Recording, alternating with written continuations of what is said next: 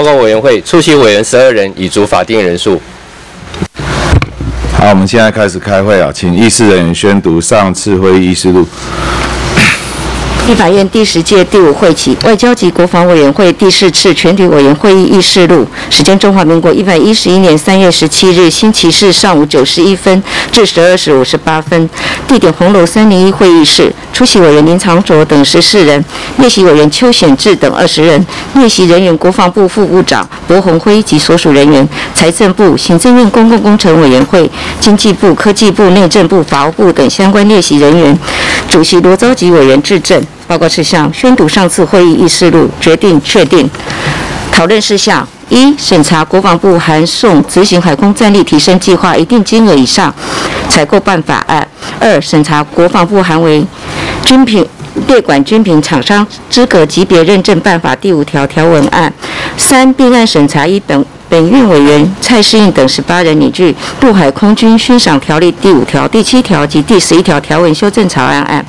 二、本院委员罗志正等十九人拟具《陆海空军勋赏条例》第二十条条文修正草案案。四、审查本院委员罗志正等十六人拟具《军人及其家属优待条例》删除第十二条及第十三条条文草案案。五、审查本院委员蔡世应等二十一人拟具《陆海空军军旗条例》第四条及第五条条文修正草案案。以上六案，委员蔡世应就《陆海空军勋赏条例》第五条、第七条及及第十一条条文修正草案案及《陆海空军军旗条例》第四条及第五条条文修正草案说明提案要旨，国防部提出报告。委员林长佐等十九人咨询，均有国防部副部长朴鸿辉、常务次长房茂宏、国家中山科学研究院院长张忠诚、行政院公共工程委员会企划处副处长。胡培忠及内政部议政署主任秘书李生浩等相关官员即席答复。决议一：登记咨询在场委员均已发言完毕，报告及询答结束。二、委员所提书面及口头执行未及答复或要求提供之资讯，请相关机关于二周内以书面答复本会全体委员，并布置本会。委员另指定期限者，从其所定。三、委员李桂明及陈明文等二人所提书面咨询列入记录，刊登公报。四、审查结果：一、国防部函送执行海空战力提升计划一定金额以上采购办法案，一、同意备查；二、审查完具，拟具审查报告，报请院会存查。院会讨论前不需交由党团协商，院会讨论时如有必要，由罗召集委员质证做补充说明。二、国防部函为修正列管军品厂商资格级别认证办法第五条条文案，一、通过决议案一案。一项二审查完竣，依立法院职权行使法第六十二条第一项规定，拟具审查报告，连同通过之决议案提报院会讨论，通知国防部更正。院会讨论前不需交由党团协商。院会讨院会讨论时，如有必要，由罗召集委员质证做补充说明。三并案审查陆海空军勋赏条例第五条、第七条及第十一条条文修正草案及陆海空军勋赏条例第二十条条文修正草案。一、第五条，赵委员蔡世应等十八人提案修正通过；二、第七条，赵委员蔡世应等十八人提案修正通过；三、第十一条，赵委员蔡世应等十八人提案修正通过；四、第二十条，赵委员罗志正等十九人提案通过；五、拟审查完具凝聚并案凝聚审查报告。提报院会，院会审议前不需交由党团协商，院会讨论时由罗召集委员质证做补充说明。四、军人及其家属优待条例删除第十二条及第十三条条文草案。案，一赵委员罗志正等十六人提案通过，予以删除。二审查完具，拟具审查报告提报院会，因为审议前不需交由党团协商，院会讨论时由罗召集委员质证做补充说明。五陆海空军军旗条例第四条及第五条条文修正草案案，一第四条赵委员蔡世应等二十一人提案通过。二、第五条，赵委员蔡世应等二十一人提案修正通过。三、审查完具，拟具审查报告提报院会，院会审议前不需交由党团协商，院会讨论时由罗召集委员质证做补充说明。五、法制用语，法制用字用语授权主席及议事人员处理。宣读完毕。好，我们请问在场委员，上次会议事录有遗漏或错误？我们要议事录确定，我们请议事人员宣读报告事项。报告事项二：邀请国防部部长邱国正报告业务概况，并被质询。宣读完毕。好，我们介绍在场的委员，还有官员啊，啊，我们在场委员吴义霞委员，啊，林长卓委员。那我们今天在场的官员啊，列席的有国防部部长邱国正先生，副参谋总长执行官梅家树上将，常务次长房茂宏中将，全民防卫动员署署长白杰龙先生。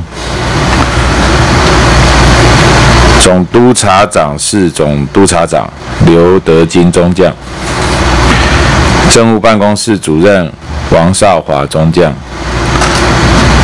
政治作战局局长简世伟中将，军备局副局长赵雅平少将，主计局副局长沈建群少将，军医局局长陈建同中将。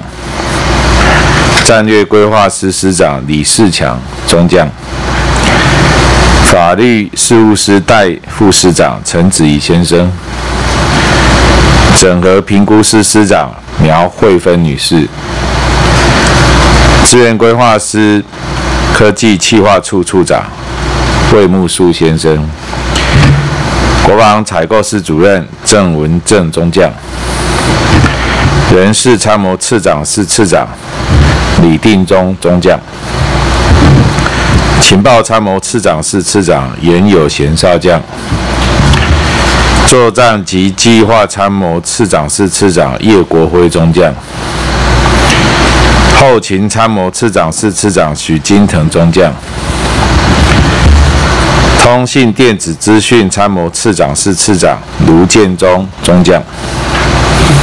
训练参谋次长室次长李天龙中将，陆军司令部参谋长张元勋中将，海军司令部参谋长蒋正国中将，空军司令部参谋长黄志伟中将，后备指挥部参谋长朱志宝少将，宪兵指挥部参谋长于大任少将。国家中山科学研究院张忠诚先生，好，本日会议邀请国防部部长邱国正部长报告业务概况，并被质询，请邱部长上台报告。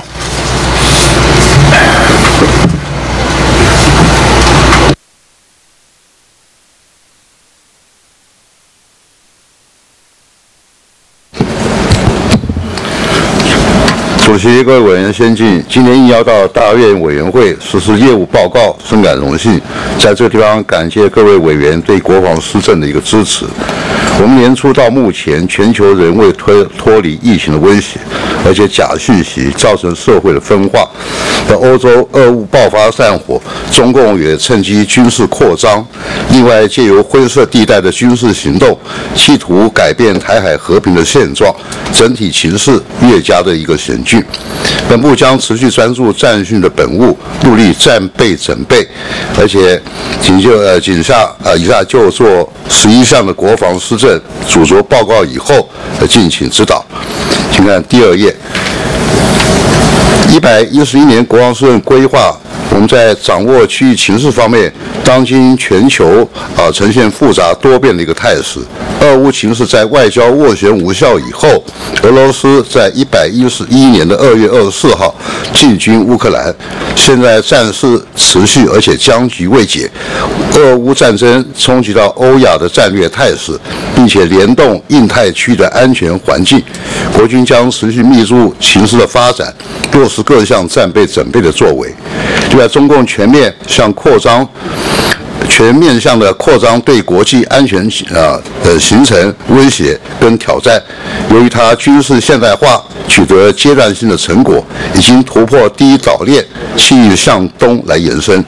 然而，台湾位居岛链关键的要冲，台海和平的形势也受到国际高度的关注。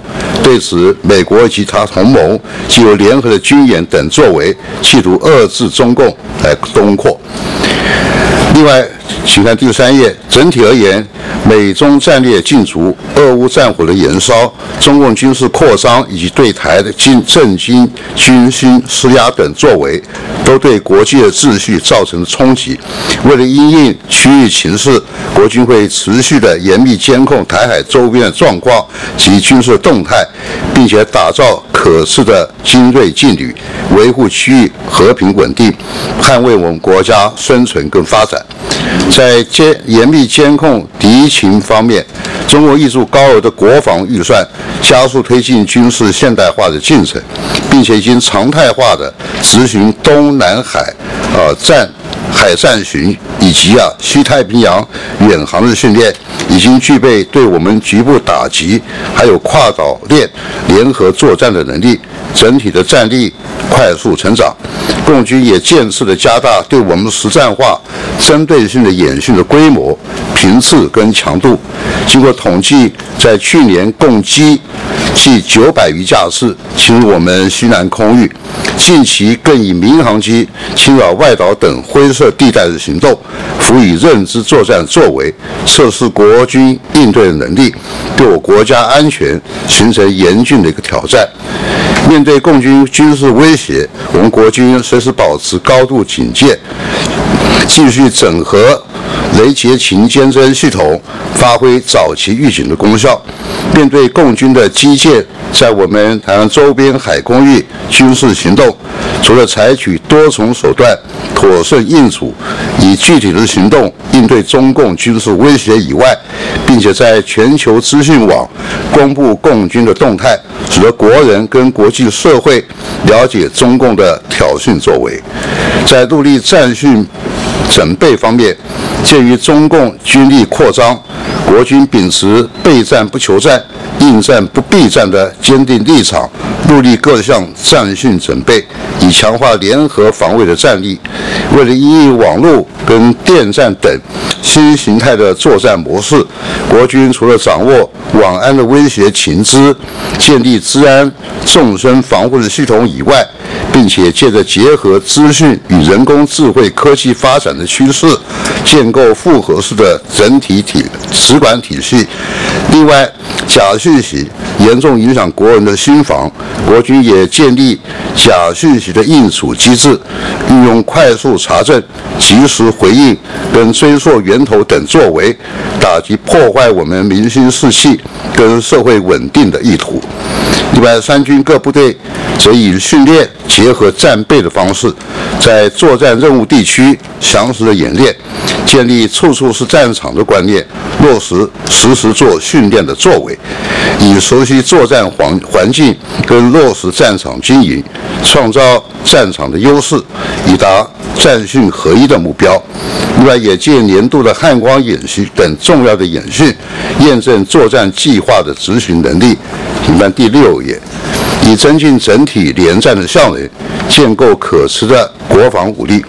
在提升后备战力方面，全民国防动员署在今年一月一号成立，那么执行军事动员跟行政动员的事项，另外检讨跨部会的协调运作机制，而且落实权责分工，达成全民总力来支持国军军事作战的目标。为提升后备的战力，我们教招从今年第一季到第三季来试行每次十四天的政策，采取新旧制并行，同时结合战术位置报道、编程、实训来磨练战场状况的应处。另外，缩短临战训练的时间，以达就地动员及保家、保乡、保产的目标，以同步完成后备军人召集优待条例草草案，已送请大院审议当中。在前瞻建军规划方面，面对中共新一代的武器陆续列装成军，对我们形势严峻挑战。国军以不对称作战的思维，发展远距、精准、机动的武器系统，创造不对称的优势，有效遏阻敌军来冒进。国军也依照建军规划的集成，采国内自力研制与外购并行的方式，筹获新式武器的装备。当前军事投资的重点项目包含 F 十六 V 新式战机、还有雄升万箭飞弹远距精准的武器弹药，雄二、雄三机动的飞弹车，还有鱼叉飞弹海岸防卫系统。另外，M1A2T 新型的战车、托式二 B 及标枪高效能的反装甲飞弹等的筹等待筹获。那么筹获以后，将可有效提升国军的整体战力。为了适应未来作战的形态，各军种也配合新式的装备筹获，同步调整兵力的结构跟组织。另外，后备部队本续精进长后一体、平战结合的机制，建立全民防卫支援作战能量。第六是支援救灾防疫方面，国军依照灾害防救法，协助中央跟地方政府进行各项的灾害防救任务。国军也依据各县市政府的需求，协助执行灾害防救的演练，增进救援的默契跟整体应变的能力。为因应疫情的发展，支援检疫所，而且快呃快筛站还有疫苗注射站开设。另外，也持续派遣化学兵部队协力地方政府做消毒防疫的作业，以防堵疫情的扩散。陈平日久，望战必为。为了确保我们国人生命财产的安全，将会去借由民安演习的时候，模拟战争发生以后战灾的一个情况，由地方政府来执行民物力动员跟紧急状况应处的演练，强化整体战灾抢救机制跟能量。第七，落实国防自主方面，为达成国防自主的目标，我们积极结合各部会的资源，聚焦在推动国机国造、执行国建国造等要项。国机国造新式高教机已经在去年交运两架，并且在今年会接收八架，管制在一百一十五年会完成交机的目标。另外，国建国造应当分别在六月底前完成新型两栖船坞运输舰的交建、新型救难舰的安放龙骨及潜舰压力壳船段的一个建造。请看第十页，十二月底高效能的战艇啊，呃，高效能舰艇第二三艘会下水，逐步的建立建立自主造舰产业链的目标。另外，针对海空战力提升计划采购特别预算，本部也会落实对中科院专案管理及督监督考核。另外，这一次特别预算是预算有四商金额达到一千八百余亿元，可以有效带动我们造船业、资讯及通讯业等民间的产业发展。提升技术产能，促进经济稳定的成长，增加国防产业的竞争力。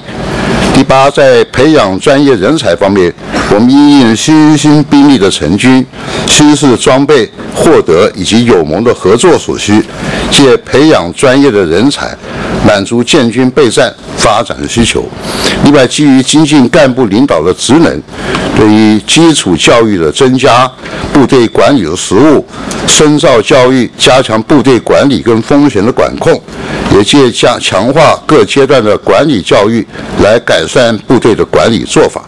依照二零三零双语国家政策的一个指导，我们军事院校持续培育培育全英语师资的能量，强化课程的内涵及定期英语建设等作为，培育军校生整体外语的素质。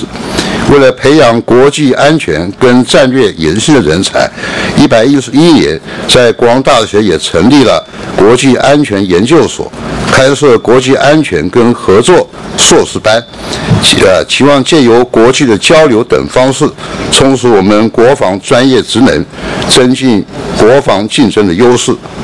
第十二页。第九，我们在严肃军际安全方面，军际安全是国军战力的一个基石。近年军机案件虽然已经逐次有下降，但是我们本部仍将秉持负责任的态度，务实来检讨个案，落实各项军风纪啊军风纪律安全维护的工作。另外，在心理辅导方面，我们也会强化官兵正向的一个观念。并落实三级的防处作为，发觉有维安顾虑的人员，就完善官兵心理健康的照护，以及确为我们部队的战力。第十是贯彻廉政军风方面，国防的廉政为国防工作推动的基础。我国国防与军事透明度在去年由国际透明组织评鉴为低度的贪腐风险有 B 级，显见国军廉洁度受到国际以及民众的肯定。国军持续机关持续就机关廉政的风险。这些这些案件都作为案例，每月主动以定期跟不定期的方式办理专案清查或稽核作业，对于国军各层级办理反贪腐的训练，务使国军各级人员时刻心存不能贪、不敢贪、不会贪的廉人风军风。最后是在研修重要法案方面，为了维护国家的安全，照顾官兵遗眷跟补充法务人力，本会期本部呈报行政院优先的法案有四案，分别是制定后备军人召集优待条例，明定后备军人召集的优惠及福利。另外也研修陆海空军刑法的修正案，来维护我们军事机密的安全。另外也研提兵役法第四十条的修正案，现使已经服役十年以上的亡故军人的遗族得以照啊得以比照退出役官兵的遗眷，由政府妥善的照顾，以及拟一具具有陆海空军啊军军事官任职条例第三条之一的修正案，明定国防法务官的考试，充实国防法务人力。以上四案，还敬请大院委员能够支持。做结语，面对多变的军事形势、区域形势跟中共武力威胁，国防部耿续破化各项国防施政，努力建军备战，并严密海空兵力的遵循警戒，维护海空域的安全。地面部队执行实兵的战备征询训练，也让民众看见国军守护家园的一个承诺。未来国军官兵仍会恪尽职责，全力以赴达成各项任务，确保我们国家的安全。也恳请各位委员先进能够持续给予本部的支持跟指导。谢谢大家。好，谢谢邱部长。我们现在询答开始。呃，本会委员八加二分钟，非本会委员五分钟。那十点半发言。登记截止。那如果有临时提案，请在十点三十分以前提出，我们十一点钟处理。我们首先请林长卓委员上台咨询。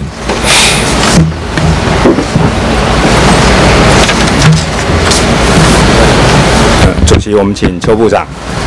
邱部长，请备询。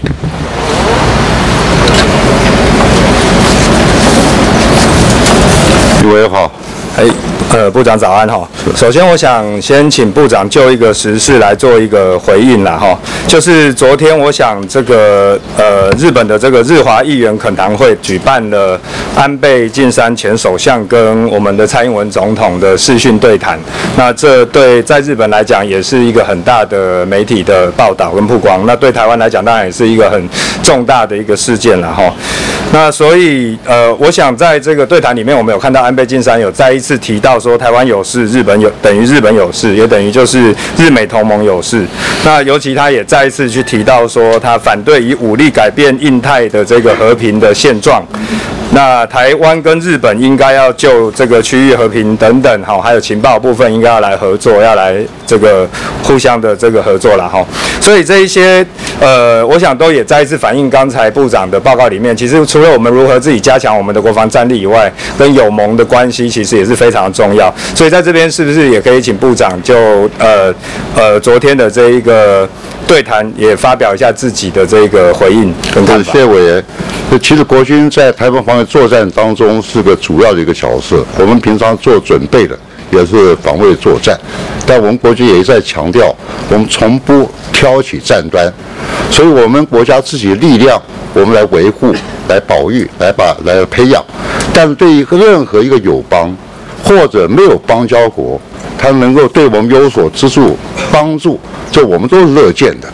那我们主要是讲说，我们不希望造成任何纷扰，但假如大家很和善的，而且很具体的提出任何有益于我们的协助的啊这些这些意见的话，国军都乐于采纳参考。而且要作为以后努力的一个方向。是，呃，我想台湾作为印太区域里面非常重要的一个呃环节，当然我们也希望说能够共同来去维持印太地区的这个区域安全了哈。另外一个也是日前发生的一个事情，就是六军团火箭营的电脑主机遭窃的事情。这我之所以要在这边特别问部长，其实原因是因为其实我在礼拜一就已经请陆军给我一个书面的说明，那到现在都还没有拿到，所以。是不是说还是请部长，呃，可以在这边稍微说明一下这个？如果说只是一个 USB 的硬碟就算了，整台主机被偷走，我觉得是是有什么样子安全上面的问管理的问题？我跟委员报，对这件事情，我个人觉得很遗憾啊。我身为国防部长，我对这件事情，我对我们国军同仁，啊，对大家关切这个问题的委员，我真的要深深致歉。这绝对不是讲说，如果我们一般讲，哎呀，那是一个简单的啊，没有没有牵扯到机密啊、行政啊，啊，都是行政方面这些资料，我绝对不这样认为。所以我基本上听到这个案子以后。我基本上是从内部管理的范畴去做一个追查，嗯，哪一些人，哪一个保管，先把它搞清楚，跟他有关的，跟他有权责要指挥他管理他的哪几个人，不管从主官啊、军官这条指挥线、士官的一个指挥线，还有就幕僚督导线，我们去追。所以当初这件事情发生以后，我们的检讨空间很大。为什么？因为从案发到我们国防部知道，这不会严的啊，真的是有严当的。所以这个我要啊表达深刻歉意。但这件事情，部长不会讲说故意把它扩大。但这是一个很好的案例，因为我一直在强调军风纪的问题，同仁没有不听话的。是。但是我们欠缺去管理、去督导的话。会造成很大的问题，让大家一发不可收拾。我们家唯一能够做这个亡羊补牢，惩处是另外一回事。我并不主张惩处，但我主张什么？把这职务要做调整。对，管理的那个流程不适合这个职务的话，那我就做调整。是，因为我不会跟委员报告啊，有时候惩处在军中也造成一些啊这个波浪啊，好像惩处很快，呃打个记过就记过了，这讲起来是很不。很不客观的啊！我当然我不会去对他有什么大的改变作为，我只教育我们的指挥层级人员，那这一方面观念要调整，不要动不动成熟，要透过教育训练去教流程上面的那个管理，对管理，假如说不行。会把换个职务吧。其实这个去年八月也已经发生，有一个有个人这个开车闯入基隆的这个飞弹防空指挥部嘛。然后十一月也发生退伍军官侵入左营的营区，所以这几个其实都重创了这些我们管理上面，尤其是安全的管理上面的这种形象，到底有没有能力管好？这会是一个外界我觉得非常担心的事。委员讲的很对，我们就从这个内部管理方面去着手。所以我希望相关的这个资料还是尽快准备给所有的这个。委员们一份了哈，对，很抱歉。那时间有限，我想接着也要来讨论最近大家比较关心的是这个疫情是否延长的这个问题了哈。对。那我想在这边，因为时间有限，呃，我我们就就三点，就是外界会有这样子的建议的三点来稍微讨论一下。第一个当然是说，如果说以志愿役为主力，是不是兵力太少，国防战力不足的问题？第二个，他可能说疫情太短，训练不足的问题。第三个。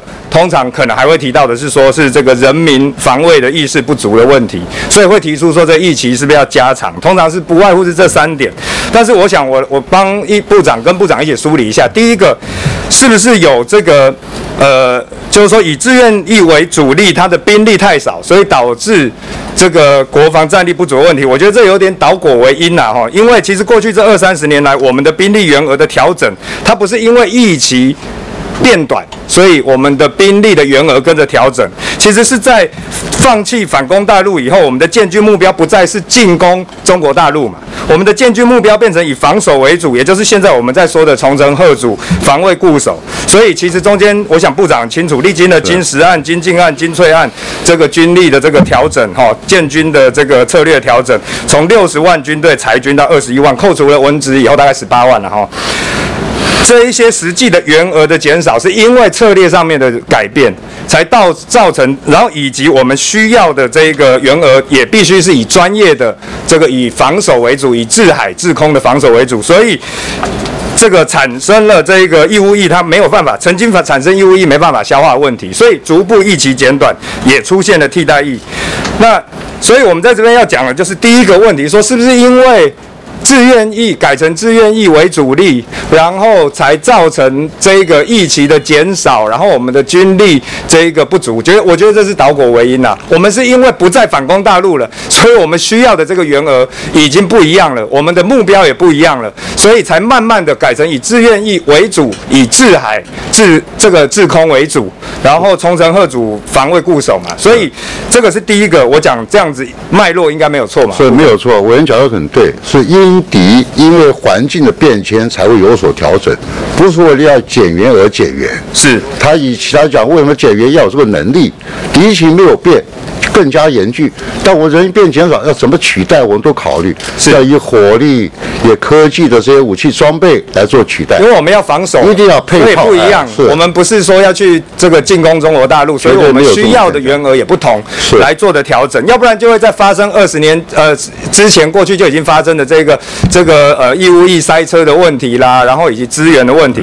第二个就是说义务役的役期过短，造成他的训练不足的问题。我觉得这个可能还是要把。也要把这个我们的建军上面的策略想清楚、讲清楚，因为其实刚刚前面讲的，我们国防需求的改变以后，造成我们必须以志愿役的专业的这一些能够从事制海这个制空为主的第一线，最重要的制海制空，当然专业考量，这是志愿现在是志愿役负责嘛。第二线在反登陆作战跟探案守备是志愿役加上甲种后备旅来负责，这也是专业的考量。这并不是说因为役期减短，所以我们变成改去找志愿。不是，是因为这一些工作都需要比较长期的训练，所以并不是因为疫情前短，所以改成自愿役，而是我们本来就有这个需求。那到了城镇，我们现在策略就是城镇战的部分才有，才是义务役为主，也就是现在所谓的军事训练役了哈。那所以我想，疫情的部分还是要回归到说那。城镇战，我们需要的训练大概是多久？我想这个才会回归到事实的讨论啦，而不是我们不可能说再回到改变说我们要去反攻大陆啦，然后要养一个大的军队去做这个这一些呃员额扩军。我想我们也没有这一个目标嘛。第三个说法，我刚才讲的这个全民防卫的意志问题了哈，这个我也认为是另外一个题目，就是说这并不是疫期的问题，这其实我们讨论全民防卫、全民国防也讨论很多次，这是一个提升男女老老少所有人的防卫意志的问题，这是另外一个更大的题目。所以，因为我有看到部长在前几天有说可能会有一年的时间来评估看这个疫情的这个调整，那我希望。部长在评估的时候，必须把刚才讲的几个这个问题都要先清楚的说明了哈，然后能够清楚的，包括说，如果我们调整了，我相信不会是又用。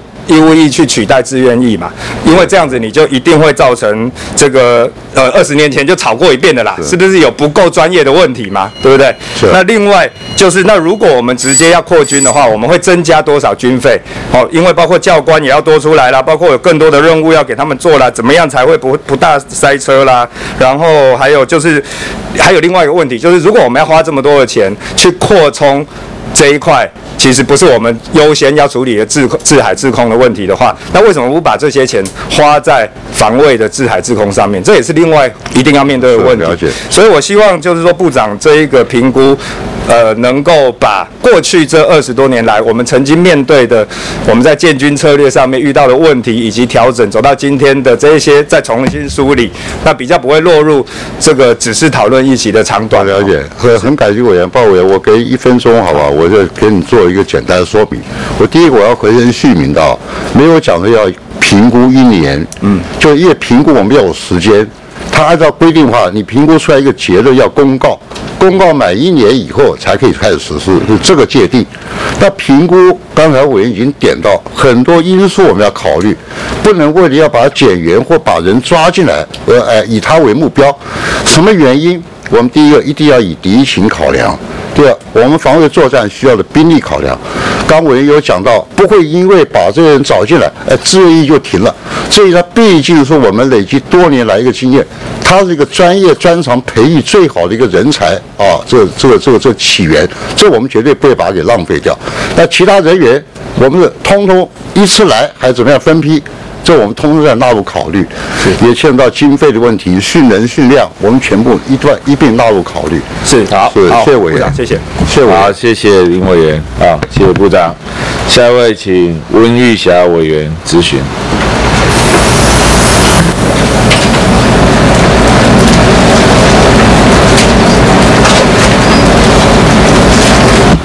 主席早，我们有请邱部长。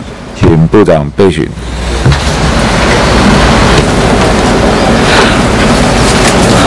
委员早，呃，部长早，部长，我接续一下刚才我们林委员的那个问题啊、之前有传出呢，国安高层有提出哈、我们那个呃征兵制要延长一年，那国防部是不是有接到这个信息？那你们有没有做过研究？呃，我今委员报告年会不会实施？这我们会这三个问题啊去做研拟。第一个，我没有交任哎哎，没有交任何指示下来给我一个定的目标。嗯为我们就研拟了以后，有几个方案跟长官做报告。哎，那我目前还在研拟的阶段啊，。在研拟阶段，那今年会不会？今年会不会有效？因为建设要谈年今。年一定会有结果。今年会有结果哎实行的话，刚才已经跟那个林委也有报告了，是它有规定吧？好等到要公告，公告一年才能够来做一个推动。呃，这一方面我们所以没有讲要评估一年，评估的话也我不能讲很快，但事实上我一直在做，不管是民意调查也好，我今年会提出报告吗？呃一定会提出，今年呃提出一定会提出。好，是那那我来再请问一下第二个问题啊，请问了这次教招你教招的结果，你觉得如何？你满意吗？你可以给自己打个几分？我跟委员报告，我从来不给自己打分数，但我对这一回同仁的努力满不力。满意？如果我对同仁的努力真的很满意，因为这一回我毕竟经过很充分的准备。是当然有一些评论我还接纳哎啊，他不管我也不能讲出来他调好以小看到的话，把整体给否定掉。所以对我们的批评我接纳，但不要对我们干部做否定。我听得来，我我觉得对我们干部真的很不公平。哎，满不满意？那总统有去参有去参访嘛？哈哎是的有去有去巡呃巡视吧？哈，是那总统有没有什么指示？总统觉得这个工作目前这个第一步起步吧，按照这种规模，对他觉得哎都还可以的，而且是个理念，为什么要在户籍地动员，因为保家保乡保产，这个他完全同意那你意。没有有没有觉得我们有没有需要改进的地方？呃，有他目前给我们任何意见，检讨都是我们要哎在检讨当中要把它提出来，那所以怎么样改进这个这个是。什么时候可以提出呢？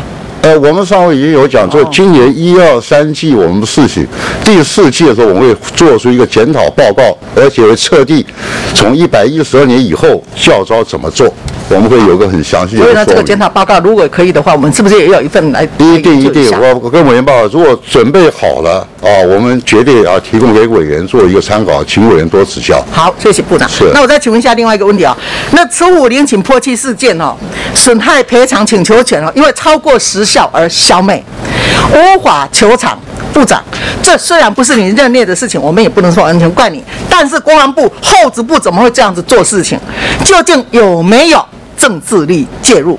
要不要追究是谁的责任？这不是二十四万的问题哦，这是有关大是大非的问题。有关国防部做事情的态度，真的是马马虎虎了，是不是这样就敷衍了事啊？国防部的文化习性都是这样子的吗？我我我跟委员报告好吧，这个事情啊，我们绝对没有把它给轻忽掉，因为这个东西法的问题，它法去处理。但我们的反应就是说，你任何违反我们的规定，我们的具有财产是我们来保管、我们来保护的，你要刻意来破坏，我们绝对不容许的。但碍于法律，他又是名人，假如交给法的话，法是做一个公平啊，一个一个一个允当处理。但我们自己更加要努力防卫，所以我们目前能够做的就这绝对不会讲说好，他这个赔了我们就算了，我们也自己检讨、这这，纳入我在教育我。我我在问说有没有其他什么政治力介入啊，或者是说因为是独派青年啊，或特别放水啦、或是怎么样？我是在问有没有这一种，不是说因为上级的指示啊，有没有这一类的事情？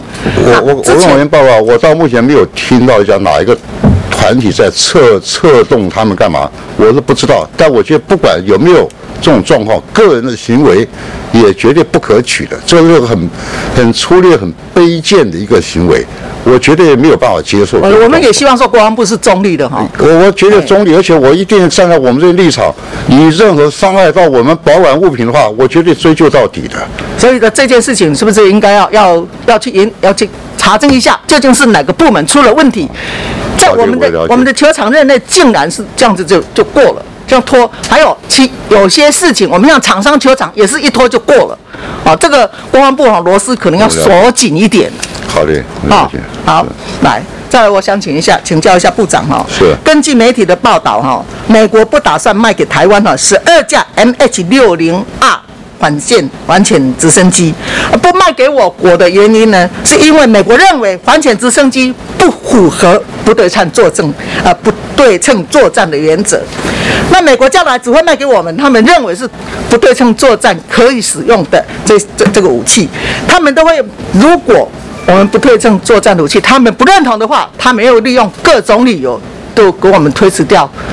那部长，你这样子这样子，你认为？这样对我们合理吗？就像陆军哈，本来打算向美国购买反反登陆作战的 M 一零九 A 六的自走炮，结果，结果是不是美国也拒绝了？是不是也开始护装？有没有这些问题？首跟委员报，目前为止我们有正式被接到啊，或告知我这军购的状况啊，停或者还要持续。但我这假如没有接到告知，代表它正在运作的。它会有变化，我不能做预判。我讲真话，陈福刚委员讲到，有很多要考量的因素啊。我们买方跟卖方，我们要买，他不见得卖，这也是个因素。但他给我们，我们也可以选择要或不要，这是一个。第二个，就到目前为止，我们要知道一定会公诸于社会。为什么？因为他的国务院会要要知会国会，要知会要知会一下他就要公开。这一公开，他也会告知我们。所以说，我们自然就要一定要跟社会要做一个啊，做一个报告。是，部长，我知道有一些话你也很不方便讲了哈。可是呢，美国那个重量级的智库专家葛莱伊，还有国防部的助理部长卡尔林，还有国务院的助理国务卿路易斯，他们都公开做同样的表示。葛莱伊说，潜舰和战斗机并不适合不对称作战。他认为要建台湾要建立平民军。进行社区游击，助理部长也这么说，国务卿呃，助理国务卿也都这么说。台湾应该建，应该去建立去中心化的防卫系统。部长，这个看起来你是行家嘛，对不对？不是看起来上你是行家，你是行家，但是他们这样子讲，这样子讲，这样子讲，看起来好像对我们没有什么信心，一定要指导我们要什么。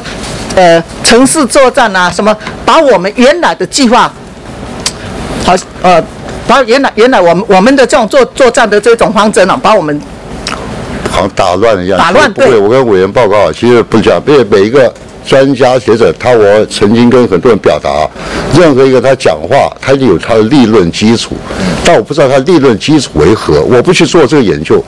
但他一讲了以后，他都讲个原则性的，没有错。台湾方面作战，你承认作战也很重要啊，台湾所也很重要啊，你个人信息武器也很重要。我们听到很多，但我们会去评估，对建军备战工作只要有利，而且动员以后马上可以操作这些武器装备，我们都乐见。现在大家都在讲不对称，不对称，不对称，不对称。我讲白话，讲白一点，就是我们虽然是站在弱的地方，但强的地方它有弱点。我们找到以后，我打他弱点。他强的地方，他看到我们弱点以后，他也会研判什么地方不是他认为弱就弱的。他也看到我们的强点，他也会做选择。我想这样的话，一来一往的选择，我们不愿意发生战争的话，这种大家考虑的时间跟方向跟范围就更加广了，也是一个避战啊，避开战端。发起一个啊，主要因因素之一嘛。他这些话应该是话中有话，对不对？呃，这他讲这些，他们三这个三个专家讲的这一些，是不是话中有话？那么，就像现在好了，我们来看看乌克兰。乌克兰这次他利用城市战，所以呢，俄军呢，俄军呢就放弃了火火呃火力优势的作战，所以他们现在做的是城市战嘛，对不对？是没错。嘿，那部长。我曾经在上一个会期也曾经向你请请教过，不敢是。我们国家绝不绝对不会把战争带进贫民区，带进我们的社区。部长，你也曾经答应了，对不对？你也说绝对不会嘛。我们上一个会期，我们也曾我曾经提到过这个问题嘛，是不是？因为他们的前国安顾问欧布莱恩说，主张说。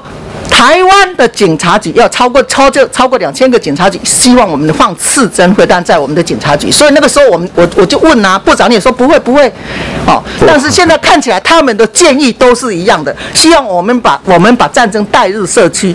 这个我是觉得，我想要再请部长，我们再做一次做一次的确认，我们不希望把城市作战带入，把把这个战区呢带入城市作战。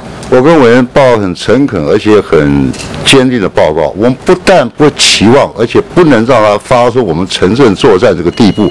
我们是连他要清洗战端这个念头都要把它打消掉，这是我们的目标。但具体而言，我们不能光期望啊。我们所以跟我们同仁讲，我们不要把我们胜利寄望在敌人的啊错误，也不要把我们和平寄望在敌人的仁慈。我们都要准备，但我们绝对尽最大的努力，在他在还没有出发之前停止战争，或者在出发当中海空当中停止战争，或到滩岸停停止战争，就这一步一步的。我跟委员报告，我多花点几秒钟时间啊。这个俄乌作战，我们发觉到一个啊一个特点，经常人家把乌克兰跟台湾来比。台湾是有天险的，但我们绝不依赖这个天险哦。不然，哎，又有海峡，我就可以入。因为我们也发觉，他用无人机啊，攻守一体的。嗯。还有呢，就是认为它快速同步。我跟很多同仁报过，他乌克啊，这个俄俄罗斯打乌克兰，一开头第一波打他啊，导弹精准武器，打他的眼耳啊，这些东西啊，让他指挥丧失。这个步骤不会变。将来就像中国打我也一样，它步骤不会变，尤其要制空制海，然后再登陆，这步骤它变不了，但是它的方法可以变，可能同步更加快速，它不仅要跨海要做船渡，可能直接飞过来，就它的步骤不会变，但它的速度绝对会加快。所以这个我们要在准备，要准备来应对。所以我是觉得，我按按照我们的步骤，因为你在一百一十年的国防报告书里面，你有说我们有四个阶段嘛，我们作战有四个阶段嘛，一个是源头打击嘛，海峡拦截嘛，滩头决战和城市作战嘛。是。可是美国看起来他们要指挥我们，好像我们要去掉源头打击和那个海峡战、海峡拦截，他希望我们是滩滩头决战和城市作战。所以我希望说，我们要守住我们的原则。是，我们坚持我们原则是。好，谢谢，谢谢部长，谢谢委员，谢谢，谢谢。温委员，呃，部长，好，下一位请罗志正委员咨询。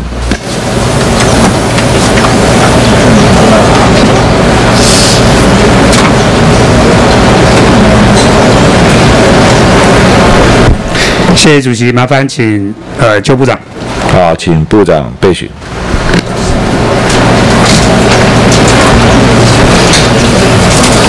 各位好，哎，部长早。我想大家当然很关心疫情调整的问题，好，那但是我觉得我们还是聚焦在几个重要的面向，好，除了说你们自己国防部内部的评估之外，在整个讨论过程当中，社会大众也需要了解有几个面向要去处理的，也就是我认为有几个法律依据，评估的因素，法定的程序要怎么做，然后改革的方向，然后最后是所谓的社会的沟通。了解，部长，我们一起的。最重要的法律是哪一个？一起调整或不调整？这个兵役法里面有讲到啊，对吧？说这个啊叫义务役，义务役它里面讲得很清楚啊。现在是四个月军事训练。没没没没没没，还没还没讲，对不起，部长，十六条第一项写得很清楚，常备兵役有现役、呃对，军事训练跟后备役嘛。是。现在只不过现役这个东西，法律名词还在哦。只是现在没了嘛，对不对？没有人在服那个一年的嘛。对。对不对？对。所以现役这个东西还在哦。就是义务役要服的话，征兵来的那个义务役的一年这个法律制度还在，是还在，只是没有嘛，对不对？是没有。然后第二个叫军事训练，就是四个月，啊，就是后所谓后备役，没错吧？没有错。那如果不修法的话，如果不修法的话，事实上就是三个可以选择哦。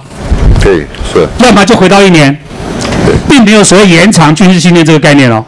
如果不修法的话了，我了解，是没错吧？没有错，是。所以如果我们决定，就是军事训练要延长的话，延长，比方七个月、八个月、六个月的话，是要修法的哦，没错吧？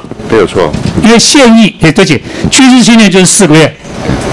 所以如果你要讨论说延长军事训练的话，延长到七月、八月、九月的话，事实上要修法。是，如果不修法的前提之下，就是回到现役，就是一年，没错吧？没有错。部长，我们我们未来要不要修法？呃，我不准备要修，因为修法所以不准备修冗长。好这个哎，这我所以不准备修的话，只有两个选择哦，要么就军事训练役维持四个月，要么就回到现在义务役征集来之后就是一年，没错吧？是就这个考虑。就这两个而已嘛，在不修法的前提之下，好，OK，所以我们先厘清哦，法律基础是这样子哦，要修法就立法就要开始要讨论了，OK。接下来这是兵役法啊，接下来评估的因素，那部长刚才讲了很多敌情啊，什么一大堆的，没错吧？然后国防部在回复廖委员提到了啊，那涉及到国军国军的组组织的调整、训练、干部营设空间等等，对不对？是。训练光这样子吗？呃，训人训练，还有一般就讲说，我们这个训练这个内容，还有未来训练完了以后，他要到哪里去服务？部长，那个都是枝微末节的，那个是执行面的问题我。们法定的评估因素是什么？我们第一，我们考量到我们自己敌情的状况，还有我们自己法律。呃部长，法定法定的评估因素是什么？一个第三十四条第三项，嗯，于国防军事无妨碍且志意满足兵额时，得停止征集服现役，对不对？刚才讲的现役，改征集接受常备兵役的军事训练，就现在这个做法，没错吧？是以志愿役服役能不能满足兵额嘛？他兵额当然根据敌情啊，什么一大堆，对不对？然后接下来哦，后面这句话哦，志愿役服役不能满足兵额的时候，回复征集现役。部长，这样理解我意思吧？我知道这个法定的，我现在我我不讲你刚才讲那些什么营区够不够啦，那个干部够不够，那当然要处理嘛。讲法就合于说我现在法是这样子嘛，是所以如果你要回到那个所谓现役一年的现役的话，主要的理由法律的理由，给你的法律理由是，自愿役服役者不能满足兵额的时候，没错吧？部长是不是这样？是这样的，是。吧是所以你到时候要交给交给社会大众或交给行政院送到立法院来，是要以这个为理由。你什么训练足不足，干部够不够，乃至于营区有没有地方，这个不在那一块哦，那是你要执行单位要做的事情啊。我们。要一定要有依据嘛，我们的觉得找到合于法定的依据，就这个嘛。那可以啊，就是不是可以就一定要依这个啦，那我们依据这个啊，是一定的，对不对？那兵员够不够的问题，就回到你当然什么敌情啦，然后我们需要多少部队啦，然后征集来要干什么，没错吧？没有错，没错吧？哈，好，那你们自己的说法，你们今天报告里面有写哦，第十九页，自愿役人力的边线比达九十，这所以自愿役对自愿役编比打九十，刚刚我也有讲到嘛，他这个敌情的变化或对嘛哈现在哎对，这就自然带进去，对它合于满啊不能满足啊这个原额所，对了，一定要从这边出发哦。对，一定这样子的啊，对，自愿役的边线是九成嘛，然后义务役如果要补要补的话补多少嘛，那也可以做推算嘛。那当然最大的前提是那个所谓敌情嘛，没错吧？没错，好，这个这个我们要把逻辑搞清楚了哈，不然一般民众以为说啊，只是讨论这一期延长与否的问题，核心还是在那个所谓敌情的规划、哎敌情的评估，还有我们这个所谓整个呃建军备战的需求的人力等等哈。是，程序，接下来我们谈程序。刚才部长不断的提到一年一年一年，好，我们回到法律面。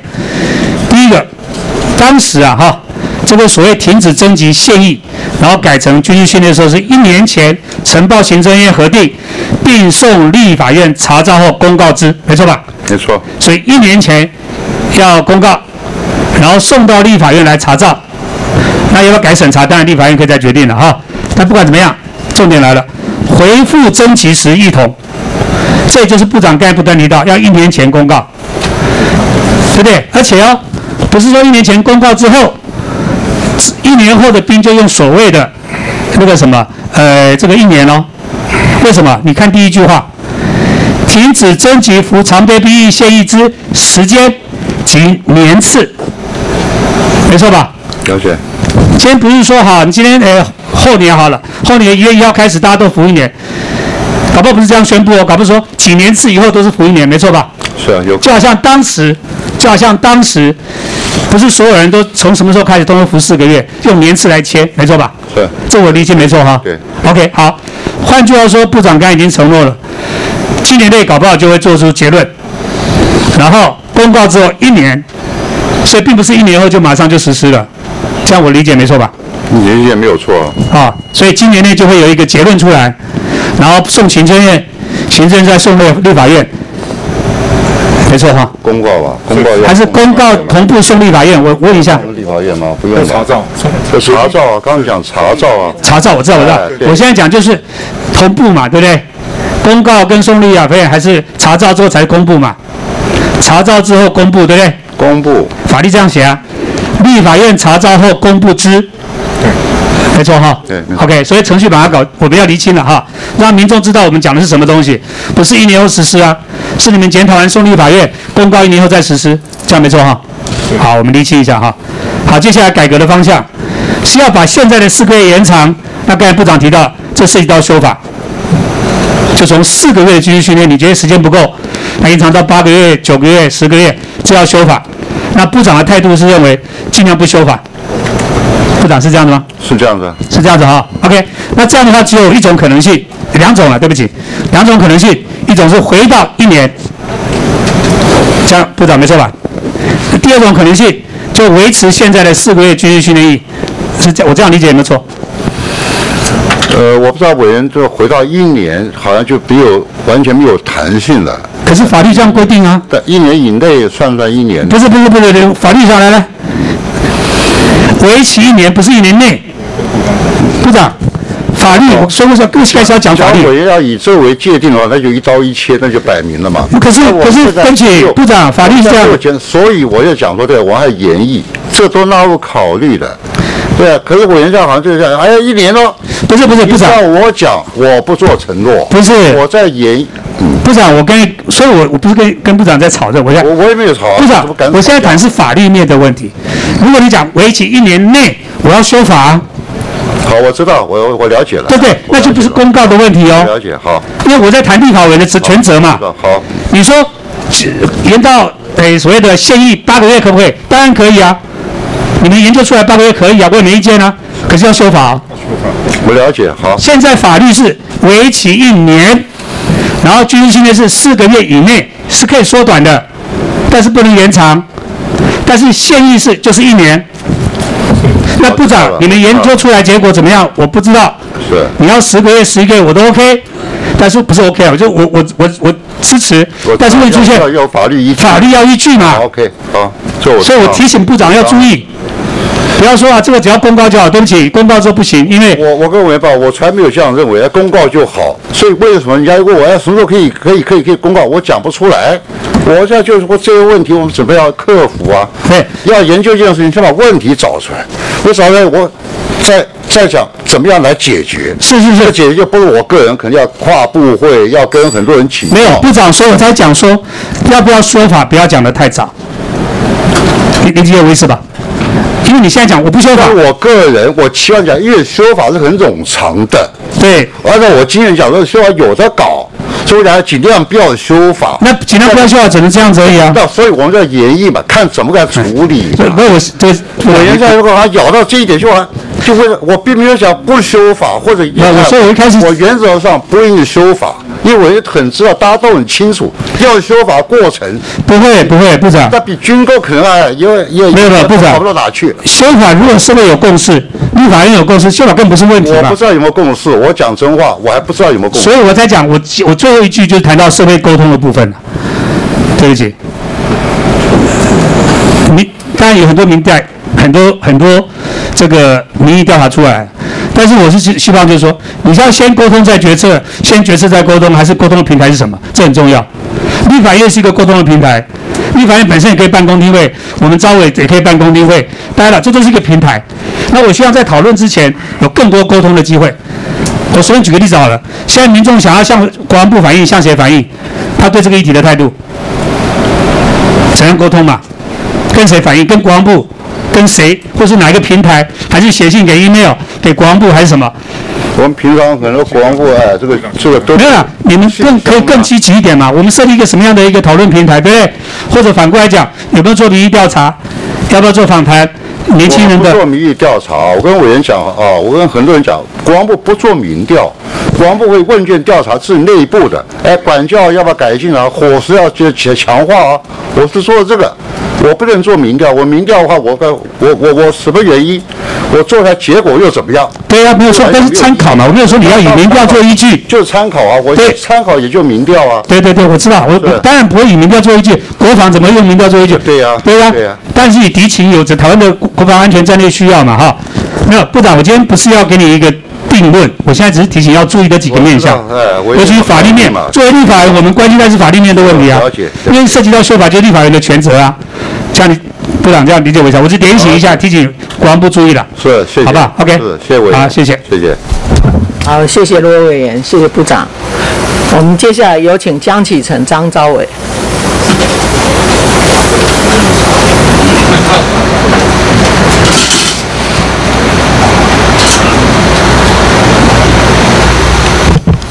好，谢谢，请主席邀请我们的部长。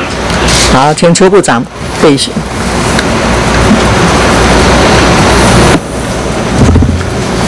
各位好，部长，可见这个兵役问题是很多人关心啊，也很复杂啊、那他当然有他的专业，可是也要顾及到人民的想法啊，因为毕竟兵嘛，兵是要人民去当的，不管是职业或者是义务都一样啊。是我请教一下部长啊，你常讲说我们现在是征募并行嘛，对啊，没有错吧？没有错。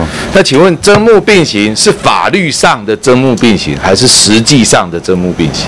现在以现在二十一点五万的员额，我们现在应该实际上很多国我们家实际上有这个征募并行吗？法律上法律上他讲的话，我们就这样做，做我们那是法律上而已哦，部长，我我念给你听好不好？嗯兵役法的第十六条哈、哦，常备兵役的区分三种，一种叫现役，现役就刚刚罗委员所讲的，为期一年这一种役男的征集，这个其实我们现在已经没有了，这个叫现役。第二种叫军事训练，就是我们现在常讲的四个月的军事训练役，但实际上它应该不属于第一项的征兵征来的那个一年的。第三个叫后备役，啊，像我这一种啊，还没除役的后备役。啊，当然也有人提到什么国民兵啊，我不晓得现在到底还没有国民兵啊。以前有什么国民兵嘛？没有没有国民，现在没有国民。啊，以前国民兵是服役多久的？现在国民他怎么样服役，我再请我去查一下。我知道有教招、点招，呃，还有一些好像勤务以前召以集，前有什么国民兵嘛？有替代役是吧？这有替代役嘛？替代役，替代役是替代役又不一样哦。哦，你去查一下啊、八八年以前哦国民兵，国民兵又分三种啊，一种还有甲种的，还有还有乙种的。啊，乙种乙种的是包委员一个月内的分甲乙丙三种，甲乙丙嘛，对不对？以前兵法有规定，所以有人说他他服的是国民兵嘛，有没有？有那一般啊，过去那种国国民国民兵是几天？国民兵是两个礼拜，两个礼拜。那那个算不算算不算在现在我们的这一种后备役当啊，中？现在已经没有国民兵这个制度了。然后只要遇国民兵只要服役，兵役只要超过三十六岁就除役，所以说国民兵现在已经没有列管。已经没有了。好，让我请教一下哈，我刚刚提到兵役法现在就是三种嘛，所以部长你常常讲征募并行，我要我必须要提醒你，征募并行是法律上，法律上征募并行，因为第一项的现役当初修法没有把它拿掉，好，而改了所谓的军事训练役。所以我们现在是用军事训练役，而且我再问另外一个问题：二十一点五万的原额有没有包括军事训练役？有包含在里面。有吗？有啊，啊没有啊有吗军事训练役也没有，没有吧？没有没有，二十一点五万的原额是不包括军事训练役这四个月的哦。是所以所有的役男去四个月的军事训练役都不包括在二十一点五万的原额。所以这个二十一点五万的原额，现在几乎员额啦，员额都是所谓的募兵的员额，只是你的边线比你现在是百分之九十，没错吧？没有错。啊，所以二十一点五万打九折嘛，乘以乘以百分之九十嘛，嗯，这就是你现在现有的员额嘛。对，所以我们整体的国防兵力，老实讲，差不多二十万左右是职业军人呐、没错吧没有？错不管他是文职的，还是前线这个我们讲说啊，在第一线的，啊、所以当我们今天在讲说疫情这个问题，我们先要厘清几个问题啦。第一个，我们有将近二十万现在是属于自愿役的，那你也讲说，这个我们现在自愿力战力很强啊，可是呢，一些人就跟你讲说，哎，我们好像现在的兵力不足以面对我们的环境的挑战，或者整个整个战场未来的发展。所以最近很多讨论像疫情疫情的延长啊，四个月的延长成一年啊，这些等等的。老实讲，如果说国防部你们要认真考虑这件事情的话，如果是不修法的话，你大概有两种处理方式啦。一种就是直接把现役的回归嘛，现役回归就是恢复征兵，恢复实质上征兵，因为法律上已经有了恢复实质征兵。那恢复实质征征兵，另外一个问题要考虑的是，它是要加在二十一点五万的原额之上，还是跟二十一点五万的原额去分嘛？了解，就是总额不变嘛，对不对？总额要不要变嘛？对，这是一种。另外一种是不恢复所谓的一年征兵，但是延长军事训练役，对不对？你也可以修法把它改成说我延长到一年嘛，九个月嘛，十个月嘛。但是这个原额不加就不会加在二十一点五万哦，了解，嗯，所以它其实是某种程度的扩军呐、我可以这样讲了。好，对不对？当你从四个月变把它调成改成一年，也叫军事训练役的时候，实际上它是不加在这二十一点五万的原额的。所以你如果真正要达到扩军的话，是变成是修法，要修改，要修改这四个月的时间，没错吧？了解，是。那你们现在的路线是什么？所以这个是也在演绎当中啊，都在演绎当中对这就要演绎的嘛。所以为什么为我们要编成一个专业小组，底下也有法律人员。所以你上次有提到，到说你们大概需要研议一年左右嘛？呃没有没有，不是研议一年，啊，研议很快，我想有规定，研议就是决完有定后一公告，实施啊公告以后要一年那是依法如果照这样的话，哈，你刚好提到说敌情是你考量的关键，敌情。之一啊，也是要考量的。那是呃，之前有提到说啊，二零二六、二零二七可能攻台啊，这些等等的，你们的考量会以这个做考量，还是说以什么做考量？呃作为你的敌情考量我我？委员马上答复啊，不会以这个为考量。人家讲二零二七，我就二零二二零二五二二零二五。那所以你们的评估不以这个嘛，对不对不对？以这个。好对，像这东西做参考，但绝对不是以它为主。好，那如果这样的话，哈，部长，这个当然最近你刚刚说国防部不做民调，当然国防部也不能做，也不需要做了啊、你们必须用你们专业考量。但现在社会上有太多的民调，包括昨天也有公布，又是另外一份，每一份现在公布出来都跟你讲说，四个月不够，改成一年，这个这个东西的比例很高。啊，支持的比例很高，甚至昨天那个尤一龙教授还讲说，呃，四个月训练一改成一年已经是社会共识。他说他从他的民调数字看起来了，因为七成多嘛，你同意吗？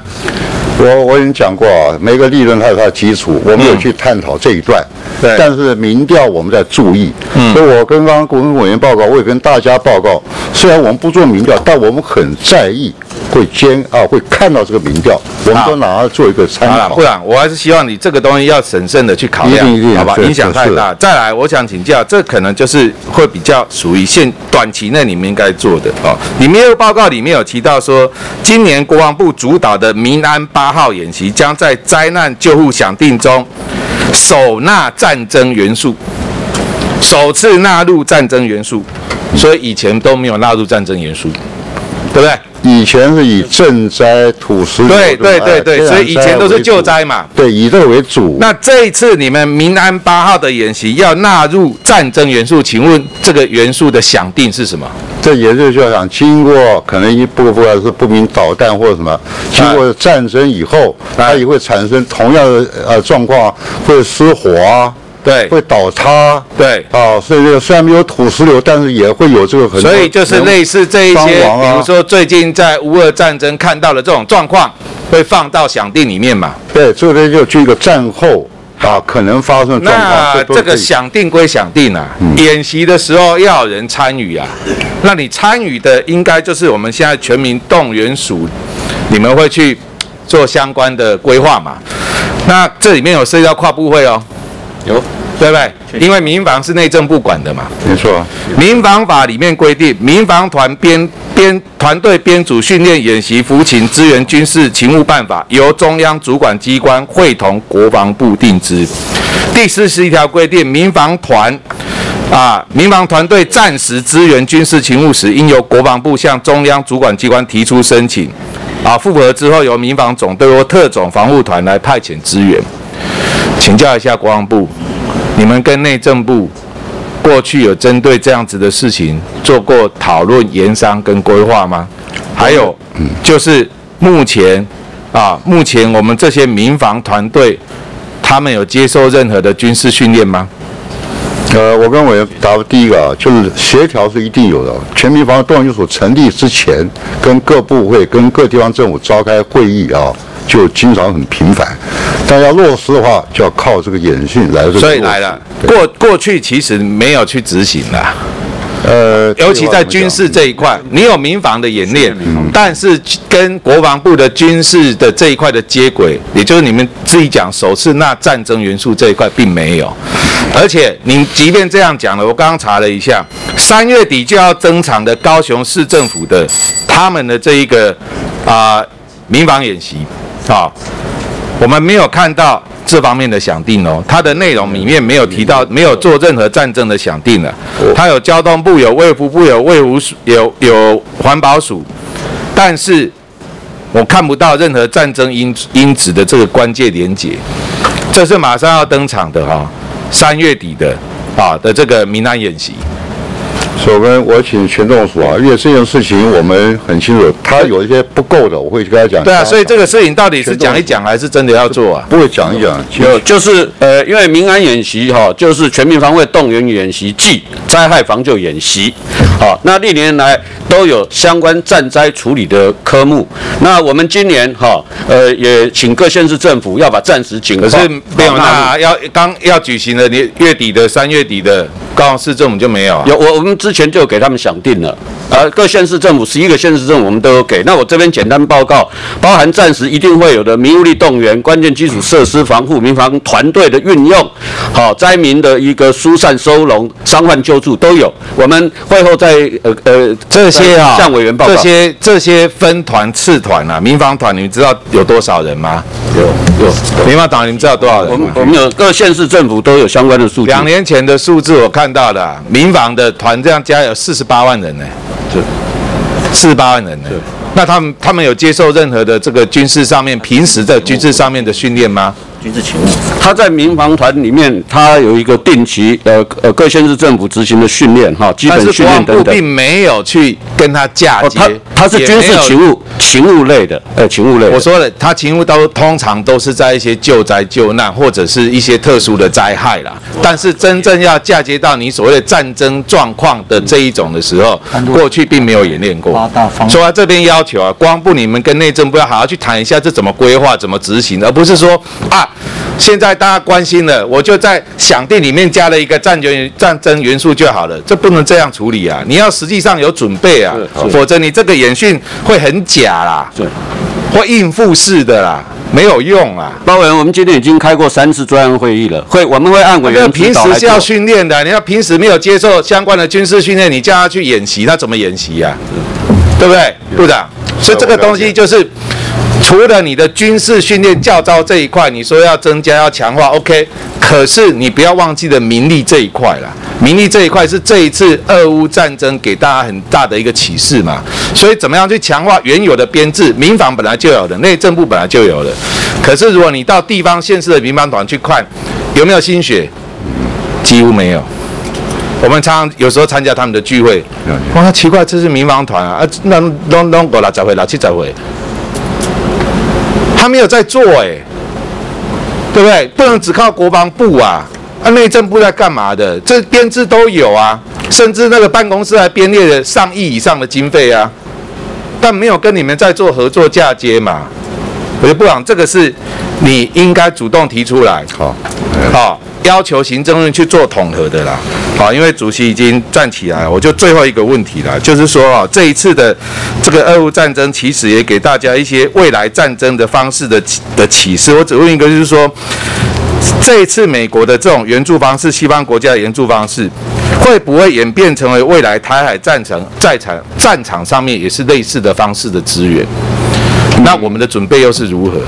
我我跟委员报告，我个人观点啊，我从来没有指望任何国家对我们啊直接做什么兵员的帮助。对，但事实上，我们这几年来，不管跟很多有盟国家或有邦交无邦交都一样，在做这些合作交流。这都是意涵的，就是到时候他会来做这一方面一个强化啊，对我们的资源。但还那句话，我部长从来不仰赖谁，但我觉得讲他们会啊会持续。乌克兰已经撑了二十八天了嘛，我们过去常常会问部长说啊，如果台海发生战事，我们撑几天？我觉得你的回答很好，你都说奉陪到到底啊，战到最后一兵一卒，这个精神我我觉得我们应该有。但现在俄乌这个二十八天给我们另外一个启示是说。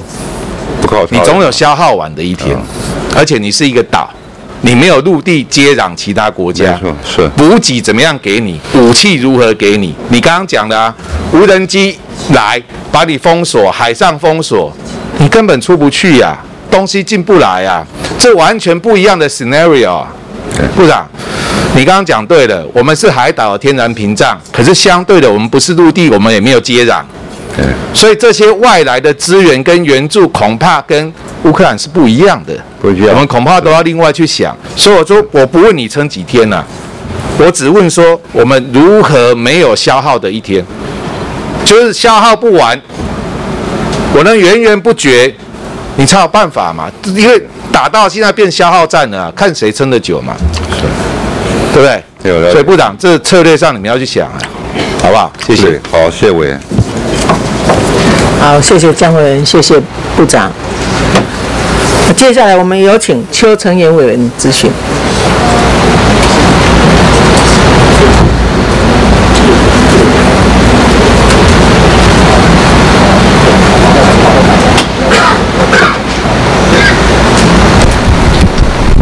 好，谢谢主席，我们邀请邱国正部长。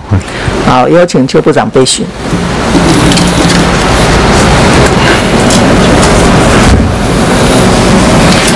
货也好。好，邱部长早安哈！我想先针对这个呃国际情势的部分呢，跟你就教。好，目前这个《纽约时报》哈有提到，就是说这个普丁哈在乌俄战争哈，因为现在僵持不下哈，那这个普丁就是这个俄国的军队在先后占领车诺比跟扎波罗热核电厂哈，那因为他的军事成果不如预期，所以现在目前这个普丁已经成立这个俄军的核武部队，要求成立这个特殊战斗戒备状状态。哦，那也有可能发动小型的核武，不知道国防部这边有没有收到相关的情资跟相关的这个后续的配套营运？那请说明一下。他叫核武部队纳入这个演训一个序列，是前两个礼拜就宣布的，所以他会动用这个武器啊，这种那么样严重的这种武器，我们不做好预判啊，但我们就要评估，他如果用跟不用，他会遇到一个怎么样一个成啊，遇到一个怎么样状况。那么整个二乌其实来讲的话，我们每天都有一个专案小组，我都看了。但目前来讲，北部战区啊，它北方这个地方已经逼近了基辅了。是。在东部这个地方啊，这种态势我们可以来看的话，它为什么叫马利坡啊，这些不断的，其实这个地方已经是被红军占领的。它不要要清剿这个啊，在城镇里面这些，对乌克兰也是不利的。那南部的话，它虽然没有两边没有什么进展，但整体态势来讲的话。现在对乌克兰是压力很大的，那在这种状况下，他双方他都有一个期望吧，透过谈判，但谈判这个内容我一看，为什么谈了五次没有结果了？嗯，就因为他开出条件太苛，这双方都不能接受，这我们持续关注。我不给他下结论，我们持续，关注。我想这个部分还是要持续的来去注意哈，哈，是来去关注哈。那第二个就是说，呃，我们今天呃，今天凌晨的时候，花莲近海发生这个规模六以上的地震。那个人根据气象局的地震统计数据，本次地震花莲地区最大的震度是五级。那请问部长，现在有目前七星潭的四零一号的这个联队空军基地是否有才传出灾损？那相关的飞机跑道有没有龟裂？有没有影响到相关的情务？现在有没有做一个相关损失的盘查？这个部分要不要来回应一下？对，我跟各位报告，我昨天一点，呃，今天凌晨一点多钟，这个震啊、地震，我所以我也醒过来。啊，今天一大早啊，其实一有这种状况，我们恒指所就会主动问到各作案区，问到各基地啊，有没有灾损等等。那目前到目前没有接到任何，没有没有什么灾损的跟我回报的。好，没有。OK，好，那接着我们来请教这个部长，针对这个国防部哈一直在推动国防自主的政策哈，那也做相关新式的军备的这个整合。那根据国防部送立法院的业务报告内容有提出哈，今年会有两艘，一艘是沱江舰，一艘是三字级的这个两栖登陆舰来交付海军。所以针对这个状况哈，就叫两个问题。第一个，请问部长，这三艘军舰大约需要哈三百名的维运海军的这个士官兵，这个部分是否已经针对相关的人员哈弟兄开始进行针对性的训练？有没有已经有相关的训练计划跟编制的一个作业？我我跟委员报告，要换装的话，通常是人员呢在同步做训练，而且它来源也会同样考量，旧装备什么转化。那详细情形，我是请海军跟委员简单说明一下。哎，跟委员报告一下，玉山军舰我们相关的编制都已经完成，人员已经完完完成选员，现在完成选员的人员都已经在实施成军训练。那另外这边提到的那个沱江级的，我们也会依他后续准备交建的时辰来完成人员的选员及成军训练。我想议题的提升、军备的提升都没有问题哦，但是在人员的训练跟相关的这个规划，还是要提早来作业。那第二个问题哈，请就教部长哈，那这个之前有传出就是陆军第六军团二十一炮指部的火箭营哈，日前传出这个内部一台电脑遭到这个失窃，引起军方的关切。同时有消息传出，电脑失窃疑为内部人员狭怨报复所致，但这个因为是我们军方的电脑，有相关的机密，所以请问部长，这个涉及军事机密设备遭窃，这个是重大的事故，国防部应该要秉持有案必破，而且要这个尽速破案的这个概念来维护军纪，给民众交代，而且并且对于失职的人员绝不宽待。这个部分是不是请部长哈，针对这个案子跟我们简单说明一下？呃，委员提出了有案必破是必然的，但我现在努力方向除了有案不让它发生，这才是我要求重点。怎么样不让它发预防啊预防。对，那这个案子现在目前状一切况问题就是源头。那请陆军你你给委员做说明好不好？好。委员好，现在我们积极在追查。那除了现在已经叫你减掉之外，那我们把所有案发相关的，呃，可能在当时的人事物都有都有尽量积极的追查掌握。那么现在未来改进的主要的方向，除了从这次的资讯安全，还有回报的机制，还有我们的内部管理上，我们都积极在做改进。以上跟委员说明。对，我想这个预防胜于治疗哈，这个呃以后应该避免这样的情势出发生哈，所以也请部长在这个部分要多注意。那再来第第二个问题，我们就提到就是最近因为这个教招的这个议题哈，那也因为乌俄乌俄战争的关系，造成这全民国防现在高度的共识，所以大家国内对这个征兵制的改革哈有非常多的这个意见，但也有实质的回应了。那我们这些乐见呐哈，但是我们知道说建军的四大要素就是这个打桩编训啊。那我们这边实际上要了解，就是说，不管说要延长役期，还是要怎么样丰富，要强化我们内部训练的这个内容哦。我想这个部分其实跟我们实际的战略好的定力是非常重要的哈。所以到底要打什么仗，我们的策略是怎么样，我们的战术是怎么样？我想这个部分我们今天让花一点时间让部长来说明哈。所以我们这边有看到国防部在一百一十年度呃一百一十一年度的国防预算案中哈，将前参谋总长李喜明所提的战力防护、滨海决胜。这个滩岸歼敌的国军防卫作战构想正式修订为战力防护、联合制海跟联合国土防卫，这个有做一个一部分的调整。那我国的战略构想在预算侧重上已经发生了根本性的改变哈，因为我想这跟你们原本的一个战略有一个相对应的调整。所以第一个问题呢，就叫部长，请问部长，联合制海跟联合国土防卫这个部分是在联合什么？可不可以解释一下？如果以现在国军的目前的一个战略的一个概念，这个仗要怎么打？那我们主要的战场范围在哪里？建军的重点是什么？因为这个有考虑到我们后面在后备军人的相关的战略提升跟训练的这些要旨的一个重点。那还有就是说，从近十年来的防卫作战构想变化来看，哈，为什么蔡政府会从上任以来国防投入的方向，它有一直在做改变的一个状况？那如今的策略转向会不会使过去投入的资源错置？哦，那造成投入导入无效，造成短期战力的下下降等问题？哈，我想针对这两个问题哦，请部长来做一个说明。是我跟委员报告，战备准备是个长期累积下来的。第一个，先跟委员保证哦，所以任何投资没有浪费的，哪怕投资完了以后，它会有时间的缘故，我们要做调整的话，这些装备还是一定会用得到的。这第一个。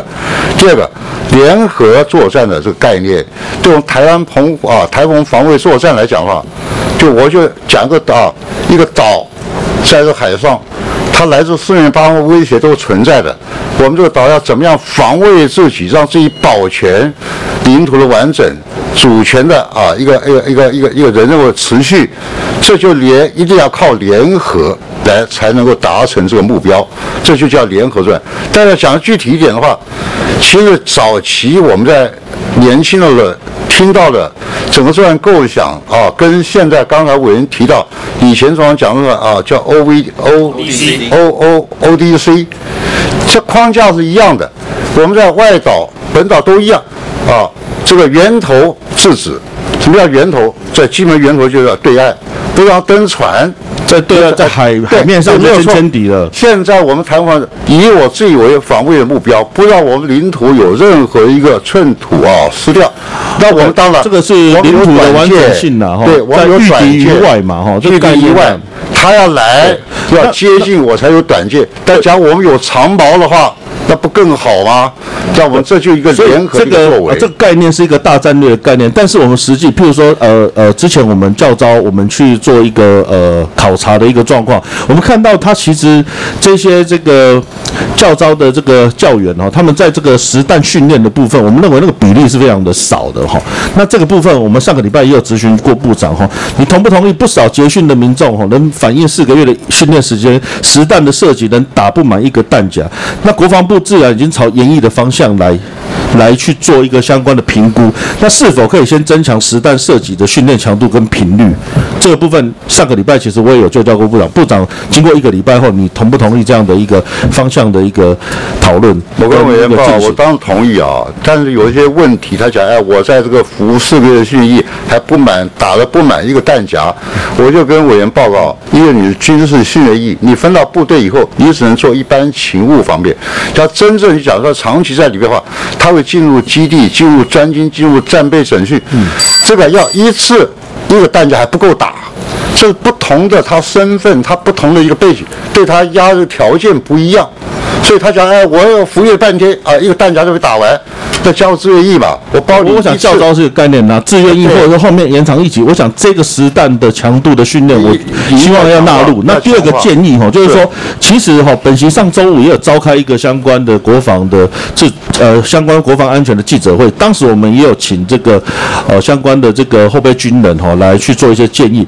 那我们有谈到，就是说针对这个退役的飞行员哈，是否应该定期要求他们回来熟飞带飞，甚至来。成立后备飞行大队，甚至在教招的这个范围内纳入这个空军的一个概念，甚至辅导成立飞行俱乐部的方式，持续培养这个潜在的飞行人才，减轻战备值班飞行员的负担。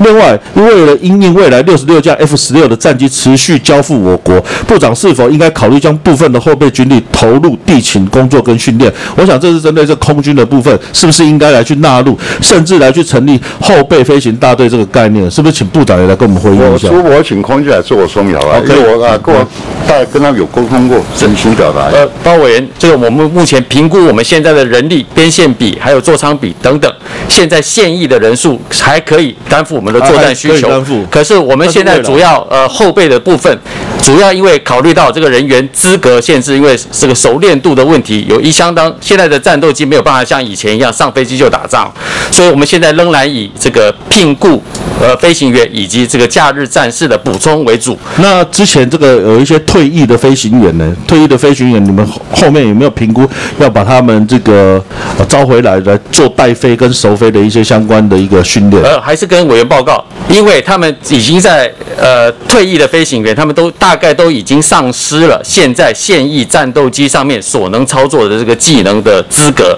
如果他们进来的话，他们还要再重新训练，反而会还要再消耗我们的训练资源。所以说这一部分这个比新进人员的这个进度快吧？是我们现在已经在做评估，但呢，我们现在引用的都是刚刚立刻一一一退伍了，我们就立刻聘他留下来。我我想这是一个长期性的问题是的为什么？因为哦，从我们的战备的整理跟我们现在目前的少子化的一个状况，是还有我们的这个军力的来源的这个部分，其实这部分我觉得国防部应该要纳入做参考了。所以我们有做包含包含是不是把空军的这个训练的项目啊纳入我们教招的这个内容里面？其实我觉得这是一个重点。那今天的咨询，其实我们做一个小结哈，我们在一直讨论是否延长疫情或者恢复征兵制之前哦，我们还是希望国防部可以明确的让国人知道，我们到底要打什么样的仗，我们要来编什么样的训，我们要来准备什么样的军力，以及后备部队未来的在战场上扮演的角色，包含我们刚刚赵伟提到了后续跟内政部民防这边的一个呃搭配，哦，才来讨论要什么装备，怎么编组部队跟怎么训练，那训练的部队要多久，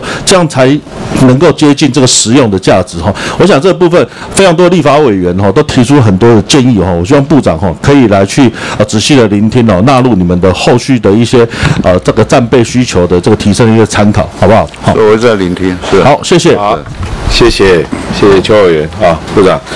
我现在宣告，目前我们收到临时提案一案，待会吴世外委员咨询完毕后，我们进行处理，处理之后休息五分钟。好，下一位我们请马文君委员咨询。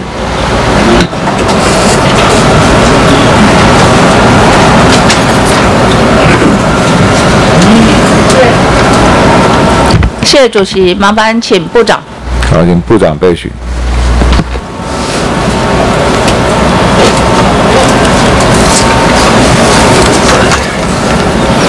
委员好，部长好，部长，今天有非常多的委员其实都有关切到，就是呃媒体报道在陆军六军团所辖的二一炮指部火箭营七号的时候遗失一台电脑主机的这个案子。虽然陆军新闻稿只称的是一般行政主机，不过即使是一般行政。文书类，它还是有其他不同的涵盖的面向，比如说它是行政文书，或者是档案是归档的，或者是收发公文，或者是参参谋作业类。因为这一次遗失的，依据本席的了解，他是作战业务的，就是作战参三的。之前其实在二零一八年也遗失过，也是同一个单位，他也遗失过发射系统定位定向器。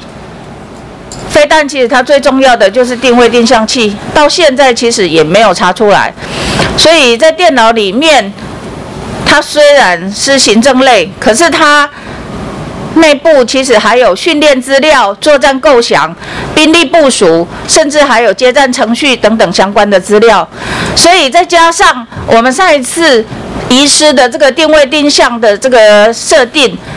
是不是有可能作为电子战干被作被作为电子战干扰，或者反定位定向？这个我想由国防部或陆军其实去斟酌这个部分，因为其实如果我们把时间轴推开，不是只有一个事件一个事件，因为上一次也没有查查出来，那这一次又发生，照理说我们在营区的管控都非常的严谨，你假日也有留守的军事官还有卫兵。依据本席的了解，该单位其实所有的参谋作业电脑，它都是管制在同一个办公室里面。为什么会独独遗失这部电脑？而且还是一个参三作业用的电脑？这个可不可以简单说明一下？我跟委员报告，这刚刚委员指导很正确啊。任何一样一个营区里边，这管理很严谨的，有这种事情，而且最近啊，也几个案子一垒的话，也看看出来讲，在管理方面有松散。所以我个人处理这种事情，我不把它当做啊，像他们陆军讲，哎，这个可能都是行政的那个内容，我绝不这样看。我刚才讲过，任何一样的一样物品从军营上被窃走，那就不对。不管这个有没有什么机密的内容，那我现在也请陆军啊，就要做一个编组啊，要往前追，把这个源头给找出来。现在正在在处理当中，我说请陆军参谋长跟委员做简单说明，好不好？委员好，跟陆军呃陆军参谋先跟委员做说明。第一个，在这一次行政电脑上，我们参谋长，因为时间的关系哈，我们没有很多，因为我们这一次特别提出来，我我先再把我的问题再提一下了哈。好。因为刚刚部长也有简单讲过，就是这个不是单纯的遗失，我们希望，因为你的作业程序你们自己去精进。我觉得，因为我们在军中不只是陆军，当然还有其他的军种，其实也有类似的情况发生，就是我们，而且我们国军。每年花费在营区的防护、资讯设备的更新，还有资讯的人力教育，这个预算都不少。像现在的基层的单位也都朝向无纸化，还有资讯化在精进，所以它的资讯设备的管制，我们花了这么多的预算，除了防止骇客的网络入侵、随身碟的资料存取，还有资料产出的浮水印，更重要的，我们刚刚讲的这些。这些呃防治的这些作为，还有这些预算花上去了，结果人家只要把一台电脑搬走，你刚刚做的全部都没有用。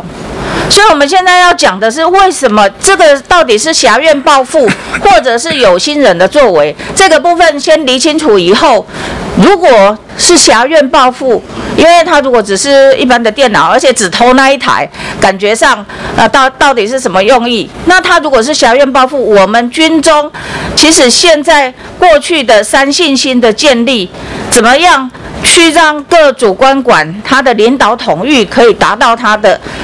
功效跟目标，我觉得这个在这几年已经慢慢的丧失。那是为什么？我们应该要去呃特别的用心规划跟教育，这个才是我们今天特别要讲的。因为你没有团结的向心力，你精神战力丧失，你所有的一切都是白费的。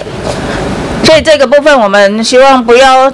大家只重视媒播、大内宣，甚至政治正确，这是我们特别本期特别要强调的，是不是？把呃，因为显然我们目前的调查结果是还没有出来，所以在这里不需要特别花时间讲讲细节。然后我们主要要提醒的是这个部分，这个部分部长是不是也可以针就这个部分？因为不是只有陆军，他所有的军种现在所有军中发生的状况非常非常多。我了解，向心力可能是一个很大的问题。这这这的确啊，我这个案子啊，为了陆军来查，我会把请陆军到委员那边去，把整个过程怎么查啊，跟委员做报告。其他的话，我都是以这个原则，源头最重要就是个人内部管理的问题，各营区指啊领导统一的问题，我们朝这一方面去努力。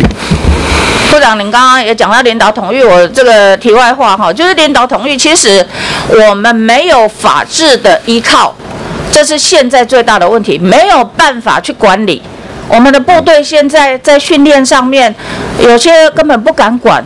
连要罚个站，其实都有很大的问题，这是我们要特别提出来。未来有机会，部长可能在法制上面，因为我们在在民间其实也听到很多哈，大大家现在对我们的呃军纪管理还有相关的一些训练，其实可能都会觉得有点忧心。那另外第二个，在请教部长，就是说对美军购的这个进度，想要看看我们目前的状况到底是怎么样，因为。就媒体的报道，像我们海军想要向美方，呃，购置反潜直升机，那美国国务院是否已经致函否决？还有，另外还有我们的自走炮，还有海马斯火箭弹车，还有 M1A2 战车，还有托式二 B 飞弹跟标枪反装甲飞弹，还有 MQ。MQ 九无人机死神哈，还有直升机夜视装备的提升，这些的状况目前怎么样？我们军售，我跟委员报，任何一样军售都经过评估的啊，而且在过程当中，它不是像我们讲的，今天钱付了，明天货就到，它要经过评估。所以最近有一些纷纷扰扰，哎，听到哎已经中断了或停止啊或什么，我跟委员报，我到目前为止啊，我是完全听官方的这种讯息，如果告知我要停，他会告知我的，告诉我们是瞒不住的，因为他公告。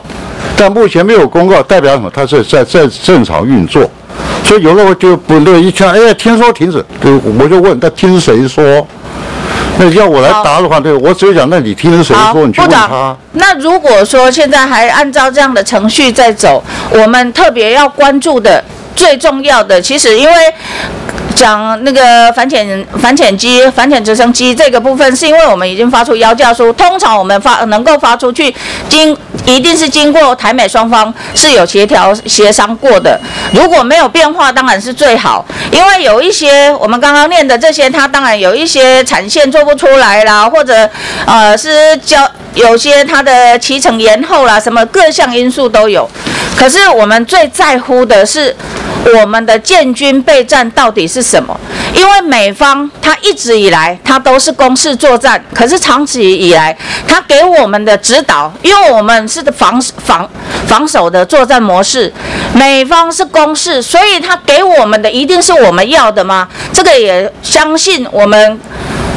部长，还有我们国防部，还有我们所有相关的军种，应该依据我们的需求去做要求跟提出，因为我们要的不要说啊，美国他只卖给我们，强推给我们的，我们都要买，我们要的他却不给，这个才是我觉得我们应该要坚持的，这个也是我今天特别询问。呃，部长，这个问题的一个主要的重心所在，我们希望我们可以坚持我们自己的安全防卫，还有我们自己的建建军备战的需求。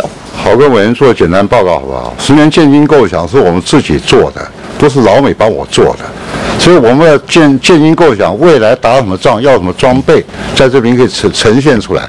就是我们做，但是我们依据我们的观点。要打我们的仗需要什么样武器装备，是我们来做一个评论。但至于卖不卖，那就跟我们一般对叫要一叫要多方协调。十年的建军备战我们有没有错？可是我们往往在过去的案例子上面，有很多美军塞给我们的，我们都还是收了。这个是我们希望，因为我们在有限的资源之下，我们还是希望我们是坚持。怎么样去分配我们的国防预算？这个是我们的重点了哈。所以在这里，因为你像最近呃那个看我们看到，我想请教一下我们的那个方正快炮为什么要加价？方正快炮，知道这个部分吗？不好意思。啊，如果不了解，不要。嗯，去搞了解一下再讲。报员，这个我要确认，应该应该是没有加价的问题。这个我们确认以后跟委员。你们在管制预算新购的那个方正快炮预算需求，花了一亿四千万，这个是在去年十二月三十号花出去的。我想要知道为什么要加价？因为我们跟美美方我们签订的合约，什么样的提成多少的金额其实是固定的。如果按照汇率来算，搞不好我们都应该多给了。可是为什么我们却用了一亿四千万的管制预算来使用？而且你为什么要用管制预算？因为这样立法院没有办法监督。你为什么要加价？如果有任何的理由，即使是美军要调涨它的发价书，都应该要到立法院来做说明报告。我们当初同意的预算，如果你是一百一百亿，那你现在变成一百多亿，到底是为什么？没有人知道啊。当初同意的是一百亿啊，所以这个部分到底要调高多少？你要怎么调？或者你要每年都要再给？我我要跟委员报，这个答案一定要讲啊，因为否则的话，委员刚刚讲，哇，我们行国防部要乱搞，那这个要以正视听，海军马上要做说明。简单讲，跟委员报告一下，第一个没有加价的问题，第二个就是这个管制预算是因为啊我们在。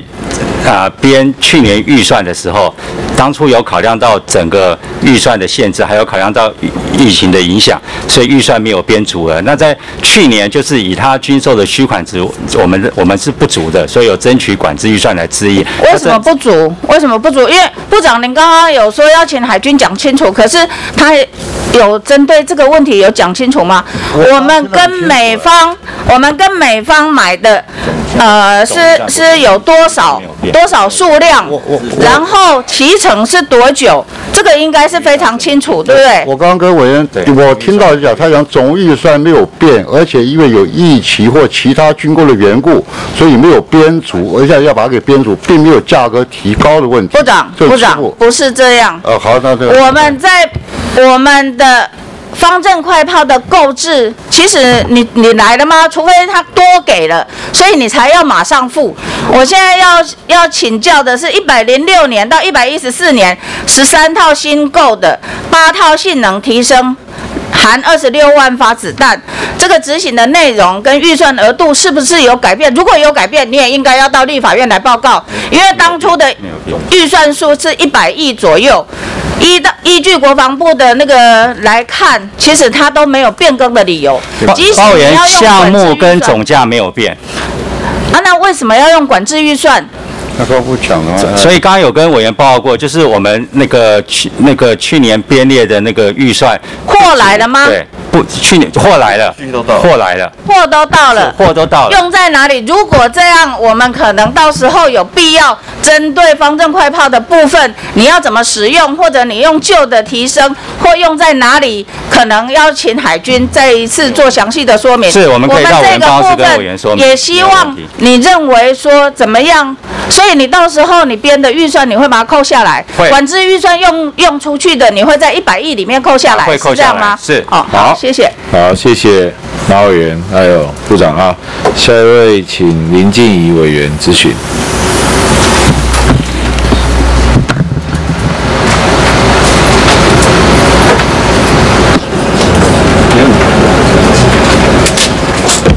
好，麻烦部长。好，请部长备询。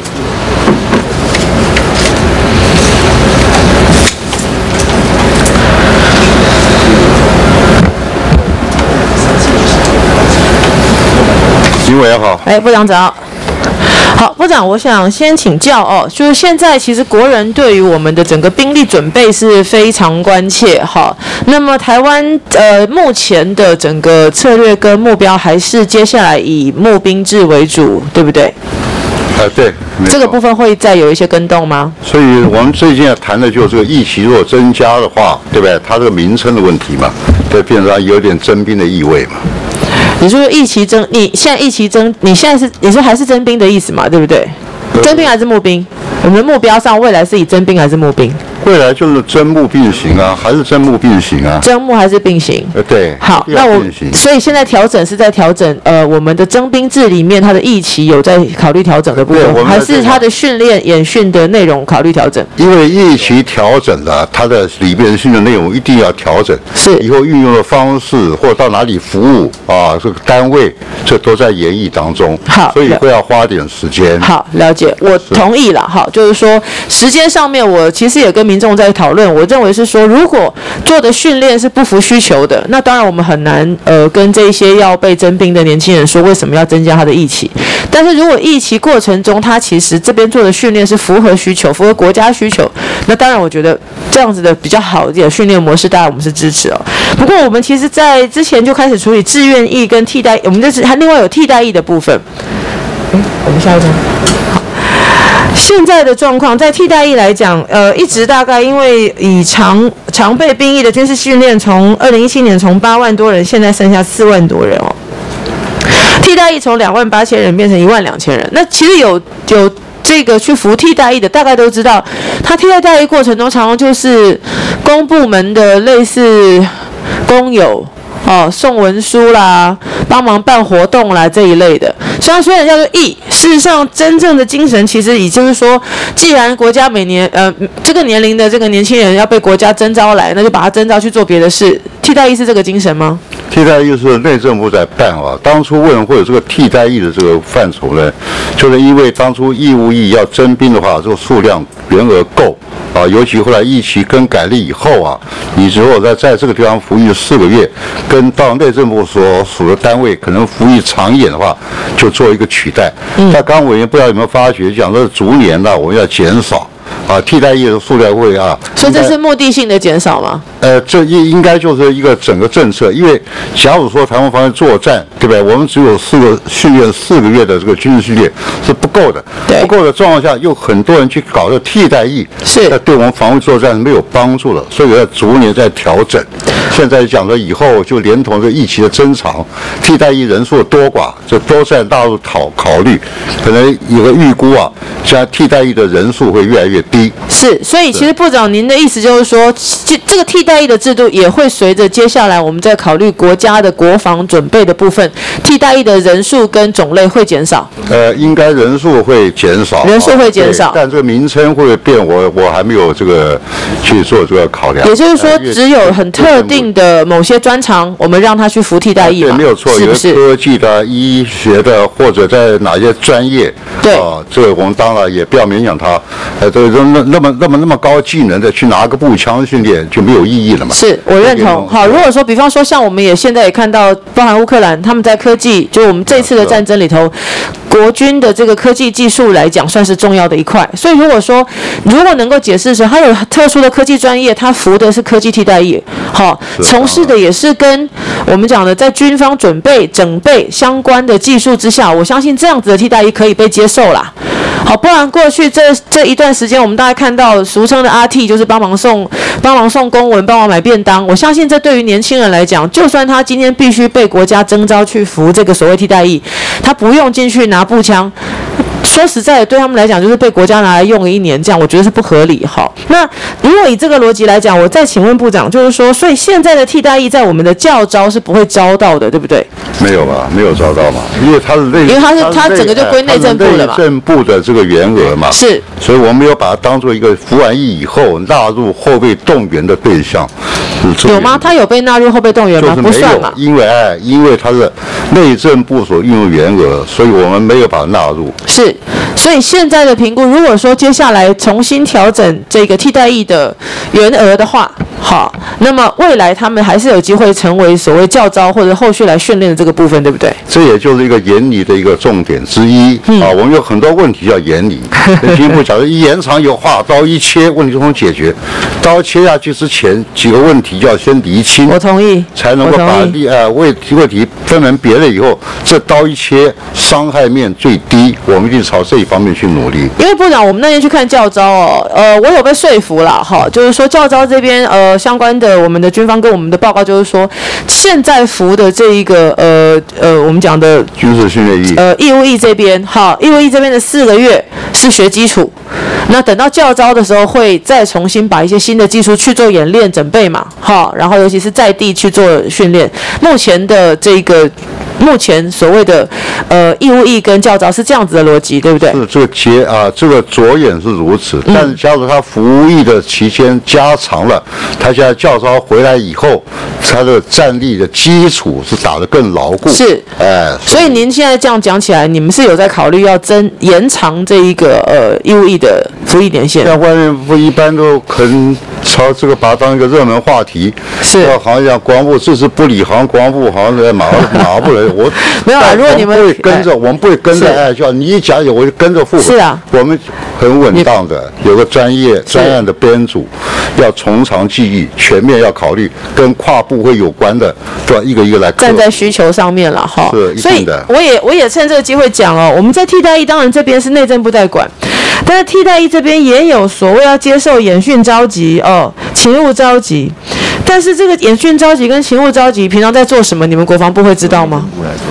它是内政部规划的，但一般来讲，勤务召集啊，不外乎就对战斗资源方面或者勤务资源方面，这怎么讲呢？譬如说一个一个军力好像要做一个调整的话，他不是每一个人都拿枪上阵的。对我并不会觉得每一个都拿枪对，对一定是后面可以有很多要来来做人力啊，或者这个装备啊，这个支应要做帮忙的，就是。所以我想之后我们还是会去要求内政部对于义务役这一呃做对于这个呃替代役这边去做一些任务上面跟训练上面的要求了哈。不过对我也要让你参考一下，你看这是台北市一零一年替代役备役役男的演训召集啦，因为我们看到他演训召集其实就是一次一天以内啦，啊一天来学个 CPR 啦。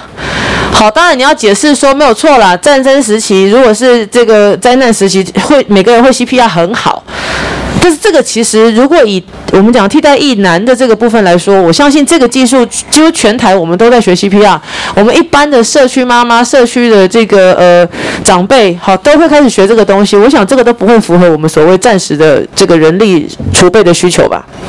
就不能讲不符合啊，但是不是重点啊。像我们现在教招的话，它科目又有增加，像这种科目啊，急救的科目是我知道有增加急救科目，这都是不能讲没有用啊。但是这个重点对军方来讲的话，这不是主要重点，这是训练项目之一。所以，所以我可不可以就是直接具体的来要求国防部了？哈，就是说针对替代役的被役役男以及替代役役男这边，你们明确的去把哪一些才是真正国防部认为必须要。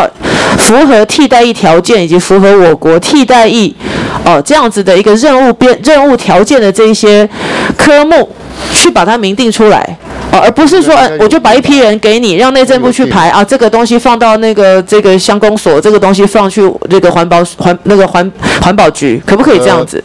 我跟委员要澄清一件事情，我没有讲说把人数给你以后，你去去随便去摆，他提出的需求一定是我们也要看。不是国防部来决定，哎，你说你有这个高专啊，或者就很专业方面，我们可以同意。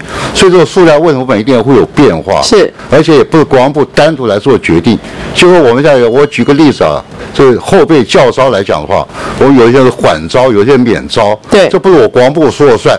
有些缓招免招的，对不对？他在科学界或者哎，在这个电机类啊，他很有这个成就啊，或者他在我认同。哎，你特殊专案、专业个案，你去认定。他有规定哎，譬如这个厂里面，你不能超过百分之三十人不招哦。对哎，你你的员工那么多，一百个，你不能讲超过哎，我三十五个不要，不行，你二十九个可以啊，但是要经过认证，不是讲哦，你数量没有到我就同意，要经过认证，一定有科技部或各部会他来证，哎，这个植物的确确切是可以缓招或者免招，才把它列进去的，所以说很严谨的，不是想说因因为部长一句话。嗯啊，整个政就变，我们没有没有那么大的能耐了。好，我基基本上我们的要求就是针对我们的替代役的部分，好，它毕竟还是充足我国军事战力很重要的一群。那所以说，当然训练上可以来要求这个内政部去做一些要求，但是在刚刚所提到，您所提到，我非常认同嘛，某一些特定的专长，我们让他做替代役。那这个部分，我觉得国防部跟内政部是不是可以一起来比较明确来做一些定位，好不好？绝对呃要这样做，而且会这样做。OK，是。好，我们我们真的希望是说，既然要所谓的服役，哦，那就是真的是明确的服役，带着明确的国家任务的心的这个心态跟任务导向来做服役，而不是呃，等于是说，既然都要服役了，那我们就塞到一个地方去让他做了。不会这样做。好，好不好？部长这边我们再继续来追。是是。好好，谢谢。是谢委员。这个注意到跟好，谢谢林委员。下一位我们请吴思怀委员咨询。跟面政部要啊，是是，没错，是。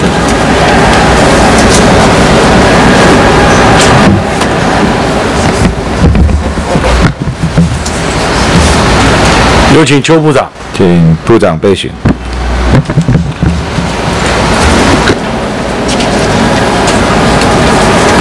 委员好，呃，邱部长辛苦了。首先，我想追一个浅见国造。近期有一些纷扰，就是台船董事长写了一封公开信，这个问题，我想从这里面我们看出一些问题。虽然这只是台船董事长写给内部同仁的一封信，经过媒体的披露，我想无风不起浪。我们先看一下整个浅见国造，从蔡政府最早。希望在二零二一年，希望提前到二零二三年六月。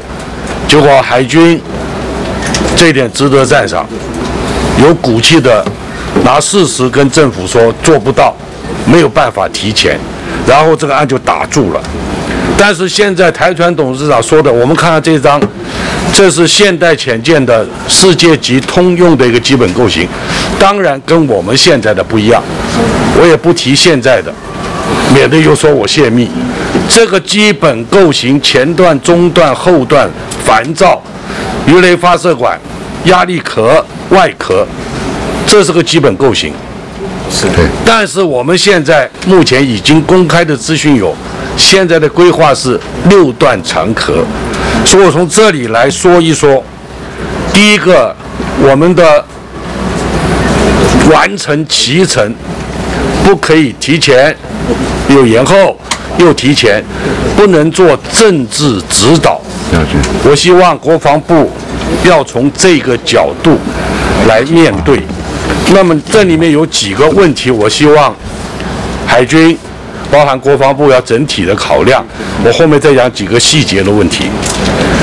我们现在只有左营跟苏澳可以停泊，暂时这两个港口的存活率、防护能力，然后作战前怎么样分散我们的维保、整补、持续战力，在潜舰建造过程不同步考虑，建造好了没有地方停泊，或者暂时没有办法维持作战持续力。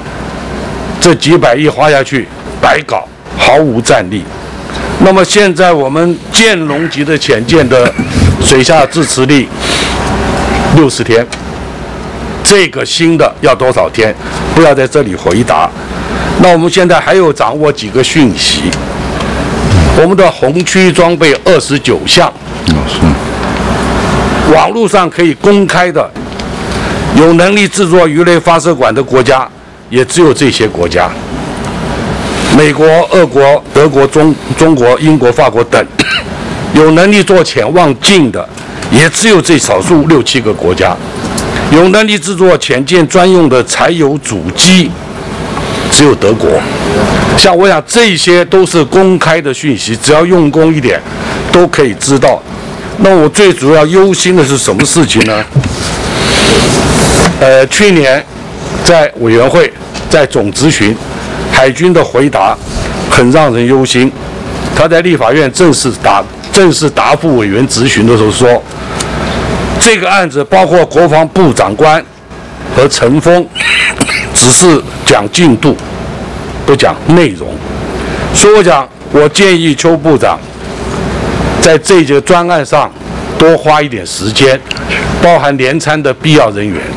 不能只交给专案小组，否则台船这件事出来，后续有多少问题？其实我们背后有很多海军的先进学长们退伍的，包含浅见很专业，当初去荷兰接见的，都是我们咨询的对象。的确有一些潜在的危机跟问题，我是建议邱部长在这方面。成立连参的专案小组，深入一点，否则不能专案小组球员兼裁判自己说的算。你看看，他这个二零二五你要交舰，潜舰的制造容错值很低，没有什么百分之三、百分之五的这个误杀率，不可以的。那是几十个官兵的生命，那是国家的战略武器。你看一看现在。规划的二零二一年是焊接开孔作业的时间，今年是整个红区装备底台要完成安装，这里面有多少问题要面对？到二三二四年这些问题，这四个年度都是静态测试，都在干务实施。二零二五准备要下水了。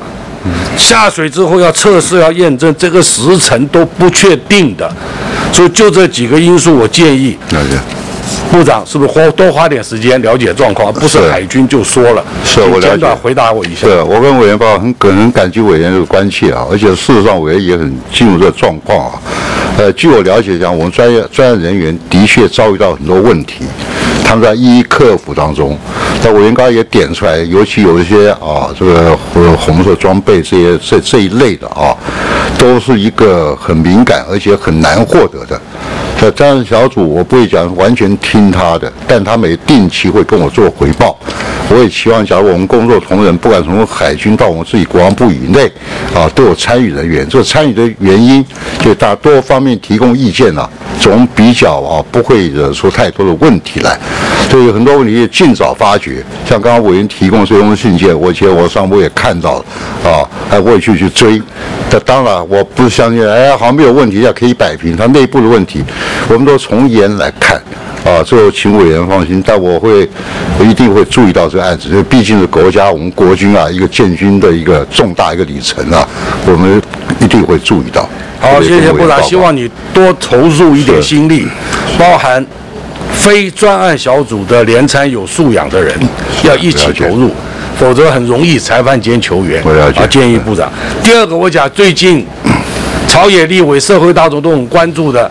全民皆兵的问题，兵役的问题，呃，刚才也很多委员提到，呃，民防法的问题。我先提醒邱部长一件事，是，你一定要站稳国防部业务执掌跟法源的依据。我昨天在总咨询也问了苏院长，那刚好你不在，是，呃，那个副部长在，我特别提醒这个，国防部你的业务执掌是什么？内政部。各部会都有问题，民防法怎么修，兵役法怎么修？我们现在就是针目并行，一点都没有错，对不对？是。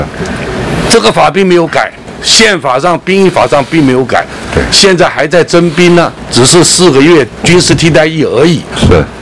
所以你要延长役期，是在你的额度之内延长，怎么做？那民防法怎么配合？各部会怎么配合？就是我昨天咨询苏院长，这些是政军兵推，要让各部会了解他该做什么事。我很诚恳的再次呼吁邱部长，国防部够辛苦了，你们已经很累了，不能承担不是你的事情。建议你该讲就讲，这个不是我国防部主责业务，这是内政部。这是交通部，这是经济部，我们有责任协助，所以都倒班的国防部，你提出来，国防部你提出来，你就不要玩了，底下连参都累死了，这根本不是你国防部的事，所以我建议，不管是全民皆兵、延长兵役或者民防团队，呃，重要基础设施防护怎么办？全民皆兵跟全民防卫不同。对，是全民皆兵是全中华民国所有人都要当兵，作战的时候都要发枪发子弹，牵涉国际人道法、国际战争法，他们就是敌人合法攻击目标。我讲过很多次，我希望国防部把话讲清楚，跟你的上级讲清楚，要全民皆兵，我赞成，先修宪法，宪法没有这一条，再修兵役法。再修民防法，再修国防部组织法，再修全民动员法，这些从宪法开始修完了。之前有一件最重要的事，要不要公投一下？嗯，全国老百姓打仗的时候要不要发枪发子弹给你？你就是敌人合法攻击目标。了解，嗯，这个要话讲清楚啊，不要再让他们自然散发。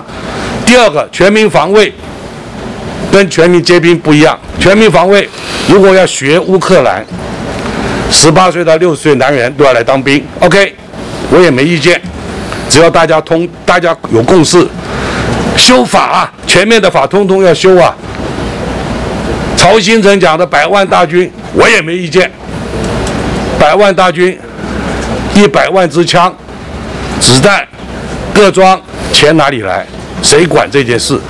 是国防部管，还是内政部，还是哪个部会？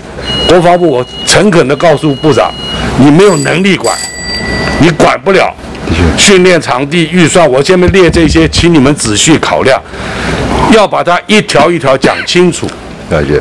回到源头，赶快正军兵推，把这些问题讲清楚，不要大家每天都在媒体上那些名嘴、半吊子。我们要全民皆兵，我们要全民防卫。老美也在讲，我们要到公寓发枪发子弹，我通通都同意。法治国家，修法。把它讲清楚、说明白，一次把很多东西解决。国防部，你真的没有能力承担所有老百姓的吃喝拉撒，包含他们的生命财产安全，这是各部会的职责。昨天苏院长很诚恳地回应我，认为我的专业他认同，他要去跟上级反映。所以建议邱部长在这方面，可不可以简短回答我一下？是我跟委员报告，陈文委员他指导的啊，这有个遣词用语啊，有一些他不太了解，哎，全民皆兵好像讲起来很顺嘛，但这个意涵完全不同的。所以国防部传媒讲全民皆兵的问题，全民防卫动员署啊，所以还是维持原来的全民防卫动员这一块。所以刚刚那个委员提了啊，提醒我们的，我们也照做。这全民防动员署成立以后，就是要跨部会，把各部会应该要分工的要做啊，要做的工作，把它理得很清楚。所以在全民防动员署它里面不但是一个署里边同仁，它有些办公室各部会会每一啊每隔一周都会到那边去。大家碰个面，就是为了协调这一方面，把责任理清的问题。好，我想持续来做。是那个白署长，我建议你一定要正式在行政院会的报告里讲清楚，哪些是协力全民防卫动员各部会，不管民防团队各部会的动作、军事勤务，它不是参与战斗，一定要把这个关键讲清楚。没有发枪发子弹给他，他不是战斗员。他是做军事勤务，帮忙做战伤救护，帮忙运送补给品，一定要把话讲清楚，因为现在大家有错误认知。我昨天讲最重要一句话，最后的结论：如果我们全民有战斗意志是好事，但是对战争的无知才是真正的国安。我们不要把战斗跟战斗资源、勤务资源搞在一起。白署长，你有这个责任，要话很清楚的讲清楚，让部长。去跟高层讲清楚，跟全民讲清楚，否则大家都误以为这样是对的。喊口号，拿扫把可以防卫台湾，拿键盘可以保卫台湾，那是笑话，好吧？请注意，谢谢。是谢委员。好，谢谢吴委员啊，谢谢部长。现在我们处理临时提案一案啊，请议事人宣读。民防法第一条明定，为有效运用民力，发挥民间自卫自救功能，共同防卫人民、防护人民生命、身体财产安全，以达平时防灾救护、战时有效支援军事任务，特制定本法。附依民防团队编组训练演习、服勤及资源军事勤务办法第四十一条，民防团队战时支援军事勤务时，应由国防部向中央主管机关提出申请，经核复后，由民防总队或特种防护团派遣支援之解除时，一同查战力维维持来自平时军事训练，为维持民间战力，有关民防团体战时支援军事勤务之演练，应积极落实并验证其成效。使之成为暂时可协同作战之民间部队，并要求国防部于三个月内提出演习计划，并据以落实验证其成效。提案人委员江启臣等人宣读完毕。好，国防部有没有意见？有要说明吗？呃，建议一下哈，就是说两个地方哈做一个文字的微调。倒数第二行哈，刚才还有要注意到说，使之成为暂时可协同作战之民间的，他这个应该是民防团队啊，哎，民防团队，嗯，是比较符合法定法定的这个定，哎，对，民防团队，民间部队改民防团队，嗯，好，原要求国防部于三个月内，那建议再加协同内政部，协同内政部，好。还有没有其他意见？没有，那就是把民间部队改民防团队，然后另外最后一句加协同内政部提出演习计划。好，是，谢谢。好，那我们就修正通过。好，我们休息五分钟。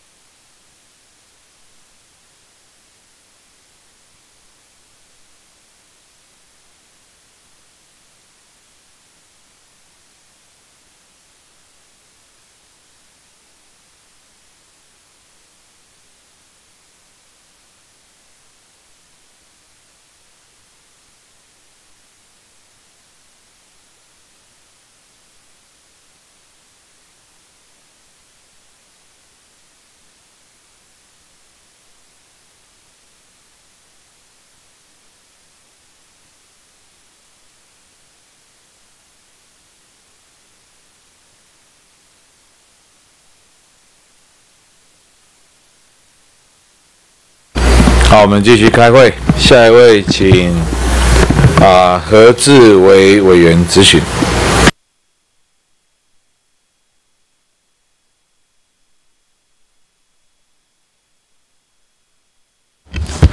呃，谢谢主席，我们有请我们部长，谢谢。请部长备询。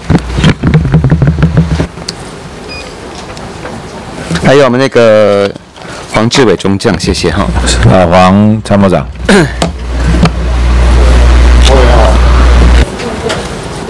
侯委员好，没关系啊。那个部长，们呃这一两个礼拜有一个灵性空军上士啊，遭到酒驾撞死哈。那我们其实呃台北市蛮多朋友都非常关心哈。那当然家属在这边期望我们能够表达对空军第一时间的关心，提供很多的这些协助，包含自伤、治伤，还有这个所谓的法律的这些协助，非常感谢。那也期待我们后续能够持续关心，好吗？谢谢。所以我跟委员报，当第一时间我也指示空军啊，一定要全力来帮他啊，不管家里有安慰或者有走法律途径的一个咨询。好，这个后续追踪哈。那接下来哈，部长，空军是我们非常重要的哈，我们希望当然不要引战。那人才的培育上面，我们这一阵子大家一直在讨论哈，但是现在空军的确面临到人力短缺的问题，要确认一下需要多少时间才可以补齐。我我跟委员报啊，这这一是有要讨论啊，但我就我目前了解的座商因为媒体报载是六十年哦，一百一十名，依照现在的招生跟离退需要六十年，是否属实？还是五十年？还是四十对，年？我请空军厂长跟你报告好不好？鲍委员，这个呃，我们简单回应就好。这种计算是说，我们现在一个飞行员都没有的话，要花这么多时间。实际上，我们预化按照我们现在的规划，我们飞行员的主力战机部队的飞行员能力都是正成长的。我们可以在一百一十五年的时候，按照我们所需要的飞行员给他补齐。好，那我们后续有讨论到所谓的后备飞行部队啊，是因为现在共机来的将近九百多架，很快要破千了哈。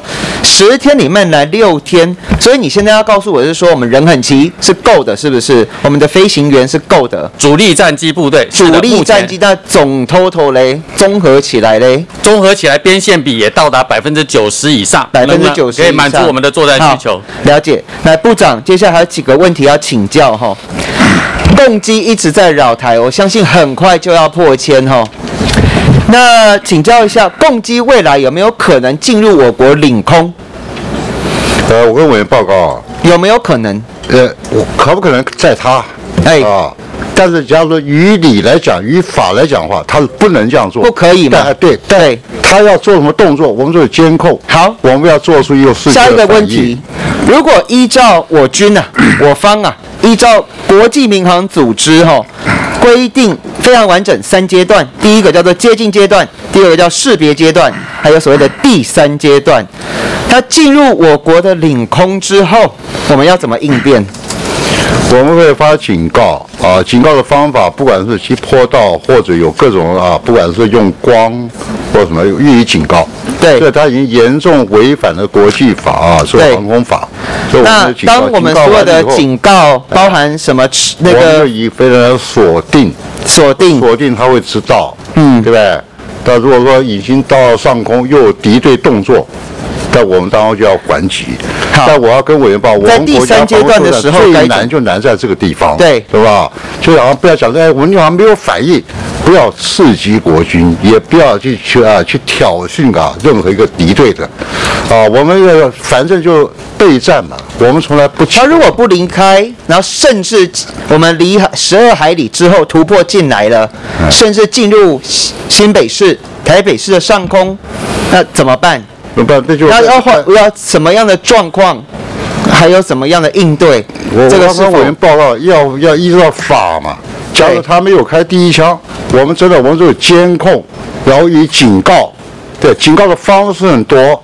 我也知道委员讲，哎，我要把他打掉，这不能要斗智不斗气啊。我们就讲说为难的地方大家都很清楚，为难的地方在这里。那对，为难地方在这个地方，但我们并没有讲说没有办法，我们的办法就一切都尽用出来了，对？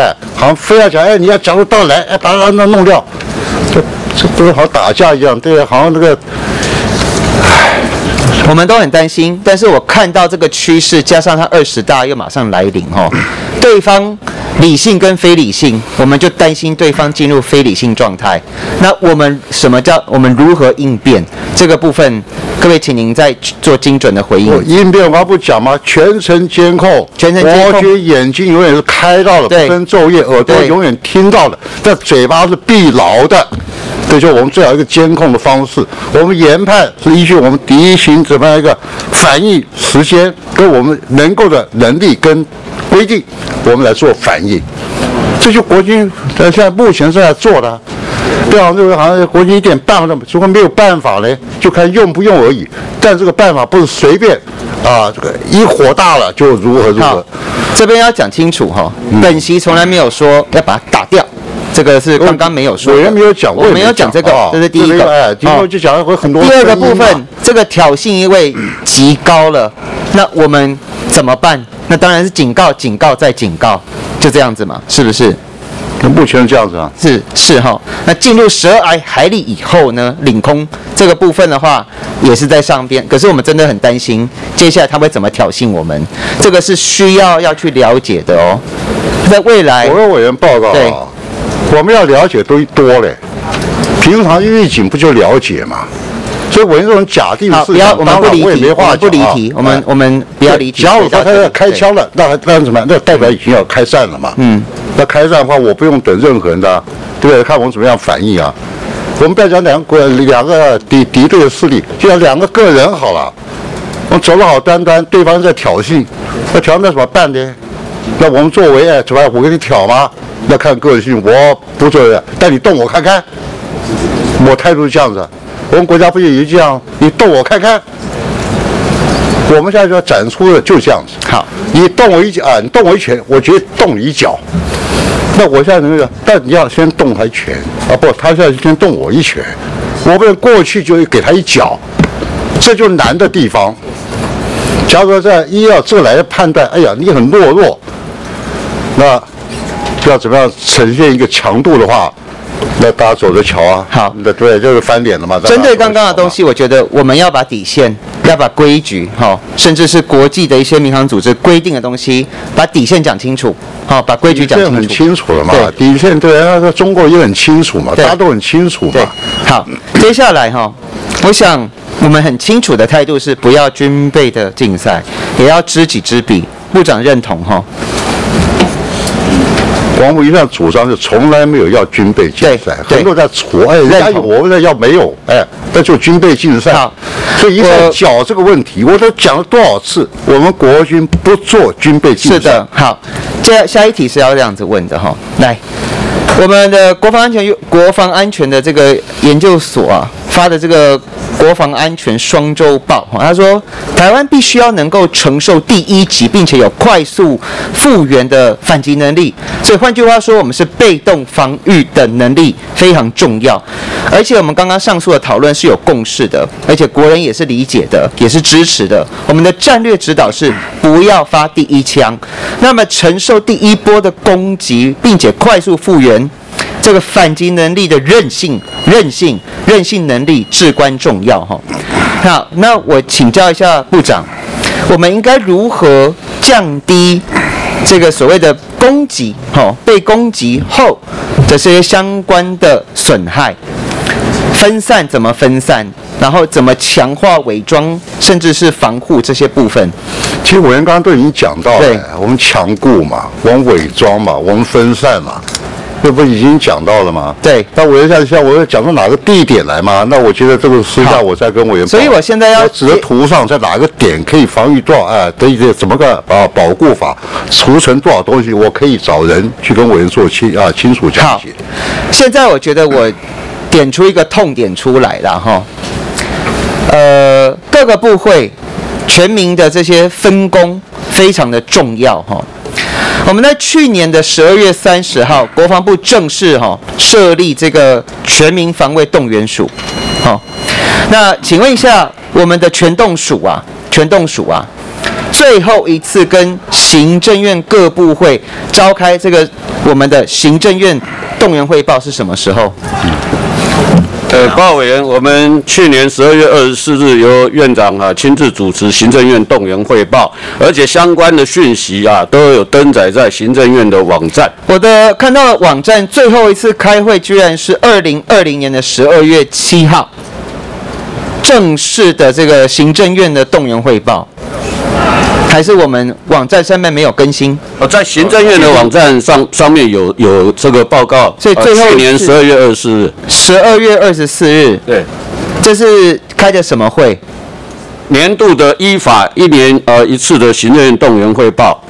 行政院动员确定哈？是是是那我们当时候有怎么样的结论呢？我们呃每年啊都要测定隔一个年度的行政院动员的纲领计划。那在那一次的会议，呃，院长主持审查完通过，同时表扬啊、这个去年一整年来，好、这些呃从事动员准备啊绩优的这个相关部会跟县市政府。好，部长，我在这边要讲的事情是，现在此时此刻我们全民哈民众到底知不知道我们在做所谓的演习等等的，知不知道在哪里要做什么事，在什么时间点要做什么事？如果说我们现在去街访一般的民众，甚至领长或里长，他们其实并没有到这么的清楚，这个可以去做街访。那我们从这一次乌克兰，我看到这几天我在追踪很多专家以及学者在做的事情是，过去是由上而下，在乌克兰我们看到是由下而上，所以他们各个地方随时做好准备。那国军跟民众、军民一家的那个逻辑，共同防卫的逻辑，我觉得这个是时间名气可用，大家也愿意，所以我很期待说，全民动员跟民众之间的那个距离感，还是有一段距离了。好、全民防卫中心所成立的目的，就让各部会发挥它的功能。像刚委员讲，动作哎，全民要怎么样？叫国防部，国防部没那么大能耐。我知道，我现在我知道跟各位讲得很清楚。我我要讲的一个痛点是，就是我们的横向的沟通，这个可以再去强化。横横向沟通要一定要强化，以及横向的一些指挥，这个要再去强化。那我认为现在我们刚刚去问的，好、然后甚至做了一点 research，做一点功课，我们的确有做出统计，我们有做出统计，但是真正要运作、真正要运动起来的时候，各个部会它的配合度到哪里，以及你如何去指挥、调度等等的，我认为现在还是距离务实状况还是有一段距离。好，这两点跟各位呃各跟跟委员说说明。第一个，那统计的数字不是国防部去统计，是各部会统计给我们的，代表他们有在做。第二个，如何密切配合我们发挥的状况，要由状况去让他知道要做什么，谁去做，这是我们成立防卫动员署最大的一个目对的。，这个后续这的确是现在的痛点呐。那这个痛点，我们要一起去解决它。了解我想时间有限，谢谢辛苦。好，谢谢何委员。好，对吧，好，下一位我们请王定宇委员咨询。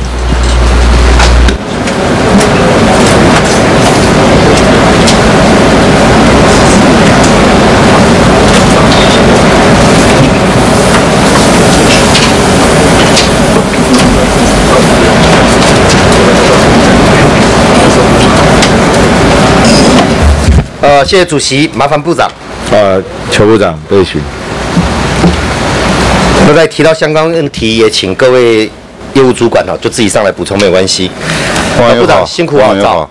我我今天有几个问题哈，分了三个大块来询问哈。当然，这一次乌克兰战争，我认为政治的问题，部长不用去考虑这个，政治是政治有外交有地缘政治，部长要考虑的是国防上可以借鉴参考的地方。我们发现，在二零在这两三年了哈，亚美尼亚跟亚塞拜然的高加索战争，无人机真打一体发挥了作用。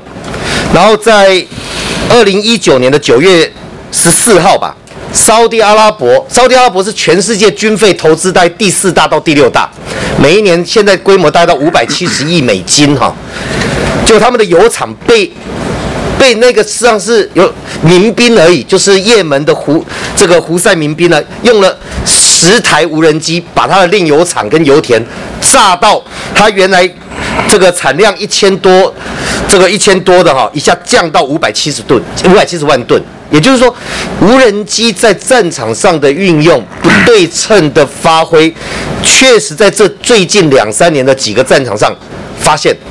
然后沙特阿拉伯呢，花了军费五百多亿美金，结果十台小型无人机进去攻击他的炼油厂，挡不住，看不见，不知道。所以我现在有关无人机的部分，我分成盾与矛的部分来请教部长。我也希望叶管可以上来补充哦，能讲的我们让国人知道。那属于机密的，我尊重国防部保密的这个基于国家利益应该保密就保密哈。有关盾的部分哈，中国的无人机当然有很多型号，它还有外销款了哈，甚至于听说把早期的米格的战机哈，它把它改成无人机来使用，准备耗掉我们一些，等于是让我们的飞弹哦浪费掉这样子。我先请问部长，目前有没有国防部有没有针对中共的无人机进行了解？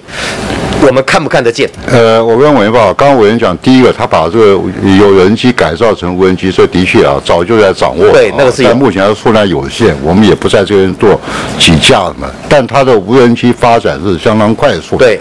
而且这回俄乌之间战争，不要讲给我们给我们带来很大的启示，我相信对中共的作战，他们也有很多启示。对。从各国它的反应啊，步步调怎么改进，我们都可以看到。而且我就举个最简单一个例子。最近中共啊有所改进的，就我们已经面临到的，他就动用很多无人机了。现在这个就就可以印证啊，他也发觉这的确他现在连西南空域的骚扰都有无人机嘛，所以，我我第一个请教部长，因为无人机有尺寸大跟小。是。那雷达，当我不敢讲，我雷达是内行，我们这边应该有雷达专家。我们的雷达哈，不管是长白啦，这种远程的雷达，雷达看越远，波就要越长，波越长，它就会有近视眼。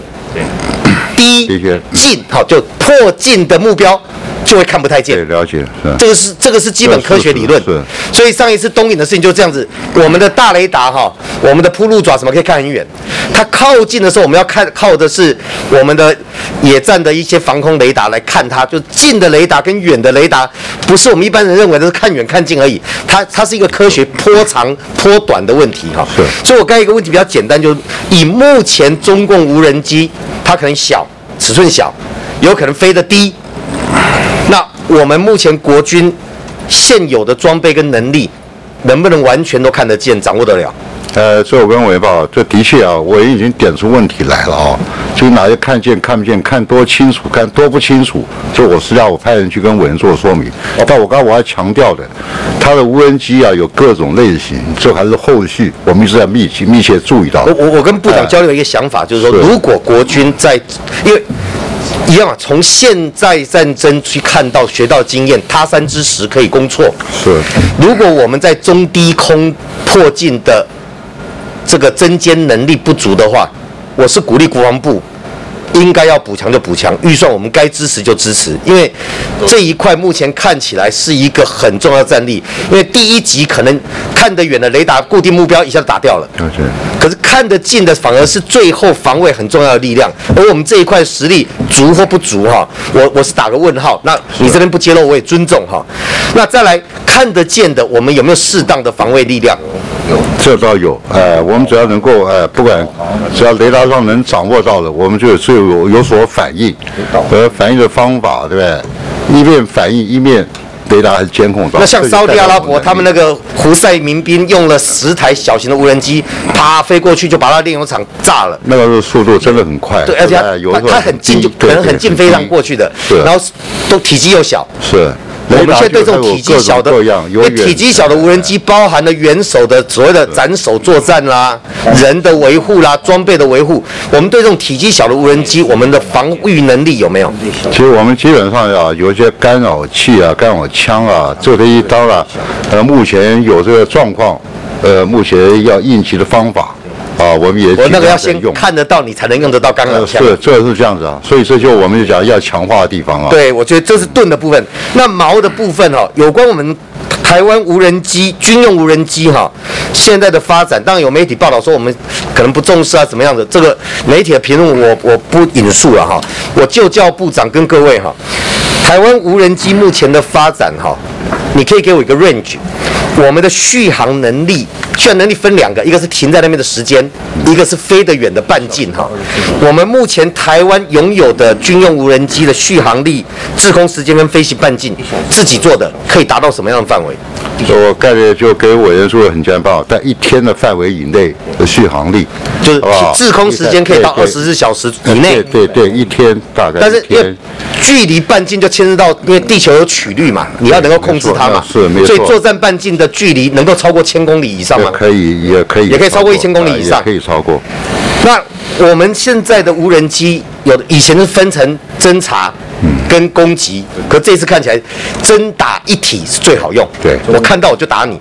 我们台湾的无人机是属于分工兼呃兼侦归兼侦，打击归打击，还是属于侦打一体的无人机？这都要在研发当中，哎还，在我们哎目前还没有是这个，这现在都是一个一个研发一个方向嘛，都很明确了嘛。那个部长，我们还没有取得的能力就是研发中嘛。我现在问的是我们现况哈，现况，现况台湾的无人机现况，我刚刚讲的就是现况。有没有兼我们有没有侦打一体的能力？呃，有讲研发的代表，我们要粗略有这个成啊，有这个能耐，才会继续往下研发，就更精进。但是有这个能耐，对对，一定有这个能耐的，那无人机不是光靠硬体就能飞，是对。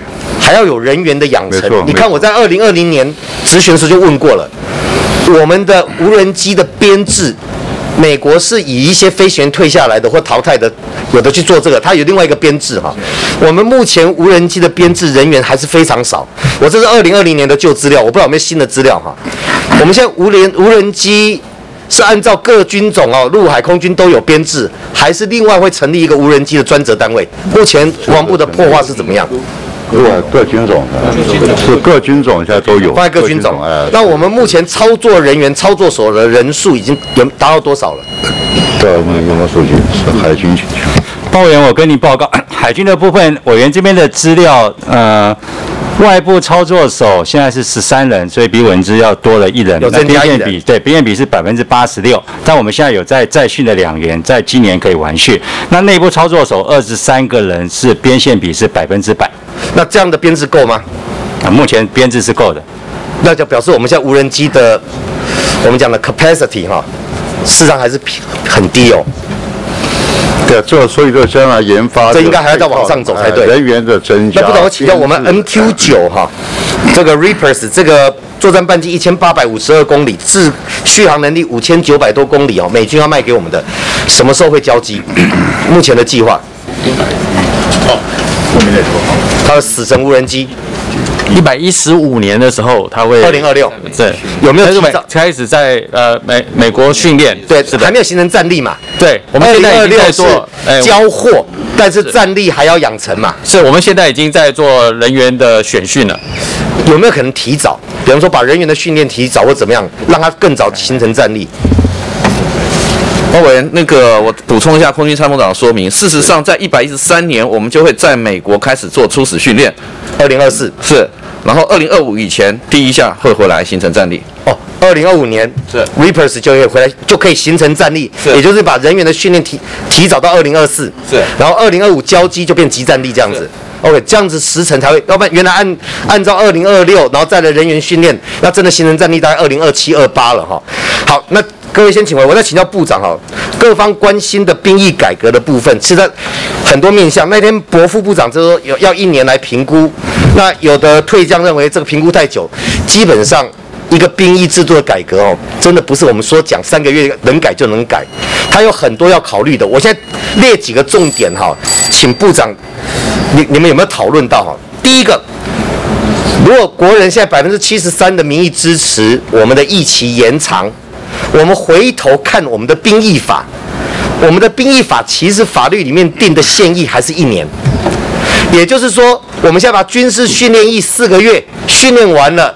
他就没有派到部队里面去了，或者在部队里面四个月就退就解招了。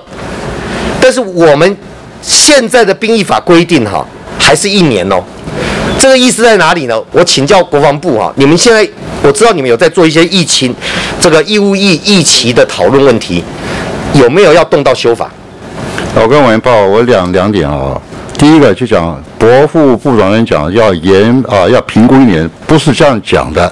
这一年以内，因为评估完了以后，公告要一年啊，强调这一个公告期要一年，对，不是评估要一年。评估我们要加，快。那我现在回过头就，你们的评估要不要动到兵役法？呃呃，就尽量不要动到法。这个哎我的什么意思哈？期望讲不要动到我也我也不不诓部长了，是。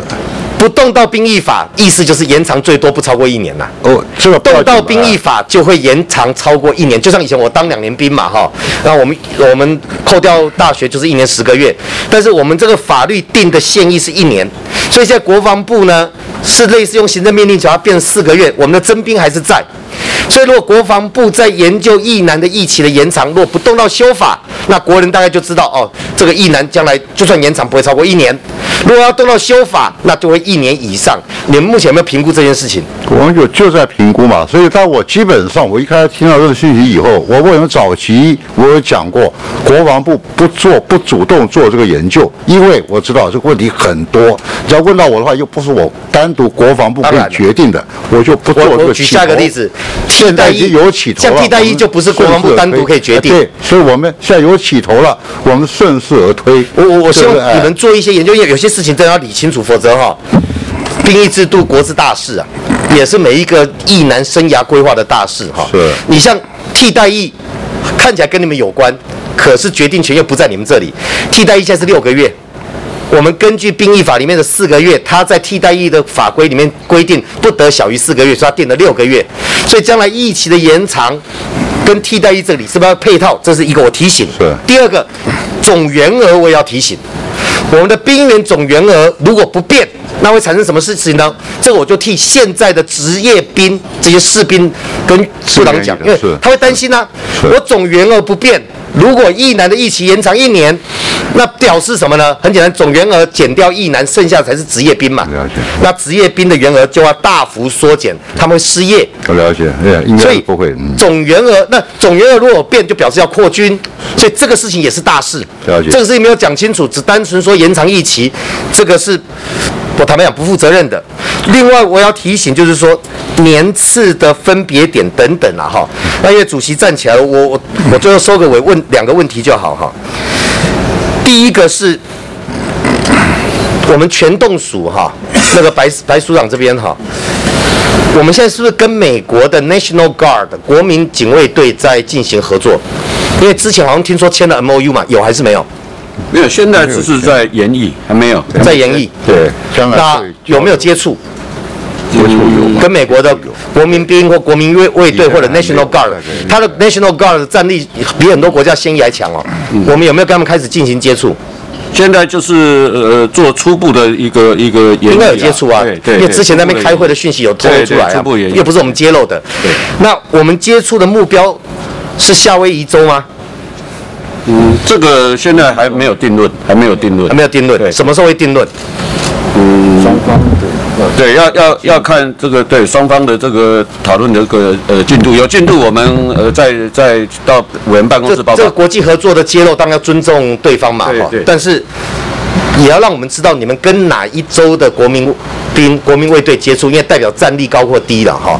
那有关这个兵役法的，或者我们所谓的义务役的修整或者是讨论哈，我希望部长这边就是说，哦，如果说我们讨论期要半年或者四个月，有个明确，否则一男有热爱国心，可他的他也有他生涯规划要考虑，他他时间要去做配置，还有现在八十三、八十四年是已经服四个月的，将来延长是不是要再抓回来补那八个月，还是就不用？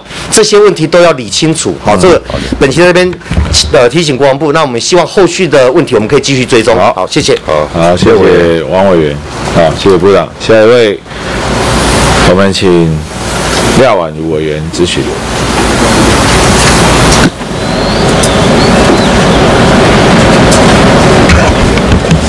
好，谢谢主席，我请下邱部长。嗯，请部长备询。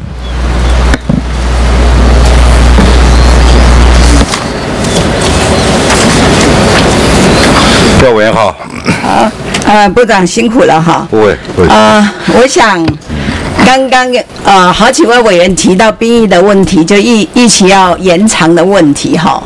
其实我我们都知道啦，从缩短一期到现在要延长一期，都不是军事问题，是政治问题。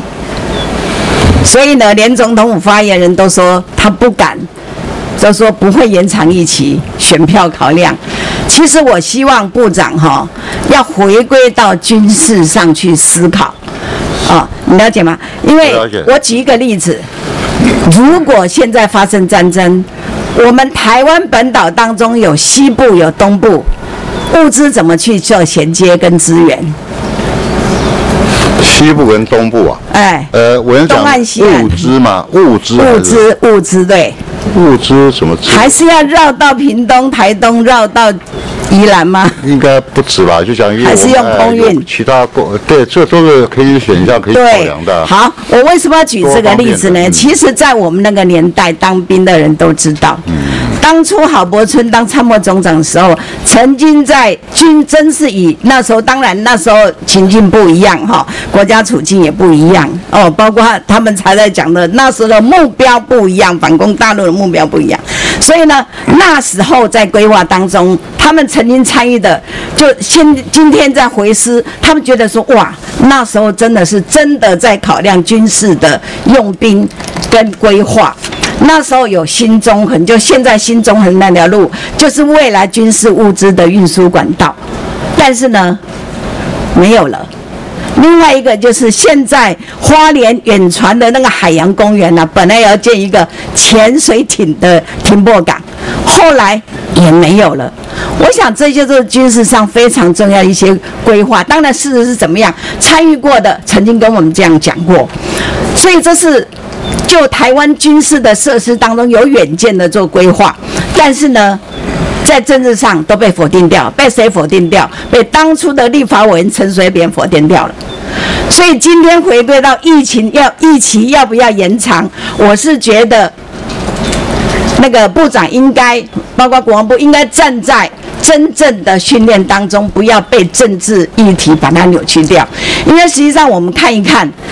现在听到很多就觉得哇，战力对决的呃那俄乌战争当中，大家士气高昂的时候，都很想说我们应该去参战，我们应该要强化我们的军事训练，没错。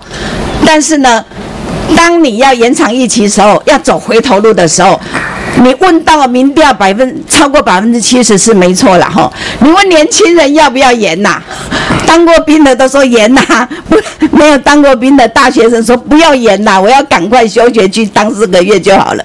所以呢，这个就是问题点。我们要用军事去思考，不能用政治去思考。所以我们回归到军事思考来讲，我是觉得。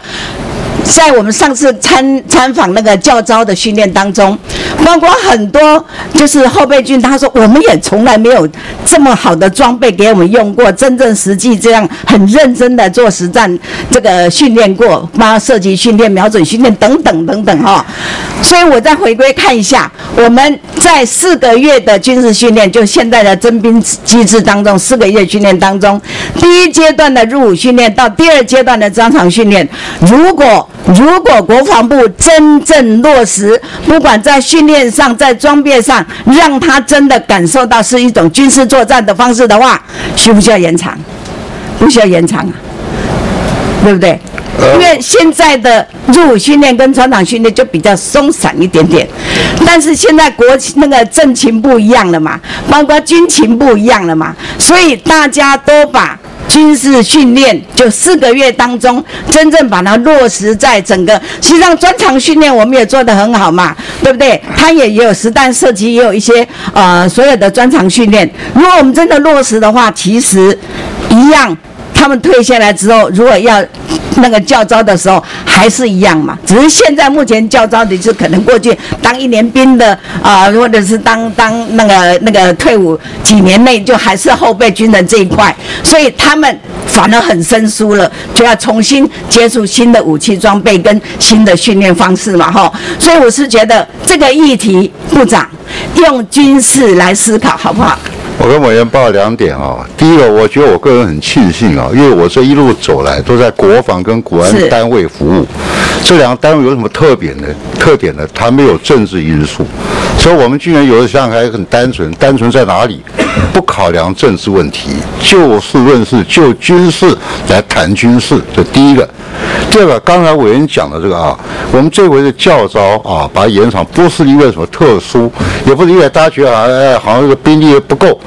你四个月，我一再强调，我不提这个意见，四个月延长啊，延长多久？因为这不是国防部一个部会可以决定的。没错。我对这，假如要牵到政政，我倒没有想到是政治问题，说我不提，而说我现在这不是我国防部一个部会能决定的，我不提，是这样一个原因。现在要我们提了以后，我们要这为什么这样演绎呢？演绎就刚刚委员讲到了，我们按照军事的专业来看，到底要多少兵员，到底要怎么运用，才能够调出一个哎，说一期要增加多久，是一个这样来思考的，不是一个答案定在那边，大我也知道动充分议法签。那个那个签一法动全身了哈，因为整个国防的组织架构已经都出来了。现在的兵力如果再延长的话，不管它内部的组织架构或者训练的员额啦，或者是干部的训练等等，包括银色整个都要调整嘞。对不对啊？所以我是觉得这个都要从长去记。当然，这是我个人意见呐。有时候直接从训练当中，哈、不要造成更多的纷纷扰扰，也不会今天看到俄乌战争，真正看到我我我常常开玩笑说，以前中东在打仗我们都没感觉，哎，现在俄乌打起来，好像真的会打仗的感觉，就觉得说，哎，真的有战争发生，包括两岸危机真的存在。好、现在很多就是，哎。觉得两岸之间的那个战事发生的可能可能性几率，就像呃那个几率高一点，就像你说，真的到最近才真的感受到。兵凶战危嘛，吼，所以不管怎么样，我是觉得这些兵疫情的问题，纯粹纯粹用军事来考量，好不好？好啊，另外我再请教一下哈，那个部长哈，那个整个呃那个政治专局好了哈，在这一次俄乌战争当中，我们都看到很多讯息了，包括我们总统也回应说，未来呢，我们要全面提升认知作战哈。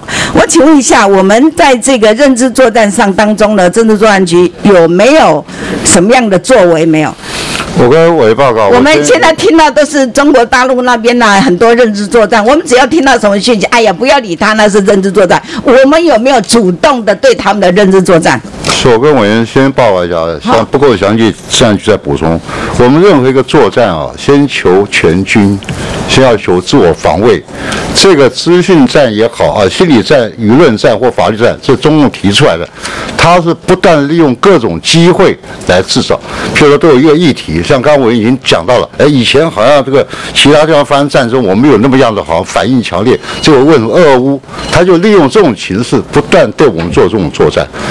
我按我们这个这个这个政战局也有作为啊，但我请局长来跟你说简单。说明。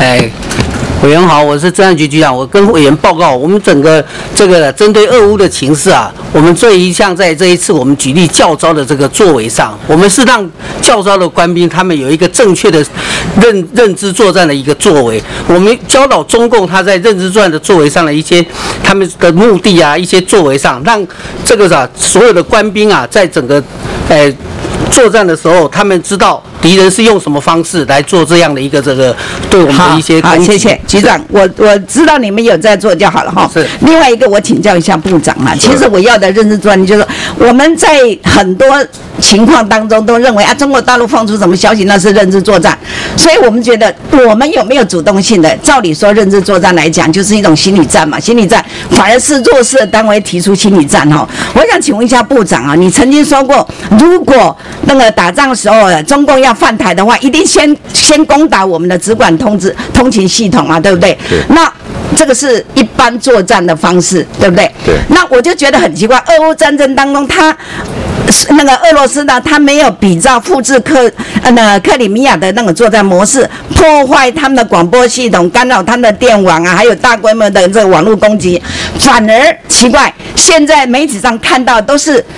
不是军用的网络哦，民间的网络都非常通讯，通讯都非常 OK 啊，所以他们呃小孩子啦受伤啦，我们图片上看到都是民间那个反映出来的，网络上直接反映出来的。那如果中共犯台的情况之下，我们有没有办法保留这种呃网络上的通讯？他如果先攻击我们的那个直管通勤系统的话，我们在民间系统一定也是优先被破坏嘛。当我们没有这些系统的时候，没有办法由内部的作战方式像乌克兰一样传到世界各地去，透过媒体得到国际的声援、国际的资源等等的。那这些我们有没有办法做到？我认为报两点，第一个，在二月二十四号开开打之前后啊，我们印象当中没有听到乌克兰用什么声音，什么原因也就被俄罗斯给打掉了，他的声音发不出来。后来为什么陆陆续续有？的确，刚刚委员讲到了，利用各种的啊这种手段来把这讯息发出来。军中的联系是有，但是呃军中也有，不是一般民间也有，所以我们现在军中就做这个网络化，除了防以外，我们有很多备援的啊配套措施，而这个备援不讲说设施变多了，而是说我们已经交到什么，甚至于有时候可能要动用到原来最传统的通知啊，那个派传令啊、打声光啊、打旗号了，这个都是要可以运用的。所以你讲说，呃，委员刚才讲说，呃，提醒我们注意，这的确，刚刚委员讲，哎，为什么一开头好像声音出不来，就是被打掉了。可见这个直管通知群相当重要，而且带出来这个假讯息，造成这个对人心的这个纷扰啊，那更严重。对所以我上午我也讲说，对不对，大军未动，粮草先行，这是以前的讲法。在大军未动，除了粮草要先行以外，争议讯息要先摆平，否则的话，你看乌。克兰得到国际的声援，就是这些媒体一直出来，他们自己录制的东西都放出来之后，大家觉得哇，真的是俄 俄罗斯的讯息没有出来，看到都是乌克兰的讯息嘛，哦，所以大家都觉得哎，就变成一个国际的谴责声音啊，国际的救援声音都有，所以我是觉得当哦。借借助乌克兰、俄乌之间的战争，我希望我们也学到一些。呃，刚刚几位委员也提到，真的我们也期待他的这种战带那个俄乌之间的战争，我们带来什么样的启示？刚刚几位委员讲到嘛，哈，中共可能面对的，就现在所讲的，我们常常讲军《孙子兵法》就是知己知己，百战不殆，不知彼而知己，好，一胜一负，不知彼不知己啊。这个没战必败哦，所以我是觉得我们要知道是这一次中共，大家媒体也在批判说，他可能感受到，如果比照俄罗斯的话，会受到国际制裁、经济制裁等等的。但是刚刚也有讲，他的战力是用无人机的方式战力，但是我们从这个战争当中学会，我们如何做反制。我也希望说，我们都有一个呃这个作战作战的战略战术跟战斗力方式。战斗力就是认知作战的强化嘛，哈，不要把它发挥出来。那包括我另外还有议题就是那个整个装备，就是教招的装备问题。我也希望说，应该是啊、不要让呃这个一些呃那个那个什么靠靠北网站那边讲的说，哎呦怎么搞的，教招都在表演啦、有那么好的装备，让实际作战单位没有这么好的装备。我是觉得如果可以的话，啊，我们就强化一下，把现有的装备都把用在战斗部队、跟支援部队，甚至于勤务部队，都要慢慢把它建构起来，好吗？委员看到这些靠北长官这种议题啊，我讲真的啊，我看多了，但是我跟你讲，我根本不予置评。就你要做的再好，每一个人都有嘴巴碎碎念但不要紧。但我要对我的同仁要帮他们发声，再这样批评，对我光部长我认了。我要面对，但对我教招准备工作同仁来讲，绝对不公平。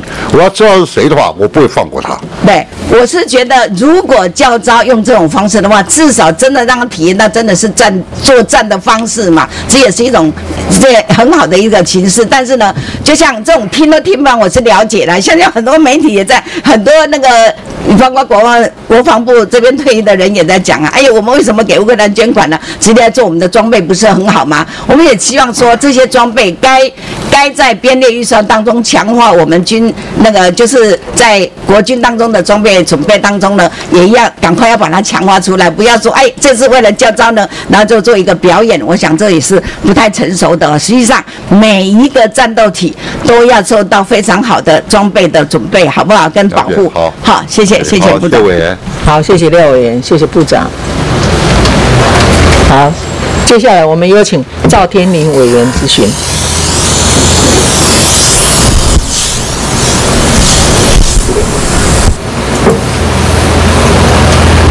哦，谢谢主席，我们请部长。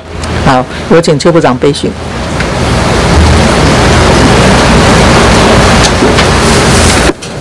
赵委员好，部长好，辛苦了哈。这个呃，我们看到现在大家啊，乌克兰跟俄罗斯的战争，这个不对称的这个战力发挥的淋漓尽致哈，那给台湾很多的启示。那包括知名智库的这个学者葛莱伊也提到说，应该强化不对称的战力，加强后备。来增加相关的经费。那特别提到，我们除了这些潜舰啊、大型的战斗机以外，如果有这种呃海岸巡航飞弹啦、短程移动防空系统、智慧型水雷、无人机等等的，好，那他们的这样的一个建议跟想望，跟我们目前的建军的方向是一致的吗？那跟委员报告，像这种豪猪战战略啊，就要一个不对称最好的一个代表啊。事实上，这个观点在大概是一九九九二零零零啊，这个时候就出来了。因为美国这个我们在海院的一个一个一个一个老师，我有这个印象。当初提出论点的时候，我们自己国军还有很多争议啊。但这两年我们已经看到了，我们第一个不采取这个军备竞赛，第二个我们国家不管资源、财力各方都有限，我们不去做一个博弈，所以我们将来发展不对称这是必然的，这没有办法当中唯一的办法。但是这个办法是有效的，所以我们在评估要怎么样装备才能够符合不对称。我国军现在在做的就不断的在这一方面精进，从装备的啊取得，呃从研发到或者这个军购，还有人员训练。啊，通通在有配套措施，在一步一步来做。是好，那这个方向，我想我们也是支持的哈。那除了这些战呃军备以外哈，那接下来就是人才的部分哈。人才的部分呢，就是我们有看到你们这一次的报告里面有提到了蛮多跟美国的交流啊，或者是相对理念相近国家的这些交流。那虽然疫情有受到了一点点影响，但是你们是透过论坛啦、座谈啦、人员的交换啦、交流，这个都是看到你们的报告上的成果。那我们想请教，就是说，因为美国哦，他们国会不断的很给。力的通过了很多的法案，台北法、台湾旅行法、国防授权法，啊，甚至大部分都是由这个拜登总统都签署了哈。那我们现在这样的交流有没有长足的进步呢？呃，我们同样的啊，这个双方交流一定是大利呃，姑且讲我们的利害啊相等了。所以才有继续的交流嘛。他在这个一般政治方面、经济方面或者各外交方面都有都有所斩获。这些种种斩获对我们军事来讲也是一个很好的一个助力啊。何况我们军中跟啊跟这个对方之间经常有这个交流，呃，从来没有停过。是呃，没有停止过，都有很大帮助。我们会希望值跟量哈都要随着他们已经通过了很多有台法案之后要提升。那这中间，因为我们也不一定要把每一个交流当然都公诸于世，所以但是如果私下方便的时候，你们再把你们目前交流的一些方式或成果，那有没有因为了这个法案提升之后有所提升？私下再跟我说明一下。好的，好的。是。那同样是这样的研究里面，我有一个建议，就是我们陆海空军军官士官任职条例的施行细则第五条。里面有提到的，就是说哈，如果要呃符合这个第三条第四款所称胜任拟任职务的必要学历，它里面有提到说，将官跟上校这种重要军职职务要完成战略教育或者国内大学独立学院相关科系毕业，然后呢啊领有硕士证明，或者是国外相关的这些学校嘛哈。那它里面的教育目标，我要再次强调，它很强调的是要培养的是高阶指挥管理人才，那还有国际观、战略观。国安、国家安全的观念，而且再次强调是国家国军战略的师资跟智库的这个专业人才等等了哈，它是围绕在整个战略战略的角度。可是我有发现哈，因为事实上我并不否定这个方向，这是正确的啊，而且很多的大学都对这很有兴趣，所以我们现在就看到了蛮多的我们中华民国的高阶军官，其实就是一直在大学里面去学习进修。这个我我不否定这件事情，我只是希望要更精准一点。因为我就有发现说，有很多人哦，就去就是就要拿到这个学历嘛，所以他就变成去念了一些比较跟战略没有相关的东西了，然后就会变成或者是大学的师资，就是说嗯，说比如说 EMBA 也好，或者是 EMPP 也好，他们可能开的课哦，就变成说你跟一般的老板或者是一般的研究生同样在上一个国际关系理论，好，比如说这样子，或者是说呃战略课、谈判课都是咬文嚼字的东西，他并没有实战，或者说呃有办法像美国他们可能有非常多有实战经。经验的将领、专家、智库。好，那当然，除非你到国外去念了哈。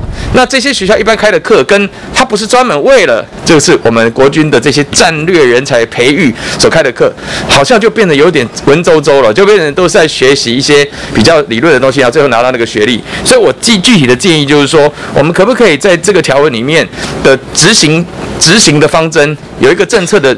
要要锁定，希望说大学你如果要能够，好，譬如说得到了我们相关的合作，我们现在跟大学很多的合作，那或者是我们的这些教官，你不是只能拿到这个硕士而已，你必须要加修怎么样锁定项目的学分，而且那些老师必须符合什么样的资格？那这样子的话，会不会就变成是说，我们不仅我们的这高阶军官是有硕士学历以上而已？而他这个硕士是镀金的，他这个东西是有战斗能力的，是有战略观的。我是提出这样建议。委员讲的真的很好啊！我们有一些干部不可讳言的啊，我也曾经碰到过。譬如说，有的同仁他要去报名参加外面一般班队，我就问他，我讲你要考啊，你要参加什么班队？他跟我讲观光科。他会讲你观光科你不要去了。嗯，对，这同样，我讲我对用人就如此啊。我们的学经历是必要的，是，但我已经交代联谊跟各军种司令部都有人在，听得很清楚。我们用人把他的学经历拿出来，现在要更加进一步的看这个学历是什么学历。假如你为了刚刚委员讲的很好啊，有些呃就为了取得一个硕士学位，来参加一个什么科，跟我们风马牛不相及的话，我认为把它排除在外。我们经常听到有一句话：人在做，天有天在看呐。那天有在看？我跟同学讲，我不知道，我也不是天，我天怎么看我，我也不知道。但我们在做的时候，我们同仁在看。有这种干部，他就算取得一个资格以后，他旁边同仁看了，心里面瞧不起他的。所以我要就要求我们国军在这一方面，大家务实一点。你得到什么学位固然是好，但这个学位是跟我们军事有关否？你是很很清楚。你不要认为好像你这个学位有了，但同仁看得更清楚。这我就跟我们国军共同齐勉，是我们有一定朝这一方面去做。谢谢部长很明确的这样的一个政策指示哈。那我我还是要强调，我不否定，因为这些进修都是好事。是好，那所以我没有要否定这个的意思。但是我只是说，您刚刚讲的部分，如果可以很明确成为一个政策跟指令哦，学校也会跟哦。譬如说。我举了最聚焦的，好了，比如说国际关系系，哦，这个算有聚焦。但是他国际关系老师他是没有打过仗的，或者说那国际关系老师他就是纯粹就是一个学术出身的老师。那他这个东西还可以再更精进啊。譬如说，我们就要求大学，如果你要让我们的人去上课，或者你要得到我们的补助，或者我们有合作一些相关的这些合作的话，那你要至少你的课里面要有多少的座谈论坛是请到怎么样级级别等级的国内外的师资专家要来。呃，短期座谈也好的，他假设美国的将领专家不可能来这边一学期，那你你能不能一学期能够请到一两位这样的来交流或者什么哈？嗯，我知道它有一定难度了，但是我觉得你如果有这个方向下去哦，现在少子化的阶段，大学都非常欢迎我们的中华民国的各界的将领，哦，去去上课的，这个我了解，他们甚至还在争取可不可以有更多人来上课。所以如果是有这样的一个市场，结果你把它就明确的引导。他们就会想办法去找出很棒的师资来。好，这个是我的浅见，给您参考。是是。好，那再来的话就是说，啊，最近的这个中共不断的在侵扰我们的这个防空识别区，那所以呢，这确实造成我们在这个折旧上面或者呃人才的这个上面有很大的压力哦。那所以呢，目前这个退役飞行员那教招这件事情有列纳入考虑吗？呃，我们我们委员啊，这议题经常有人在讲，尤其有一些那个比较资呃资深的或退的人。但是我讲真话嘛，这个飞行不是讲说离线以后说回来高兴上个飞机飞个飞一趟回来，真的不那么单纯的啊。我们一般步枪兵可以，好久没打，枪一拿还是可以打，打得准不准一回事。飞行这玩意不是开玩笑的，你好久没飞飞上去。哇，这个风险划来划不来，所以这种议题啊，我可以可以做眼里，但回来以后不是讲叫你回来飞，而且你回来不讲你高兴就回来，我们要给他定定，你回来两个礼拜，你给我做些什么？你给我做一个机叫这个这个飞机什么勤务方面或者什么呃有意见提供方面，那可以的，但不是像他们一样，飞行员纳入教招回来就飞个两趟。要要飞他飞，哎，他他他他他不要找国军啊，国军不会提供这种东西，是不会提供，我就讲明了。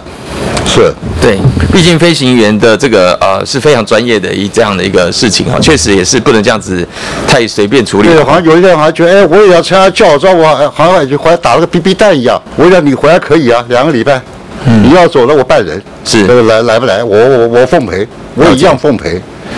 最近最近的这个所谓最近教招这件事情，虽然有一点呃，就是变成媒体很有兴趣啊、呃，甚至有一些效益哈。我个人是很支持、欸，因为我觉得这个效果其实很符合现在社会的期待哦，大家会觉得是 爱国心，当然也有对于中共可能攻台的这种压力哦。那我想只要把握这样的机会了，然后把它这样的一次很成功的宣传，然后把它变体制化，就是说最好能够变成大很很大大幅度的呃制度上就是这样这么这么这么坚强的这么坚实的训练哦，我相信会的国人会很支持跟接受。是鲍委员这其实一开始我这第一批做了啊，是的确是蛮不错的，大家用了很大的心力，所以我为什么跟我们同仁讲说这个是个起头？那起头如果一切都很顺畅了啊，我们后面就比照去做，是跟照葫芦画瓢嘛，这有利的。但有些评语啊，哎，这个不对，那个不好，我们到虚心来检讨改进，但绝对不要否定了我们这些这么多投入的这些啊同仁花在教招准备工作上的那种心力，是还有在执行当中的耐力，这样一句话很容易把人家这个人的意志啊给他摧毁。所以时间的最后，我对这样这次的教招是一个成功而且高度肯定的。是，谢谢委员，谢谢。好，谢谢赵定明委员，也谢谢部长。我们接下来有请叶一兰委员咨询。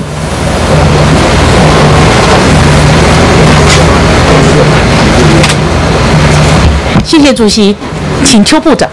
好，有请邱部长备询。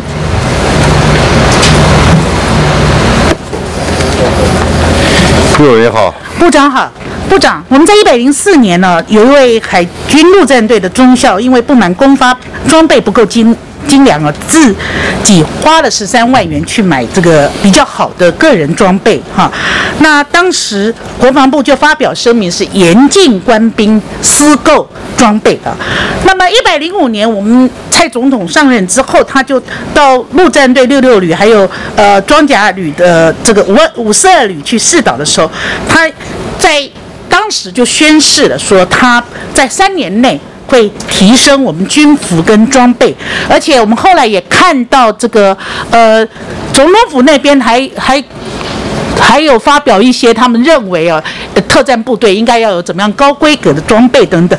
那时候就讲说会，总统府说会斥资五十亿升级啊。不过我们后来还是看到了，虽然一百零五年。呃，蔡总统说三年会提升装备的这个事情，感觉上还是呃跳票了哈，因为到现在都已经六年了，战斗装各装还是没有办法满足官兵的需求啊，所以啊，在呃三月十一日，我们看到这是呃写信给总统的民意信箱里面就有一位自称叫做阿忠的哈，他说这个呃他已经。入伍了两年了，但是他的呃应该要有的战斗各装都没有，教招人员都都用新的，很多东西没有发，还要自己去买等等的。那我们后来军方又回应说，全军的战斗各装筹补在一百一十三年要完成拨发了啊。那我不知道啊，我们在呃。总统在一百零五年他所做的承诺啊，为什么一百零八年没有办法完成？然后现在呃说这个一百一十三年会完成，这个能不能我们可不可以有信心会完成呢？我跟委员报告，是一百零二年没有完成，因为他这一句话讲完以后，有很多备变的工作要做，包含我们自产的能量啊，是我们绝对没有讲到啊否定啊长官的这种才是。嗯，经过一番努力了，现在我们这个各装有二十二项，当中九项是用完要缴回，像防弹背心啊、头盔这个，那其他有带有十呃十六13项十三项是它可以消耗品的啊，就用完用用坏了，我们可以到我们的福利站去采购等等，这都有考量。另外刚才讲的有个同仁他做反应。我不知道他是谁，我也不会去抓这个人。嗯，但我要跟委员报讲说，就战备各装，我们颁发的这个啊、程序是战斗部队优先，战斗部队包含特战，包含现在一般在这个不管是机动打击部队或哪怕步兵旅，就把它列为战斗部队，这一个已经拨补到位了。另外，战斗支援部队也其实在拨补。另外，勤务支援部队在最后。我不能够理解啊，就有些兵员啊。好像见不得人家好，他有，老子没有，就不怕就不说。他不了解假如说要这样不，假如要这样比的话，那我还是比我以前的，我没有这种着眼。现在好的，哎，比我好的，我们要更要告诫他，要要好好珍惜，不能讲到他都有，我这熬了半天没有。要这样比的话，就搞偏了。是是是，部长，我觉得很幼稚的做法。其实，在这段时间内啊，我我觉得不不论是朝野的委员哈，或者是国人都非常支持国军哦。所以，我们今天在新闻上面也看到，我们前空军副司令啊，这个张延廷将军他就说，他希望这个外交部。这个现在募款的这个呃将近八亿哦，不要捐给乌克兰，可不可以全民捐钱给国军换装啊？那我不知道部长是不是也应该要号召我们全民响应呢？呃，我号召我们全国军要共同努力，把我们战备训练的工作给做好。张务司令他的言论我没有评论啊，没有评论，我跟他也没有去，但是也不反对吧？如果我们国人愿意愿意捐款，因为我那个如果这个部长您给我一个国防部的国库账号，我会请小编帮你后置。哎，不要不要，那个那个那个，我我跟委员报，他他发起的吧，捐留交给他好了，哎，就交给他是吧？是是。那。部长，我刚刚有听到您在讲，你不认识这个小小兵啊？哈，这是他去澄清的小兵是谁啊？呃，因为你不知道，所以大概也不会惩处了。不过我一直都在质疑啊，为什么这些官兵啊，见人好的官兵也好，或者是真的有冤屈的官兵也也好，他宁愿向总统陈情，找明代来陈情，或者到靠北长官里面去爆料啊，就是不喜欢去打一九八五哈，一九八五的。申诉专线，好，那我知道哈，因为呃，我也有一些学生啊，他们在那个呃国军里面服务的，他们会讲说，大概哦，如果这个呃，虽然呢，我们长官对于这个陈情人呢，都一再保证说不会处理。可是，一旦知道是谁，都会受到团体的排这个排挤啊，被贴上是爪爬子等等的。要先解决提出问题的人。我希望部长您能不能啊，在这边做个公开承诺，要求各级及案发单位要确保所有申诉人、陈情人都不会受到任何的欺负，或者是霸凌，或者是报复。那当然，如果是。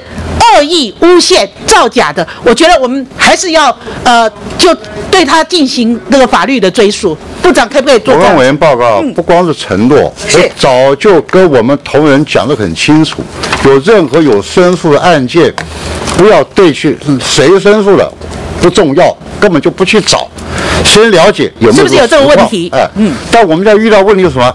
但我们查有没有这个问题，我不知道找谁去讲。所以他不断的在去讲，哎，觉得你看搞得你蹦蹦跳跳，这种心态是最麻烦的。是我讲这个啊，我不怕面对这些人，不怕提出问题，但我最讨厌的就是躲在后面没人放话，还讲着哎呀，我如果被逮到的话，我会怎么样伤害到？举出例子，举出实例来，我办人给他看。是。好，他举不出来嘛？对我，我相信部长一定也有呃这样的决心啊。对，我觉得我跟委员报告，我觉得这种人很窝囊，是根本不屑于跟这种讲话，躲在暗处到处放话。好，谢谢，我们还是谢谢部长，还有各位各位在场的各位将军们的辛苦啊！谢谢，谢谢大家，谢谢。好，谢谢叶一兰委员，谢谢部长，这个将军们。来，接下来我们有请。郑天才委员咨询。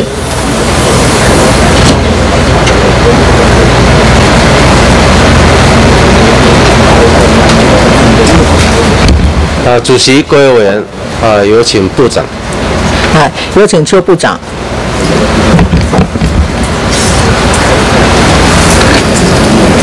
郑委员好。哎，部长好啊。这个上礼拜总咨询呢，特别跟你提到。这个已经两次了啊，针对这个有待遇的这个，呃，志愿役的那个士官啊、军官啊，啊的一个，尤其是士官的这个薪资的问题啊，希望还是国防部这边要啊积极的来啊来推动哈。那现在我们现在谈这个陆海空军说明。啊军官士官服役条例第三十九条，这个是针对已经啊已经这个退伍的哈军官士官。退伍除役后所支领退休俸、赡养金及遗嘱所支领之遗属年金，得由行政院会同考试院衡着国家整体财政状况、经济成长等相关的这些来调整，啊，然后然后相关的事情细则来定之。这里面呢，其实授权的非常的啊宽松了哈，但是很可惜的就是在施行细则里面增加了什么？啊，消费者物价指数累计成长达正负百分之五，或至少四年，这是之前的条文哦。然后这个今年啊修正公布施行这个陆海空军士军官士官服役条例第三十九条，把刚才我讲的不应该放的都放了哦，包括这个啊正负百分之五啊至少四年啊都列进去了。好。那这个一月十九号已经公布啊，然后施行日期是在啊今年的七月一号。那七月一号距离现在啊，现在是三月，三月下旬了哈。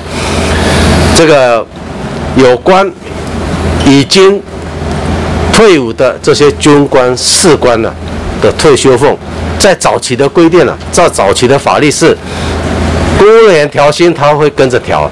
啊，军人调薪，现职的军人调薪，他会跟着调。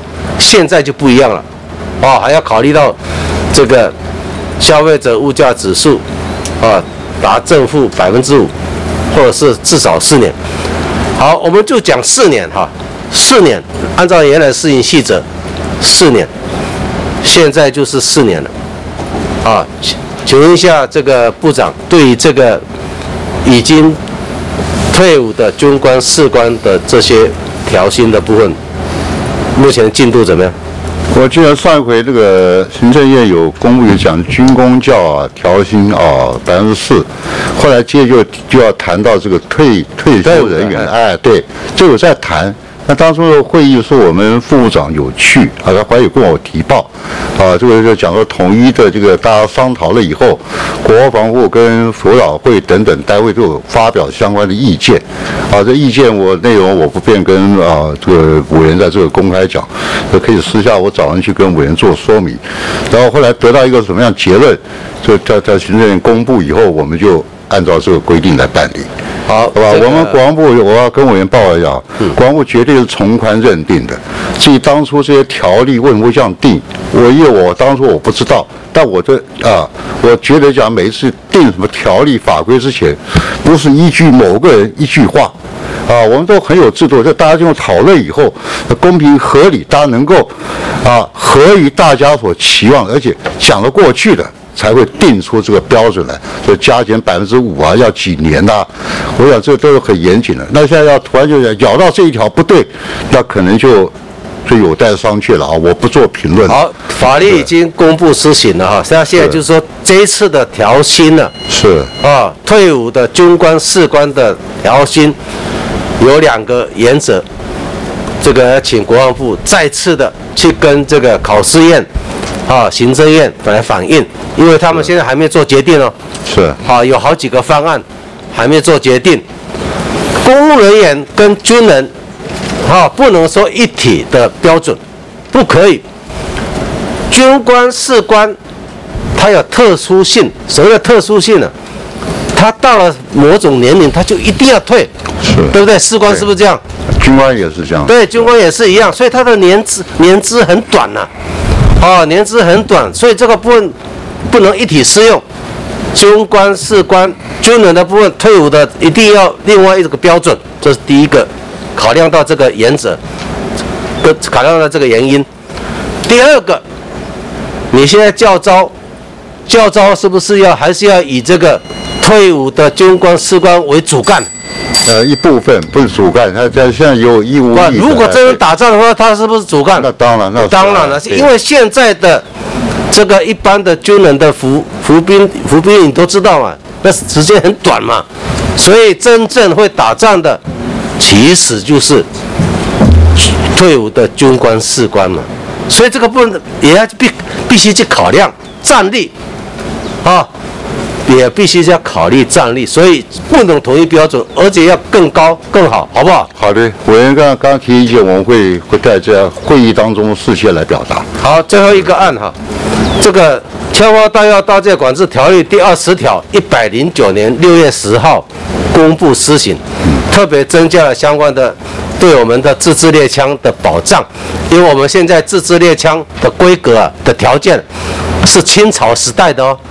啊，都还不如日记时代的自制猎枪哈，现在的一个状况，所以特别在一百零九年六月十号修了这个第二十条，而且明定由中央主管机关会同中央原住民族主管机关及国防部定之了，但是，一百零九年六月十号到现在都还没有啊完成订定，按照这个相关的。行中央行政机关行政院所定的法制作业应注意事项，应该要六个月之内，现在已经超过好几个月，啊，好几个上超过，呃，将近四个六个月了，啊，所以这个部分呢，现在啊，我咨询过很多次，协调过，也协调过。我能不能花点时间跟委员做说明？我我来先说哈，可能内政部多说是国防部啊，啊，这个会议记录都有，哦，是国防部。我后来跟国防那个内政部，还也跟你们国防部讲过哈，就说那个零件相关的哈，现在的我们的国内的玩具枪的厂商啊，都会做啊，所以你们只要去定规格，哦，然后就去去去做一个由他们去做，这很简单，就不会影响到你们的相相关的这个作业啊。啊，部长，我跟委员报告，当我所了解的状况，不叫我们定什么规则，哎，叫我们协助他枪炮就是说定定出来有怎么管理的规定，我们有提供啊，我们国军枪炮怎么管理，我们提供他，他定规则，我今天不推，可能这当中一定有很大误解，而且呢，就我都要跟你讲说，这采购要我们本来一开始要我们兵工厂来做猎枪，还变成叫我们采购猎枪，我想我们做出来武器装是杀人的。他要是打老鼠的，打飞鼠的，那怎么这就挂在一道呢？就说我到时候其他部会，我就算协调好了，通过了，我人也不会放过我的。立法院在修这个啊，立法院在修这个条例的时候，国防部都在场了，都同意。没没有错，哦，他条哎同意就讲说，哎，我们协同内政部。跟着原住民委员会来办理一个什么？我们要提供枪炮怎么管理的办法。我看到这个内容的，对不对，部长？对原住民族的猎枪而言，对原住民族而言，国家都是政府机关，没有错。但我对我跟委员报讲，都是一体的了，都是一体，但是用途不一样的。我们就说这样搞这样用途，人家会追究我们的。好，我们兵工厂不是做猎枪的哈。这个请。部长哈，跟那个内政部部长啊，好好的沟通一下，哈，好不好？如果在答复完的话，请你书面答复，好不好？不是书面答复的问题了，要沟通了，部长跟部长沟通一下，好，好不好？好。是啊。谢谢郑委员，接下来我们有请邱显志委员。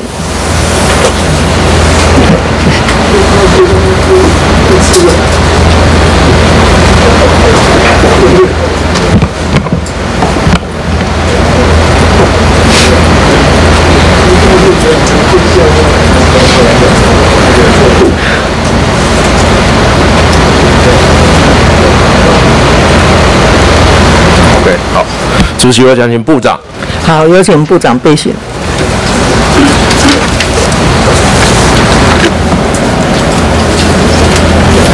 部长好，邱委好。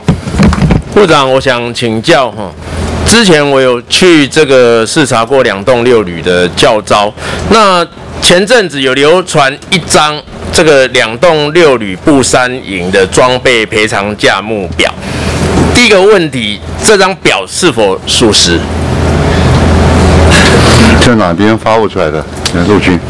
好，你们依据什么发布出来？讲一下，是我请陆军来做的啊。那个委员说明，这个是我们有公布这个东西，是预防它恶性的残或是恶性的损坏。事实上，它只要一般的损坏，我们绝对不会要负这个责任。但我们是要原价有做一个折算，也不是照最新的这个原价百分之百来跟他做索索赔。好，那这个表是属实，那就想跟部长请教，这张价目表上的价格怎么来的？价格，它上面有这些价格，价格是怎么来的？我相信你们一定有经过。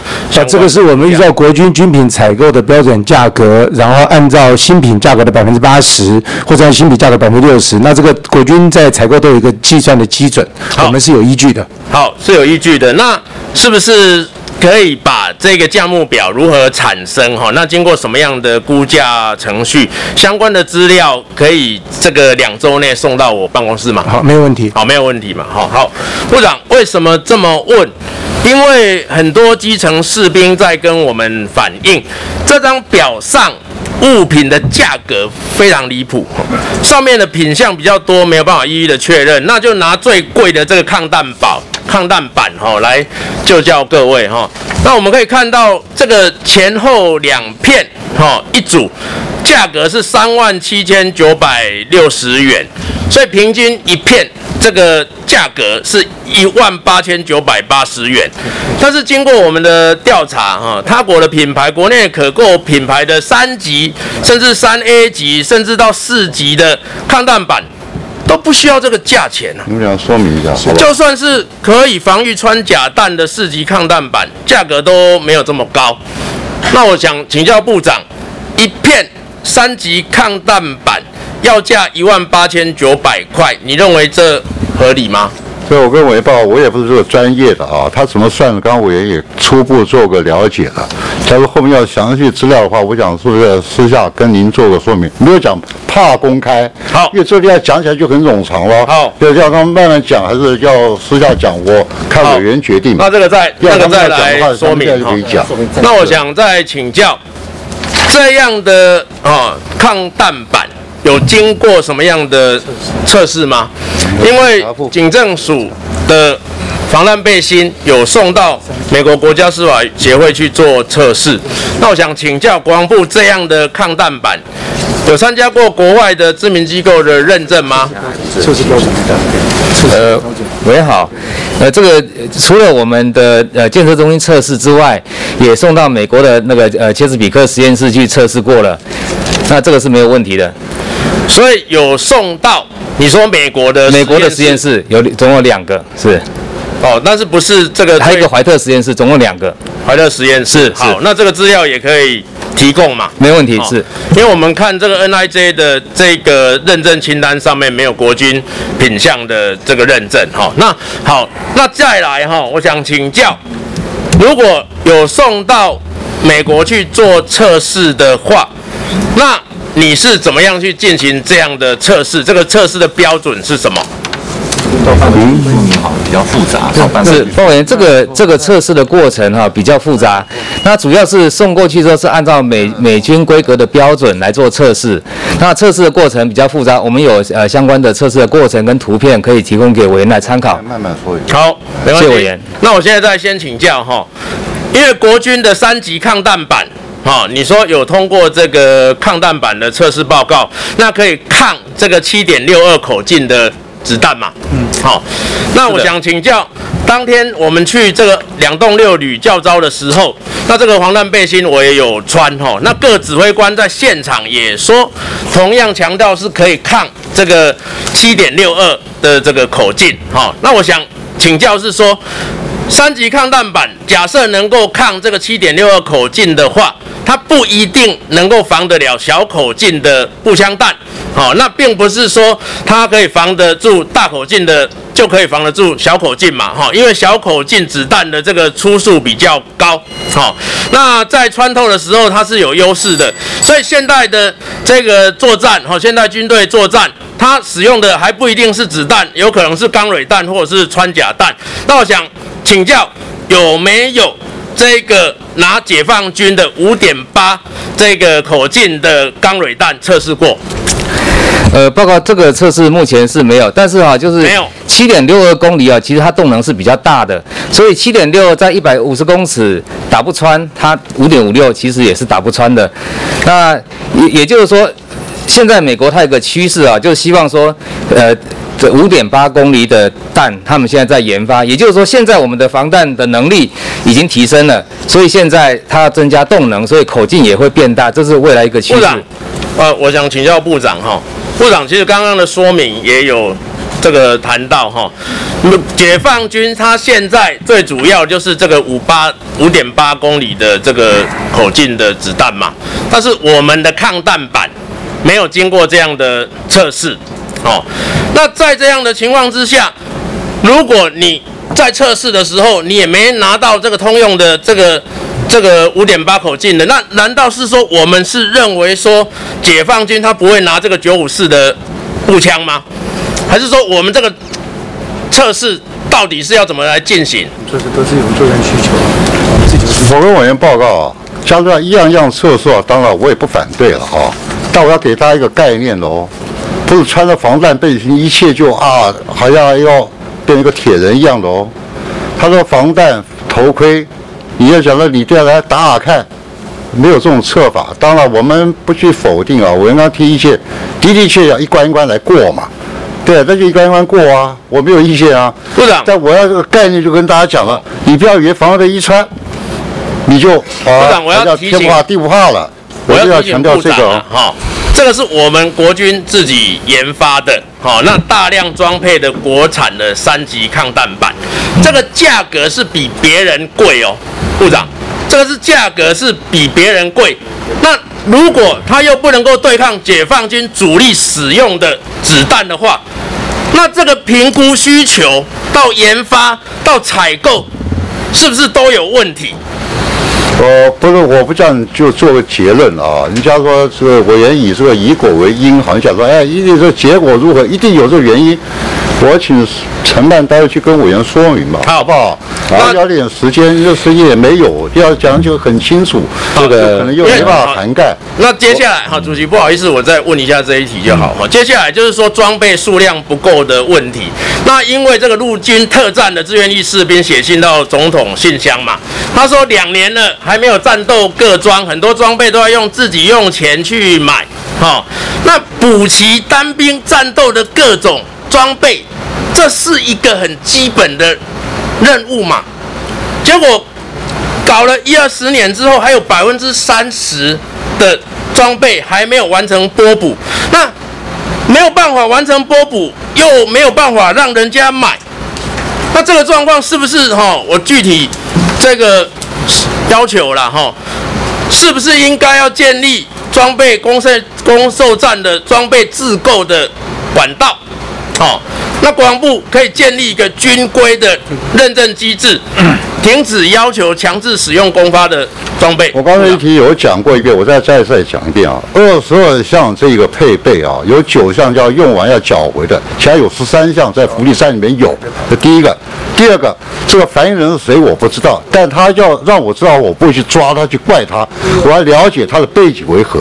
嗯发这装备按照战斗战斗支援部队、勤务支援部队的程序来发，不要讲他现在两年没有，我在部队二十多年我也没有，但我不以这为理由，你在部队我要会跟他说明，我要跟他做说明，但他不知道我啊，我他不知道我知道是谁。部长，第一个我连说明都没办抓本来就是法说明。应该的，现在我们是要面对这个问题。呃，是是针对这个问题因为啊，可他躲在暗处一直放这个话，我不知道怎么处美。军美军会把哈、哎通过美国国防部测试的装备开费开放给美军的士兵来使用嘛，这很常见呐、那如果国军弟兄他愿意自费使用更好的装备来增加国军的战力，这本来就是一件好事嘛。没有这种道理，自费买装备我绝对反对。当初的营长我是不认得他，要认得他，我跟他讲一下不可以。不然你要你帮全营买，我同意。自费个人买，自费我不同意。买自己的装备，这是一件好事。为什么要来怎么会你应该要，我们应该要做的是说，像美军一样，建立一个军规的认证机制嘛。就是因为军规有，所以不能够自购。对，你要这样同意他自购，那摆上那个还要军规干什么应？该要来面对这个现实嘛，对不对？现在波补还有面对现实需要知道谁嘛？还没有这个谁都不知道，我怎么面对现实？请国防部他不面对现实，我怎么面对现实？我们时间到了哈。如果请国请国防部啊，把整个我们装备的需求啊、配备配给的方式跟邱委员报告，好不好？好，那因为我们时间的关系哈，这部分因为呃。实际上也是一道更多的讨论的哈，这个再请国防部能够再跟邱委员做报告，好，好，好，不好意思啊，那下一位我们请武立华委员咨询。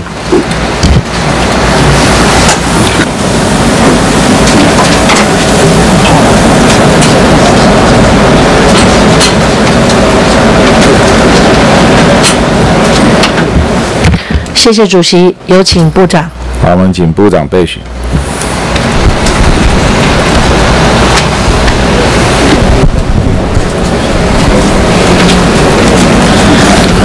委员好，哎，部长好哈，在屏东县牡丹乡旭海村，他们在半年前，也就是十一月底的时候，有做一个部落会议，他们的决议提到说呢，要求军方来修改睦林工作的要点，定定符合他们需求的一个项目哈，那么。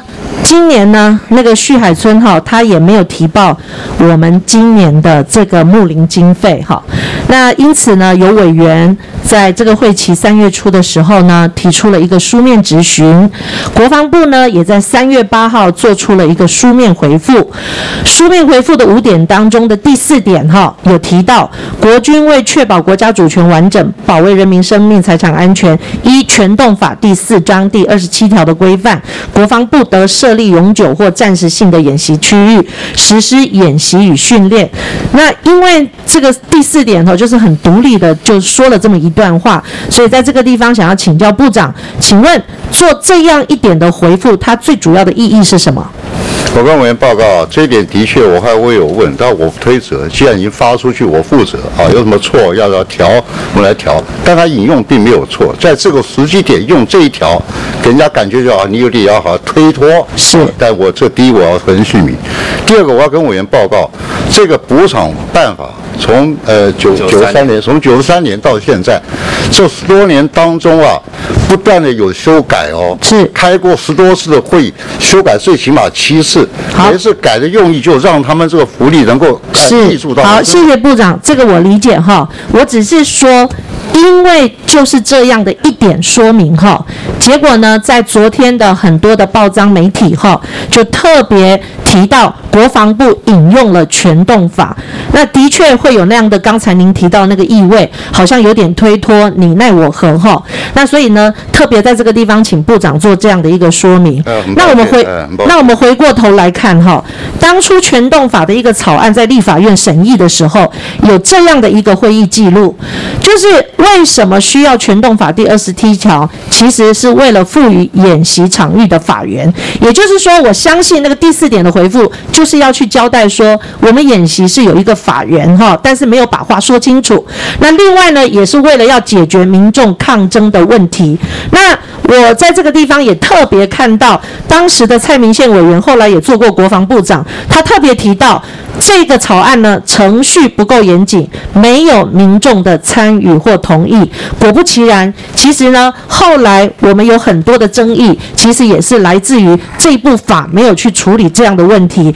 那我还记得在去年哈有质询过关于屏东县狮子乡的竹坑村，那个时候有就教部长您，因为在他们家门前不到五十公尺就有炮弹演习，那所以呢造成民宅的损失也造成他们的很多的恐惧，生活的不便，因此呢提出了陈情。那在这个当中历经一年多哈，我也要特别的肯定哈，因为在三月二号已经针对多年前的那些民宅损失，那国防部呢也很认真的面对，那也已经核定要判赔五百六十三万多。那另外呢，我也听到竹坑村的村民告诉我说，他们今年所提出的那个计划呢，也都依。据他们的需求提出之后呢，也都全数的被接纳。好，所以这个部分我还是要特别的来肯定，甚甚至包括呢，已经不用再到北部，就是就近的营区来做审查。我想这个部分就诚如部长您刚刚说的，每一次的修订呢，都越来越符合民众的一个需求哈。那但是我还是要话说回来哈，就是关于这个旭海他们哈，我想我们要去理解，因为在恒春半岛除了有核电厂、有中科院哈，经常哈要试射炮弹之外，他们其实是住在这个地方蛮恐惧的。那么现在也将会未来可能有我们的火箭发展法之后，可能也会有火箭的发射场。那对他们的生活的影响就是天数太多，影响的范围也太大。所以呢，他们做出这样的一个部落会议决议，其实理由就很简单，就是希望说好，我们为了国防跟国防一起努力，但是呢，希望呢能够去重视我们所受到的生活的一个损害。所以在这里哈，其实我在去年的十二月，针对今年度的一百一十一年度的预算的时候，我也有提一个主决议，就是希望说把这个木林的基准过于僵化、不切实以后，能够去做一个修订，就是将当地民众的参与纳入。我现在想要请教一下，这个到底什么时候完成？嗯，这个完成，知道吗？知道建设吗？对，这个讲啊。报委员，我跟你报告一下啊，我们现在的审议机制啊，就已经分成两部分了，一部分就是由军种来审议，或是由地方的政府啊，他自行来审议，这两个方案都可以双。我会这样子问的原因是，旭海村去年没有提出今年的木林经费，就是在等，他们就是做一个无言的抗议，他们就是希望说能够等这个修订的出来版本出来，而且他们也希望能够朝向法制化。因为大家也不愿意每一次都要澄清，每一次都要找立法委员，然后每一次呢不断的修改办法，所以在这个地方，地方提出的需求是说，哈，他们希望哈。这个现在的木林工作要点，它的法令位阶不高，程序不够严谨，规范不够明确，很容易衍生争议。我觉得在地的公所居民能够这样子想是非常好的，所以呢，他们也很希望说比照很多部会的一个做法，能够来做法制化。那他们是希望说，我们是不是能够在全动法的第二十七条哈，能够去就这个部分演习的区域，然后再去增修一个给予他的回馈金的一个法源，然后能够授权各军种。因地制宜的来定定回馈金的原则跟标准。那我觉得这个部分哈，呃，不晓得说部长您的意见如何？我当然，我们当然支持啊，只要对我们整个工作运作推动有利。谢谢。所以部长您是支持的哈。好，那我希望说哈，是不是一周以内能够针对这个木林要点的研修进度，也就是他们这一次引发的一个争议，真的我们对，我们就提出进度报告说明。那我也希望说，在一个月内能不能就刚才部长您所同意的全动法能够来进定法制化哈，来提出一个研修规划，可以吗？你现在要求我我做不到啊。那大概要多久？我们我们会请业管单位做研理有跟委员对，只是一个研修规划，一个礼拜一个月，我没办法啊，我实在没有办法。那研修规划是愿意的，当然要做嘛，我们是要做。那什么时候可以来让我本席了解？那可以啊。那个时程部分是委员，我们尽快到委员跟那个吴委员这边再去做报告，好不好？好，谢谢。部分好，谢谢主席，谢谢部长。好，好，谢谢吴委员。下一个，我们请李桂明委员。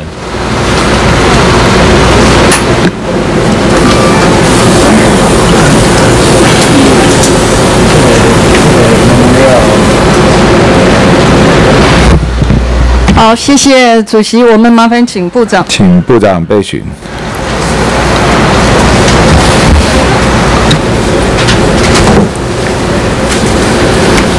喂，好。部长好，我有四个问题请教哈。第一个呢是关于军纪部分的问题哈。我记得在三月十号呢，我才提出来提醒，呃，这个要注意这个军纪的问题。我也把这个呃 Google 上面的投影片，你只要是讲军纪呢，砰的一一连串的东西都秀出来给这个部长看了哈。可是我们看到就是说，呃，即便是这样的情形呢，在新达电厂啊，新达电厂的这个跳电之后呢，然后就是用这个什么。准这个呃公共危险罪啊，然后就是来处理。可是我们看到的呢，就是说呃你的这个呃战斗的不，你你战斗的这次的这个相关这个资讯遗失啊，电脑的这个主机都失窃了，那你做了什么样的一个查证的动作呢？这个案子以前在处理啊，的确啊，国防部有很多疏漏地方。三月七号发生，我们到二十一号才知道，所以我现在要追的话，除了这个案子以外，我们往回追啊，追这个溯源，当天有哪些人参与啊这个工作，平常有哪些人保管，这个细节的部分我们在在做。我也不便于讲说跟委员要强辩，假如我们做很多，的的确确军纪是很重要的，我们不断在改进，但我也不讲，我不断改，他不断出问题，这就我的责任，我当我要力求来把它做一个军纪啊安全，符合部队这个给人家观感也好，你认为问自题。出在哪里啦？你认为问题出在哪里？因为现在会变成就是说，当民意代表提供给你相关资讯的时候，你就认为说哦，因为他跟你不同的政党，他就是有特定的目的，你完全没有把员报，我民意没有这样的那种听到你的，因为每一次反应的时候，你的态度呢就是不回应，然后你的态度呢，其实平安讲那个刚才是吴委员的事情，我不想评论，但简单来讲就是说，今天你负责的是全民啊，人家提供意见给你，已经告诉你军纪出了问题，那你现在讲的说，哎，他只要报出来的时候我查，你能够不查吗？你除了你不要这样讲查之外我，现在问你的是说，你的军纪的问题出在哪里？以你一而再再而三的出问题，一而再再而三的出问题哦，不是说全年出一次两次而已哦，一再的出错的一个情况之下，问你军纪的问题在哪里？你是可以去调查个案，但是你检讨过没有？为什么军纪会一再的出问题？你的结论是什么呢？我结论就是说，我们有很多事情要从追头的溯啊溯源，这就内部管理的处问题。理了没有嘛？我就在处理了，陆军也要处理呀、那处理所以委员，你刚刚讲说，哎，我看政党来办，我我从来没有这种念头。我刚刚还跟很多委员讲，我很庆幸，我一生都要从事简国防跟安全。当别人问你的时国防跟安全没有，政问你的。是说你今天到底是管理失当啦，还是你稽核的闪失啦，还是你制度出了问题啦，还是你教育训练的问题啦，还是你领导统一的问题？你总有知道你在评估之后真正的问题在哪里嘛？就是内部管理的问题，就是你内部管理的问题领导有问题也有问题。好，所以领导好好不错不错，有进步哦，好歹你就是回答了问题哈。那改善的措施改啊善的措施有没有在做？还是是说出了一个案，我办一个案，改善的措施不做？委员也也问得很好，也是一种进步了啊。我刚刚已经讲过，对不对？内部管理是个源头，从内部管理延伸到各领导统御，这是绝对延延伸的、啊。我现在问你的规划，我现在问你，你有什么样子改进的措施？你又去回到那个，你没有在听别人讲话、哎我怎么没有听别人讲？我我第二个问题要请教你，因为你。反正就是闪躲了哈。我第二个问题就是你又讲我闪躲，我就不了解为什么讲我闪躲，我躲什么了？人人家问你问题，你不我委回答员会委员，我不能参，我闪抢不过来参加。啊，那个我们答询的时候，请大家请注意一下哈，这个态度啊啊。啊，所以是讲我第二个问题，闪躲嘛你。是闪躲，你没回答问题，他就符合他质疑的意用，就是闪躲嘛。我第二个问题要请教的呢，就是我不需要，你现在不需要跟我出身的哦报告，现在是我的我咨询的时间。我第二个问题要请教你说，我没有把每个这么理直气壮，你这么理直气壮，我请教你，你慈理直气壮我湖叶理直林坡气七的案件，你慈湖叶林坡七的案件免赔确定，你这么理直气壮，你为什么会过了两年的期间，你这么理直气壮？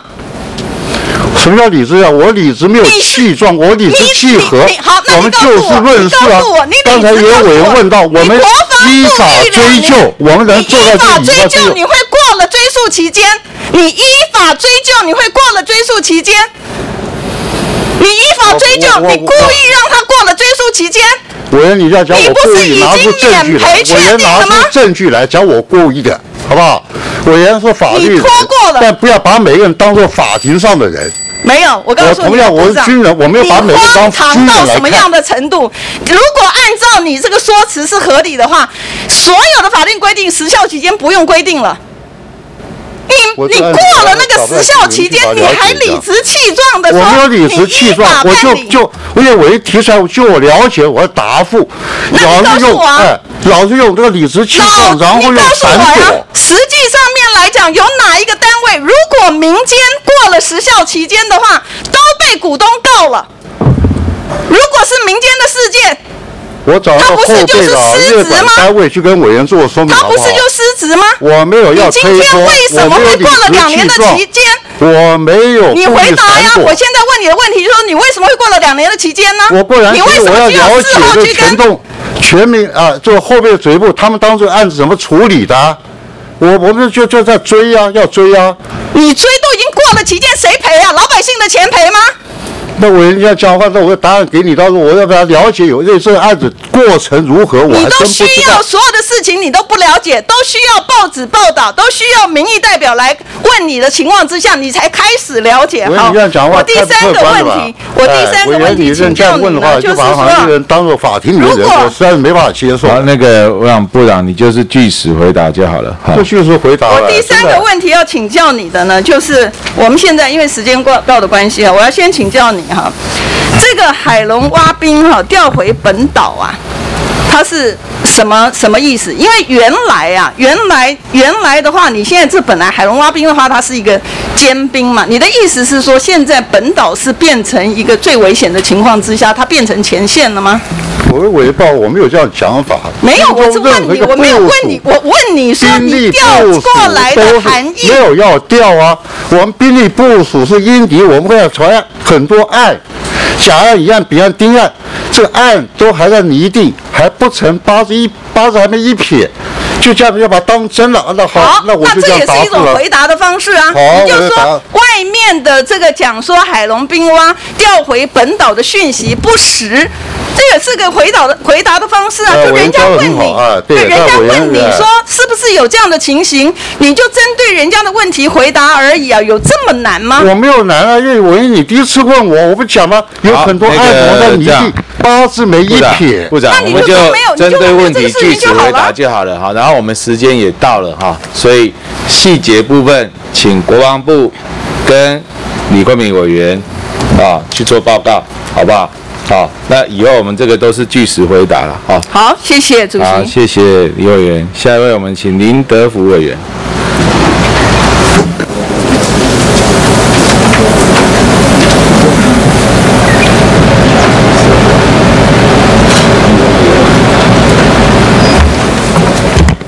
谢谢主席。是，请国防部邱部长。请邱部长备询。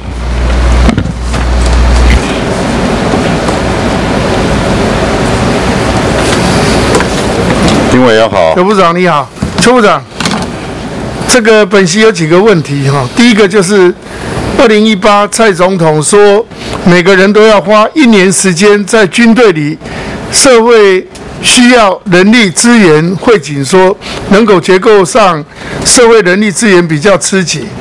那二零二一年呢十月，国安安全研究院苏子云所长接受访问时表示说。四个月的兵役，好已经够了。那俄乌战争爆发不到半年，苏子云呢就改口说，建议啊这个这个役期延长为九到十二个月。那目前有许多经营已经猜测，军队缩编，好那总员额也变少，同时也造成军队没有办法去消化人力。那部长，我请问相关兵役制度检讨报告。你认为会在二零二二年十一月县市长选举前会不会公布啊？我首先跟委员报，这案这样研究啊，但第一个我没有设定什么在选举前、选举后，我脑袋里面没这个概念，没有这种想法，我没有这种想法。我刚刚跟好几个委员都讲了，我很庆幸我是国防工作者、国安安全工作者，国防跟国家安全工作者最大的特性就是它不分什么党派。对，我没有讲党派，我脑袋里没有想到这个东西。对，所以军人很单纯。OK，我认同那个部长。好，我是针对问题，就是说，不要用那种政治去做考量，因为国防安全是第一。哦，部长，那是国防部有没有听说过俗话讲“好男不当兵，好铁不打钉”？哦，那过去我国兵役制度被部分民众认为是浪费时间。因为很常被派去拔草啦、刷油漆啦，所以说才会演变后来的募兵制度，缩短役期。那有专家认为应该要全民皆兵啊，比照以色列不分男女，都应该要服义务役。许多以色列顶尖的创业家是军队训练出来的。那以色列军队是一个庞大的人才资料库，对以色列兵役制度与相关国防工业、军用转民用有哪些是我国可以参考借鉴的学习？那么长久的这个建军备战工作啊，的确就刚刚委员讲到，什么好男不当兵啊，什么或者这个军中给人家那种感觉不好，我不可讳言到。呃，也有部分干部过去的，对的。呃，我也不要讲过去啊，这个一路看来嘛，我看那么多，的确确有这些问题。但我下午跟同仁强调讲这句话，就是说我们一点一点把它改进，对，最起码让现在兵员服役完了以后，你外面还有这种风言风语的，他不会跟着附和，对，这一步一步要进步。所以蛮遗憾的啊，就是说每次一讨论到这种议题以后啊。就好像觉得有点好像乱了套了，大家呀一听到什么哎就好，因为他讲的就对。我跟委员报告，建军院是个很沉稳的工作。对，我不会讲因为外面一急了什么争议信息出来，我就跟着急救章，哎这个也要那个也要，我会从长计议，我是很平稳在做啊，在做这些工作，我不会跟着随风起舞的。OK，那个部长，我再请教啊，因为。国歌、国旗是代表国家。那此次俄乌战争啊，乌克兰军民在不同的场合演唱国歌，鼓舞乌克兰人民的士气。反观我国内部对于国家认同存在着一些矛盾，有民众不认同中华民国国国歌，也不认同中华民国的国旗。哦，其实，在过去这段时间，哈。蔡总统跟行政院苏院长多次被媒体呀目击，没有开口唱国歌。最近似乎有改善，好有比较改善，那开始开口唱国歌。另外还有总统府前发言人丁允恭啊，被目击穿着烧国旗图案 T 恤，哦，那驻德代表谢志伟说，手中高举国旗，心中在流血。哦，去年呐，陆军某部队举行缅怀国军，呃，这个的这个纪念阵亡将士的秋季典礼哦，却也漏奏国歌，被彝族啊，哦，被他的彝族痛批哦。那本席是认为军中是中华民国的国军，也是全民的国军，是应效忠国家，爱护人民。贯彻依法行政、依法行事的要求，对此借鉴俄乌战争有关心理作战与认知作战，未来国防部会如何与其他部位合作，强化对国歌、国歌、国旗的认同，培养团队的信念？你有什么看法？国军一向秉持宪法的规定啊，中华民国是我们的国号，青天白日满地红是我们的国旗。国军就一秉持这个信念，一直在维护。至于外面他什么做法，我们都不予置评。但是只要到我军中来的话，我做一个要求，按照军中的规矩来。OK。你讲你到了军中以后，你按照你的规矩，那就出去。对，这是我的原则。这个很重要啊。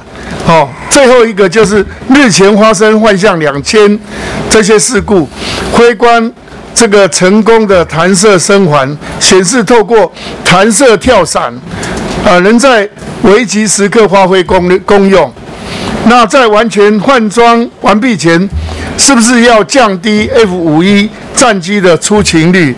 等到全面换装完成，这些弹射以后，再恢复平常的训练水准，是不是应该这样子？是，鲍伟，我们现在已经在这样做对，一定要这样做。发生以后，我们任务调整，人员调派。哎，你不要密集的去训练，因为你那个椅子没有换装好。这个你你训练一个飞行员不容易啊，哦，那这个目前我国 A 五一五一战机仍在进行换装弹射的座椅，好，目前的进度到达达到怎么样？那这今年可以完成吗？后来你也跟委报委员，今年可以全数完成，全数完成，今年可以全数完成，对的，能够在短期越短期里面把它完成，这个对。一个飞行员他是比较有生命的保障。是我们当初已经要求厂商提前，所以可以在今年之内全数把这个七十去座椅统统装上去。好，谢谢。好，谢谢林德福委员、子谢委员。好，下一位，请杨琼英委员咨询。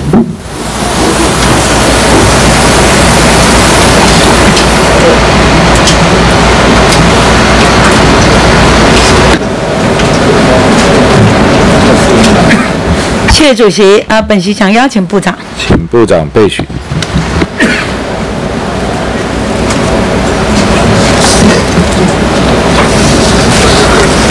杨委员好，部长好，很少看你有一点动怒，但是我想大家都为国家啊。那刚刚你回答当中呢，有几句话我蛮感动的。你说你是一个国防工作者，你会平稳从长计议。我们民众要的就是这样子啊，因为这个安全很重要啊。所以本席要请教，俄乌大战之后呢，现在的大家讨论的非常热门的议题，也就是义务役要这个四个月是否会延长，大家非常的讨论。不管是说坊间的意见很多哦，因为我们是一个民主国家，就本来就是应该会有多元的声音出来。所以呢，到底是要恢复征兵制哦，开始受到关注，或者是出现说疫情这个疫情呢，应该要延长，甚至有说九个月，也有说一年，也有一年半的声音啊。那当然，部长你说你会这个，刚刚你也说了会从长计议，你不会随风起舞哈。这个本来就是以专业的立场，但是本席仍旧要请教哈，在国防部专业的立场，到目前这样子的情况，你认为第一个多久时间可以告诉社会大众？因为有很多人生来规划会有所调整。第二个呢，那你专业的立场认为我们应当是朝怎么样的方式？请说说。好，我跟委员报，第一个啊，什么时候可以拟定好，这是一个建设；什么时候拟定好一个公告，又是另外一件事情。对对对对。我现在拟定好时间，我们我只能讲尽快。对。但是拟定好以后啊，我举个例子，假如说到五月一号前完成了，那我五月一号公公啊公告，公告也要等到明年五月一号。一年对对。公告一年后执行之，呃，这个是这是大家了解的，对，这是癌的那你说是变不了的。对，不好意思，我们是在在讨论实质问题，因为很多的家长，哦，他们都会要做生涯规划，所以他们会想要知道，哦的这个脚程到底是怎么样，所以我还是仍旧要请教部长，你认为这个从长计议呢？大概你说尽快，那这个尽快逻辑上每个人认知不一样，那你这个尽快大概是大概是多预估预估，大概所以我跟委员报，我答不出来原因在哪里。刚刚委员也讲了很多认知不同，好多意见，我都要我要当当参考吧。参考我不能讲刀一切一个月，那代表什么？我有点马马虎虎的参，考。会不会我们现在没有这样实质再来讨论问题。好是好好，因为因为这个往后也会延伸很多的是，我知道会生涯规划会因素很多，所以还是政府就是政府，人民的靠山，还是政府讲了算的嘛。那到底大概会多久？你说的尽快，那到底我想你也知道这个参数很多啊，大家的忧心或者是他要自己的生涯规划，会有一些必要条件，知道这个时间点。那大概大概你这个尽快大概是多久？我的尽快，那我就还要问一下大家这个民意啊啊，你们期望有多久？那委员说能够告不能告诉我反咨概率询，。以你专业的立场说，对我以我国防部专业的意见。我就是很专业，所以我知道这个东西不是呃短期讲，哎，是我会讲一句话，当然当然里，面有很多部会、民调、民意，没关系，部长因为每一个学子孩子哦他每一年有两个学期，那这样的情况之下，还是仍旧要请教，那你会不会在今年来完成？今年完成评估啊，对对对，会告诉社会大众的方向。评估绝对可以完成，好，绝对可以完成，年终完成。OK。哎，我们不用等啊，就假如到年底了，所以那些有造成误会。副部长讲的什么要一年评估，没有一年评估。好，OK，哎，好，那我们初步也有一个进展哈，大概方向、时间点大大概会知道哦。那我们也请家长放心了哈，国防部也会尽快哦，那所有的参数去整合，然后告诉社会大众，是不是如此？是没有错。那接下来本席要请教史上最超的十四天的后备军人教招哦，这个我们要看出说后备军人真的很棒哦，大家在这个过程当中都全力的配合哦，但是就有传出说现役的士兵呢，上诉总统府说他们身上的头盔啊、背心啊、那个腰带啊，说后备这一次呢，通通都是新的。但是呢，他自己本身哦，两年下来连装备都还没有领齐，哇，这个声音出来让社会大众吓死哦。所以本席要请教哦，因为这一次的教招史上头头一招最最最超的哦，所以坊间有说，就是因为这样子，总统要去教阅，所以他会格外的隆重，会不会有这样的一个情况？请做说明。我跟委员报告，任何一样事情做了，我们尽量把它考虑很周延，但我也不推脱嘛。讲说难免会有什么啊，白这个这个这个必有一疏啊什么，我我不做推脱，的的确确会造成这种争议，代表我们做有不够周延。但我刚刚也有讲过，我不知道是谁，我要知道是谁的话，请他放心，我不会讲因为你这句话我去办理或者我可以问我同仁，我这我的那个申诉管道要通，第一个要件就讲有人申诉以后不要去追是谁，对，我们先查有没有这件事，要有我们改进，但是呢，我要进一步讲，我改进了，我要跟你做说明，但说明的对象我都不知道，所以现在就有点我我也不能讲空穴来风。第一个先查明清楚有没有这回事，两年他的配备都还没完整。第一个先去查明清楚哦。那第二个呢？因为总统曾经在一百零五年宣誓，三年内要全面提升国军的服装，还有个人的装备。那目前的进度到底是怎么样？因为现在已经是一百一十一年，一百零五年，这个一百零五年应该是一百零八年就要完成。那到底怎么回事？呃，鲍委员，那个有关于战斗各装这个部分呢、那因为呃受产能的限制，所以我们目前就是按照战斗战斗资源及勤务资源部队这个顺序来拨发。那整个常备部队在一百一十四年以前会完成所有的战斗各装的的的拨的说换放发。句话说，当时总统的宣誓是没有给他正确的讯息。第一阶段所有的战斗部队我们都已经全数满足，就是第一个进部队，你没有听总统讲话？总统说一百零五年，哦，未来三年内要全面完成呢。你现在扭成一第一阶段没关系，本席要告诉你的部长在这里，本席要告诉的就是说，给总统的资讯应该要正确。我们是一个国家，不希望打脸总统。哦，我我觉得这个是我们要用心去做。你现在说的也这个产能的问题，这个大家都可以接受，但是要好好去规划未来要给总统的讯息应该要正确，才不会打脸总统，好不好？最后一个议题，请教部长，因为飞行的这个后备飞行大队，有人说要成立，有没有这回事？呃，我个人没有这个打算，空军没有这个打也算空军我们讨论过，是因为飞行部讲了，你停很久有回来，坐上飞机就飞的，是你回来，假如就算要重新飞好了，要经过一段时间对训练。所以我们也要给社会大众哦，不要再以讹传讹哈。那部长这么说，大家都很清楚了。所谓的后备飞行大队是不会成立的哦，请大家因为军方有军方的一个一个进行的评估啊，要给社会大众说明清楚，不会有这个飞行员退役后也要来教招成立飞行大队，对不对？我这样这样子的说法正不正确？最起码我目前没有这样规划。好目前没有嘛哎哈好我没这种规划。对，这个部长，这个就是本席非常希望大家都关心哦，一个国家国防最重要哦，这个安全，所以一旦有不一样的声音，我们赶快去给他给他说明清楚，不要大家以讹传讹，让我们的国家更安定，对不对？好的加油，谢谢。好，谢谢杨委员啊。那邱邱部长啊，刚才很多委员都一直不断重复问关于疫情评估的事哈。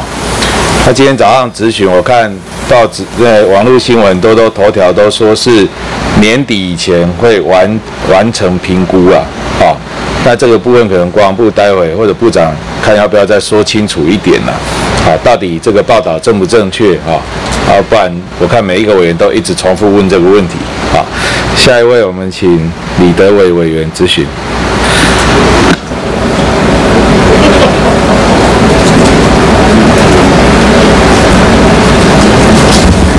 好，谢谢主席，不好意思，麻烦部长，谢谢。好，请部长备询。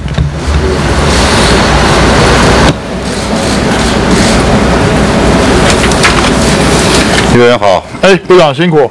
部长，今天你们的报告说哦，那个俄乌爆发战火，印太地区、北韩这些飞弹试射，包含中共军事扩张，美国跟友盟的联合军事作为啊，呈现一个复杂多变的格局哈、那当然，中共也借灰色地带军事行动，企图片面改变台海和平的现状，整体情势越显严峻。请问部长，那国防部这种评估，中共会如何片面的来改变台海和平的现状？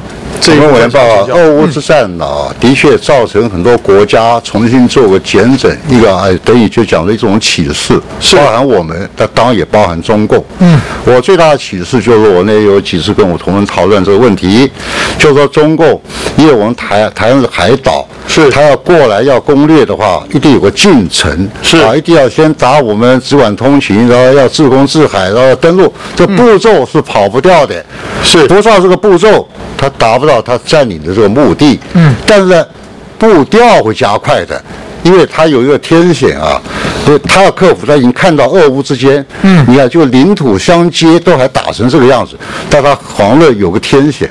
但我们国军其实讲说，我不能够仰赖这个天险，所以我知道中共他也会在变，他也看准有这个天险，他也看到俄乌之间的问题，所以他会加快他们的速度，而而且呢，不但加快速度，而且同时。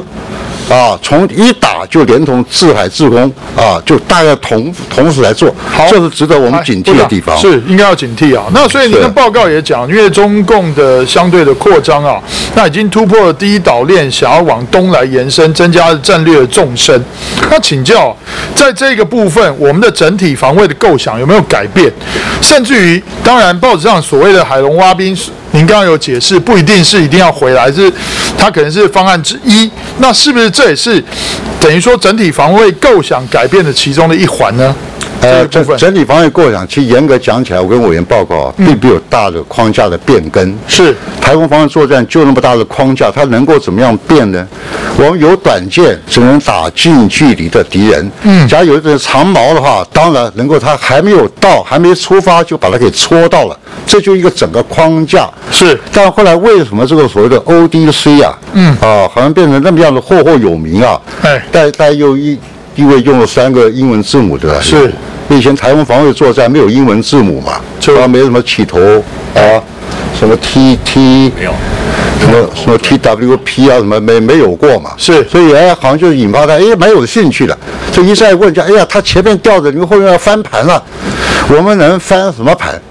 台湾就这么大的地方，嗯，海岛的啊，这个地理环境的限制不会变，而且哎对，就能够如此了。还有什么盘好饭？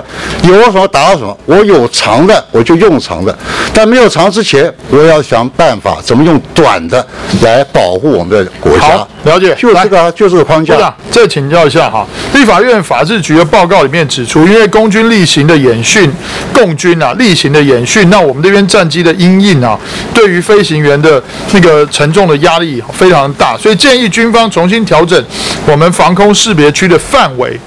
那本席认为，在国防部应该是不会同意啊，所以当然这个部分也想要请教部长，如果重新调整我们的航空识别区的范围的话，那对于我们会有什么样的冲击跟影响？那当然这个部分我就顺带讲，因为时间不太多啊，因为不会言，呃，我们现在空军的 F 十六 V，当然 IDF。幻象机的妥善率都不没有达到百分之七十五啊，那在这一部分里面，如何来加强，如何维持我们的呃的制空权？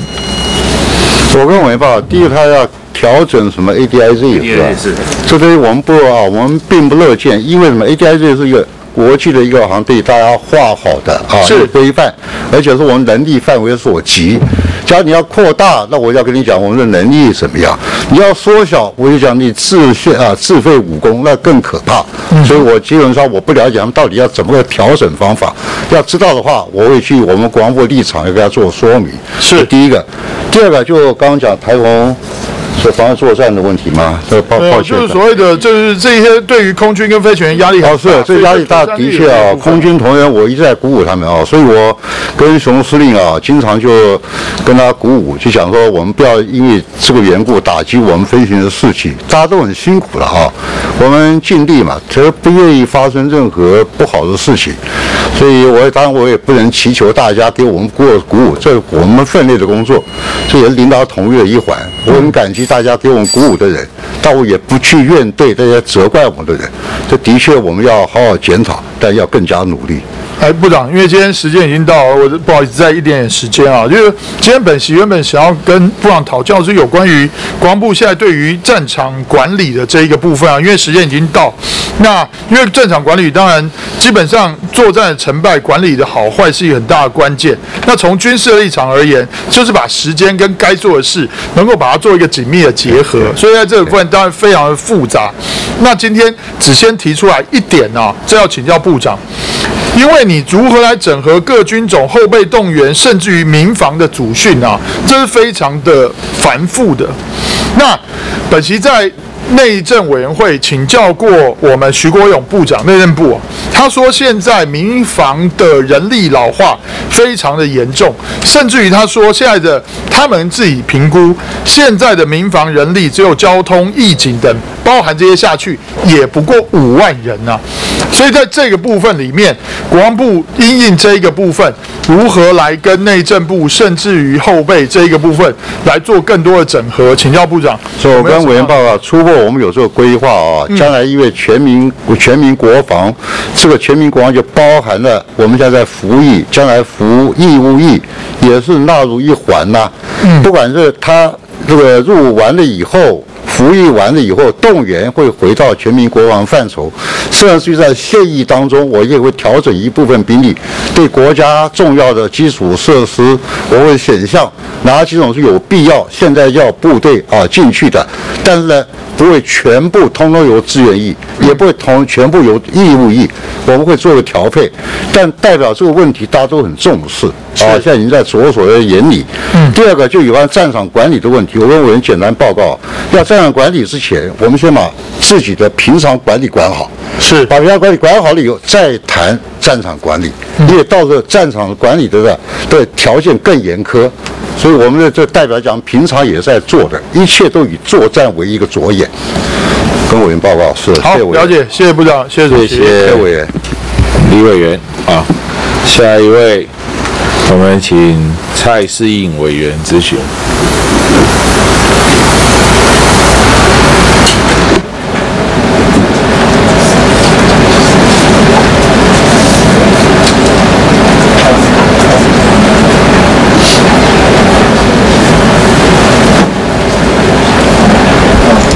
哎，感谢主席哈，能不能请部长就备询台？啊，请部长备询。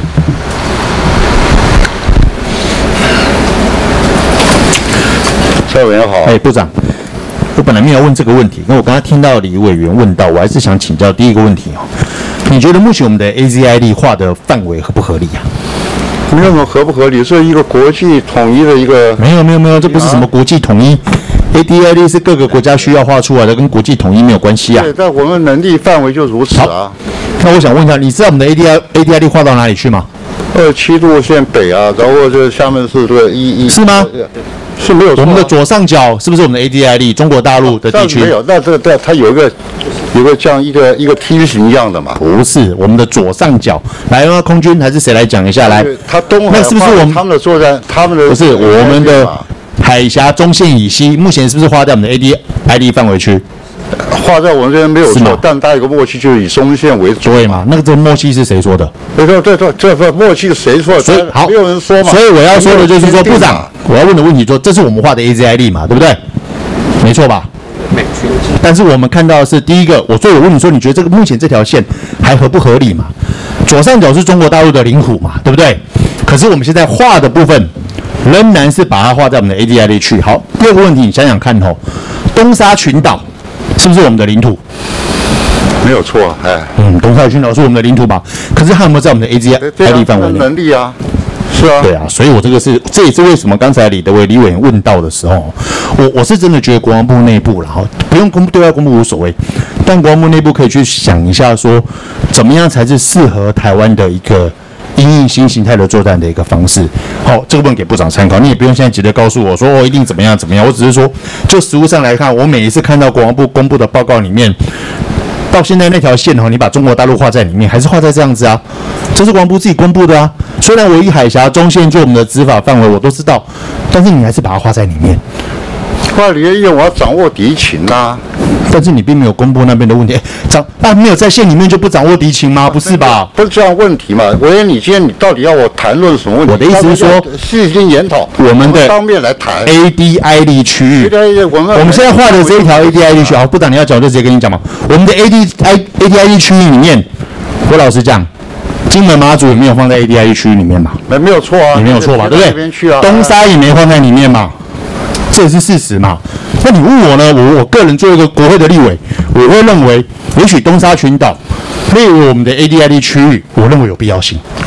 好，那这个部分给部长做参考。我的意思就是这样子。好，好接下来我就讲的话，这个很多人在问的就是三年、三年再两年的问题。就刚刚有别的委员问到了我们的各庄的部分哦，我听到你们的回答是说，我们分成几个阶段完成嘛？说第一阶段已经完成了嘛，对不对？那第一阶段是战斗部队的战斗各装，是这样子没错吗？行啊，我看谁来说明，是这样子吗？是不是？委员好，我是陆军他们统一说明，哎第一阶段的战斗部队各装都已经发完了。那我想请教，航特部是第一阶段还是第二？第一阶段。那为什么航特部说还没发完？呃跟委员说明一下，一百零六年开始发第一阶段的各装，到现在因为产能的关系，有一些支援部队和学校还没有发到。好那我问你但是七千多个边线比我们已经发了七千多套，这是真的。不是啦，我是说，航特部是战斗支援部队还是战斗？他是战斗部队。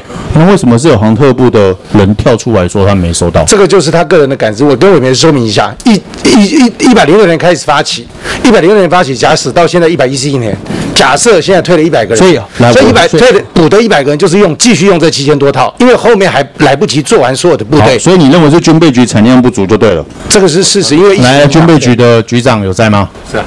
来，局长，请教你一下军备，局副局长。产量不足吗？哎，没有，这个当时我们是依据这个呃军种的这个需求啊来产制，那主要是主要是依据这个战斗，哎，依据战斗这个战斗部队啊需求的为优先。那目前为止啊，刚刚讲一到一百一十三年，我们到一百一十三年这个需求目前都已经规划好了，产能包含来，你到一百一十三年需求是什么时候列到一百一十三年？从三什么时候开始就做这个决定的？啊一百零六，对，一百零六，是是。好，所以总统去讲话的时候，所以总统讲错喽，是这个意思喽？委员这样讲啊，嗯，委员是说全面提升各装，因为对啊，对啊，对啊，对啊，对啊，因为各装有很多。套讲，的是讲啊，那委员这样讲我也没办法。不是啦，我我现在不确定嘛，我所以问啊，总统讲的意思是指说第一线的战斗部队而已，三年内完成是第一线战斗部队，还是三年内全部的战斗部队各装？或许我的指引不是不不不够精准啊，我我的说明，总统说这几年之内要全面提升陆军部队的战斗各装，没有但是各装刚有说明过，有二十二种，有十六种，那有些消耗性的，有些比较高我了单价的。解但因为那因为制成的关系，现在疫情的影响，所以没有办法在我知道，因为因为总统讲的是说，我要求国防部在三年内全面提升国军的服装以及个人装备。他的讲法是这样呃子讲。我是军队局获得管理处处长。哎呃，那时候的规划是一百零六年到一百零八年，呃，八万多套，所以八万多套在一百零八年有产完，所以后续就是针对呃二线部队来做生产，那每年大概两万七千套。那现在我们为了呃包含后续的跟后后备部队，在一百一十二年，就今年继续进来，一百一十二年可以提升到七万套。那在一百一十三年，产能还会持续在提升，就满足现役跟后备部队。所以到一百一十三年就对了哈。那海空军的部分呢？一样，呃，一样，就是这都在规划里面。到一百一十三年，是的现在海空军有换了没有？都有，都有。呃，我我想你想都有，是现阶段海空军已经换完了吗？就常备部队，常备常备那个包养海军的部分，就是我们在去年已经完成战斗部队跟战斗支援部队全部的换装。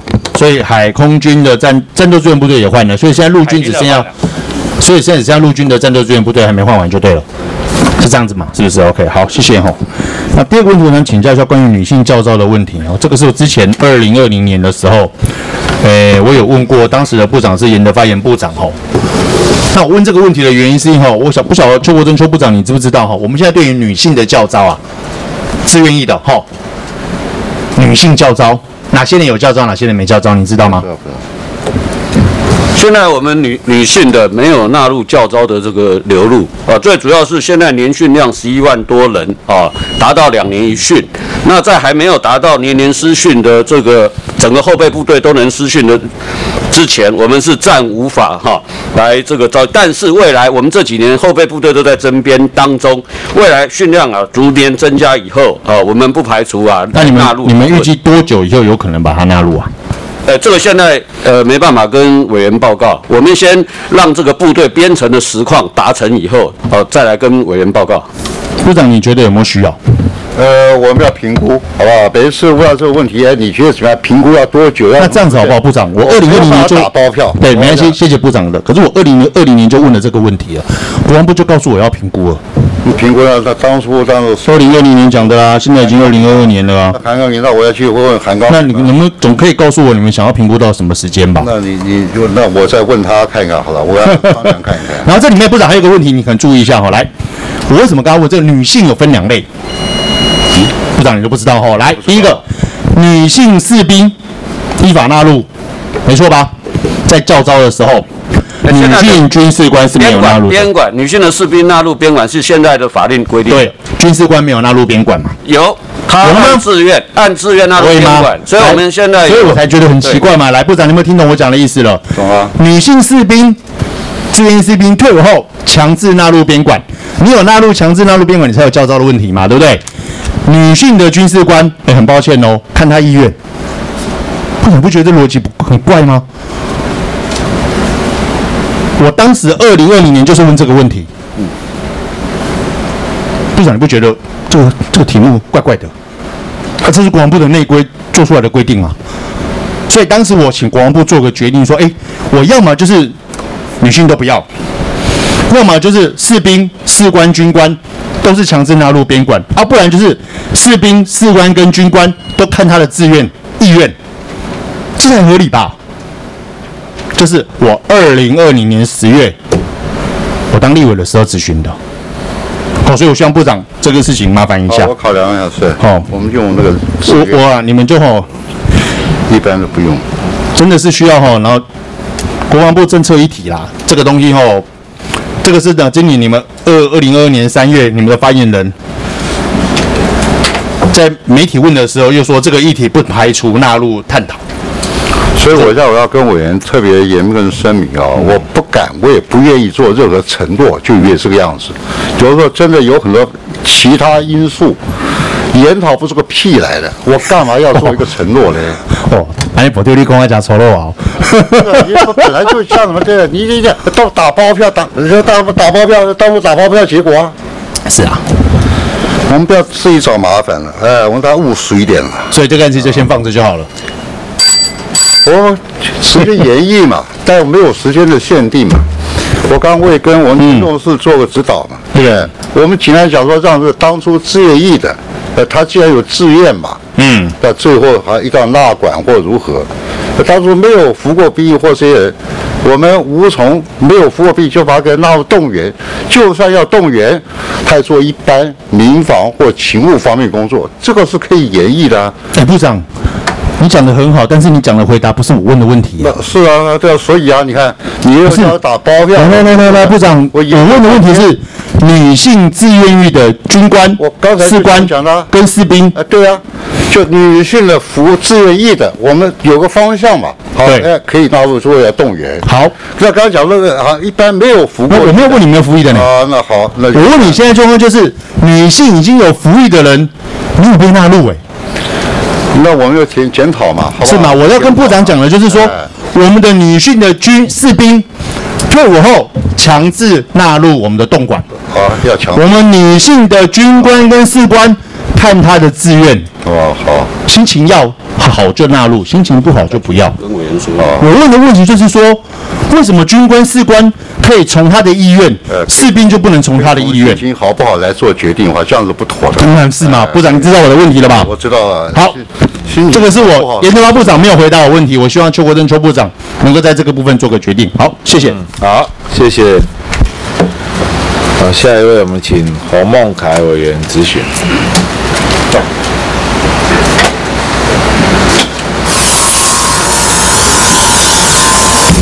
好。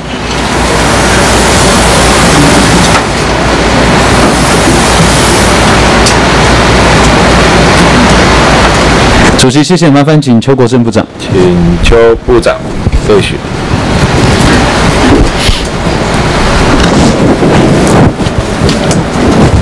洪委员好，部长，上午很多委员都关心，其实国人也都很关心呐、就是所谓义务役延长的这个议题啊。那您现在是讲是说，今年年底一定会提出相关的研议办法，那并且公告一年实施。我没有讲到年底，好，我讲我们尽快提出办法，然后公告，要公告有公告至少满一年。公告要要满一年。部长不要这样子，是不是因为中午没休息，所以有点累？哎，不不不，我一点都不累，啊我一点都不累。好，我就讲我说，我讲好几遍。本席刚刚坐在那边听要哦，叫要叫啊，其实觉得好像您的告态度是公告以后，我已经讲了很多次，嗯要满一年，这是法的规定。好，但后来你们一再曲解，哎呀啊，年底还是要评估一年，我就部长，本席其实没有没有曲解了，我只是想要确认您的态度，就说至少你公告一年，但是您自己上午也有讲到，是说这也不是国防部一个部会可以说了算嘛。当初我讲我没有要提这个研议，嗯，所以这不是国防部单一部位可以决定的。对，我国防部没有要起这个案，嗯，那现在整个环境的变化，你看变为我们的一个助力啊。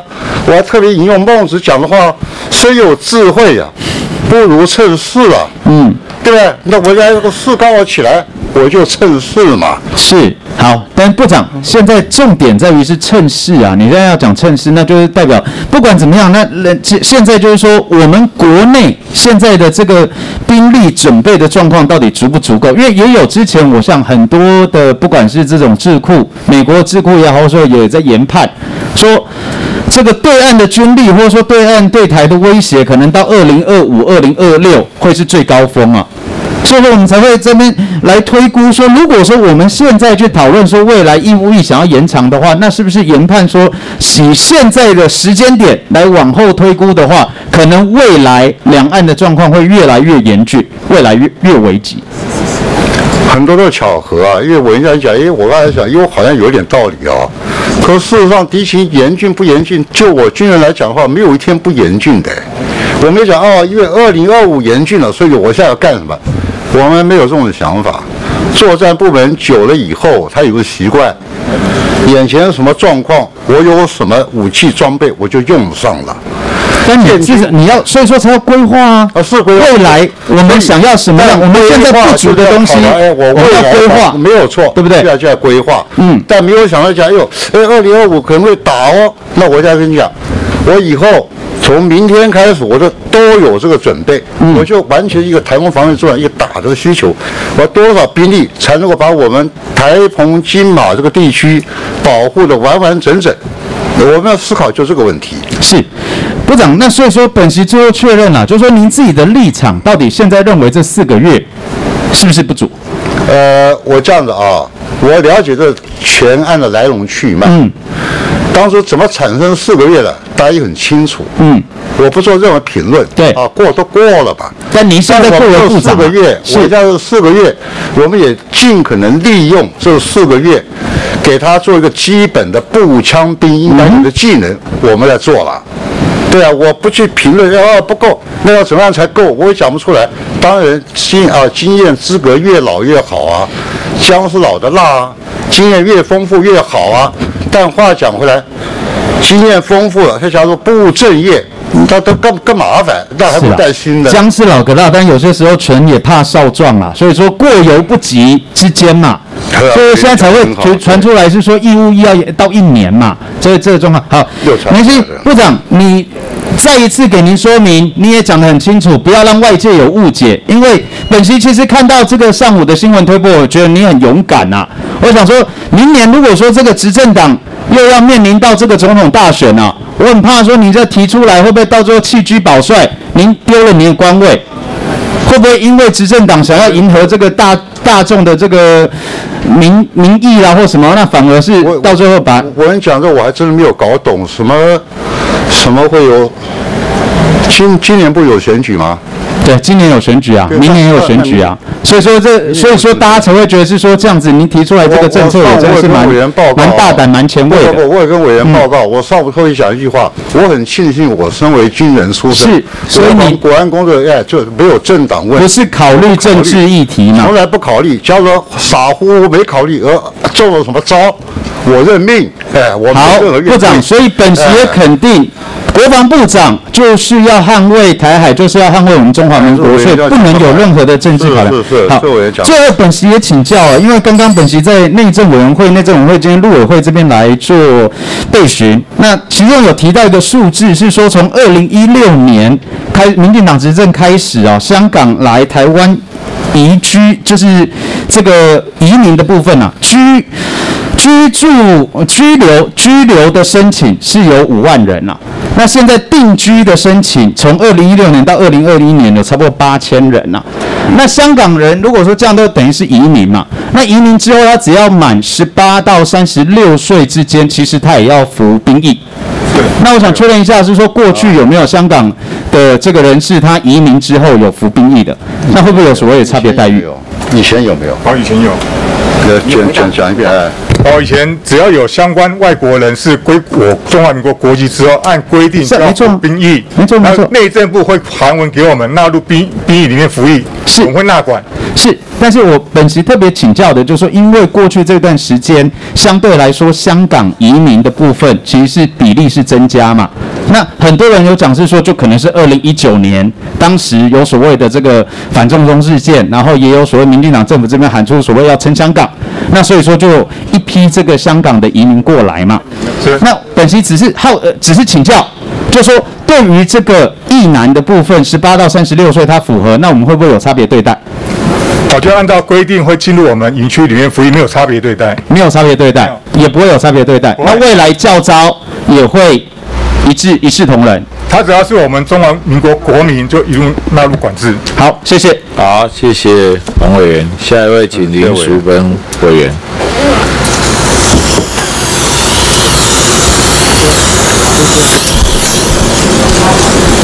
谢谢。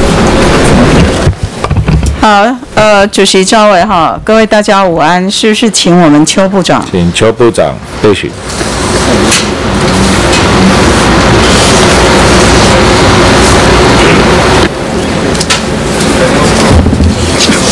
林委员好，呃，部长午安哦，辛苦了，应该是还没有用餐嘛哈。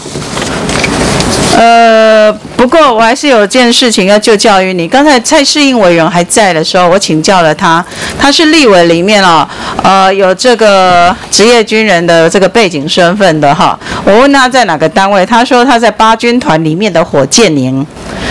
然后他提到说，全台湾就只有两个火箭营，一个是八军团在南部，一个是北部，就是我们出事的这个六军团哈。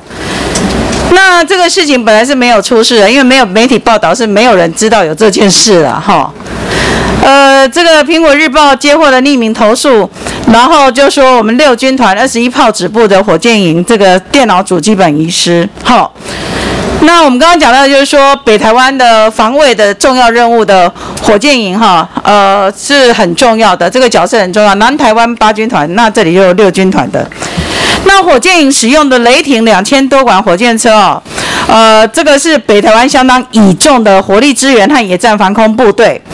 那在这种使用自主研发的雷霆两千多管火箭系统啊，主要任务是要提升陆军的管式火炮火力，在反登陆作战的时候，要发挥它的机动的这个高机动性。我想这个部长你是相当的呃娴熟的，你讲讲呃知道这很重要，它是我们国军在摧毁敌军海上还有滩岸兵力的时候最强大的火力，现在是主要的火力这样子。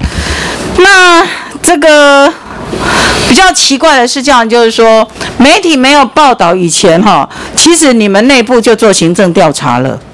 三月十五号媒体才披露，可是你们三月六号的下午四点，执行官就发现主机不见哈，然后呃这个三月隔一天才往上呃反映，来才全面清查。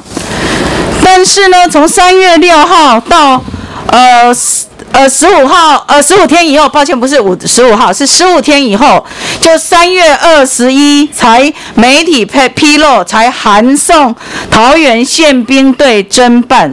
那你知道你们期间做的行政调查怎么做吗？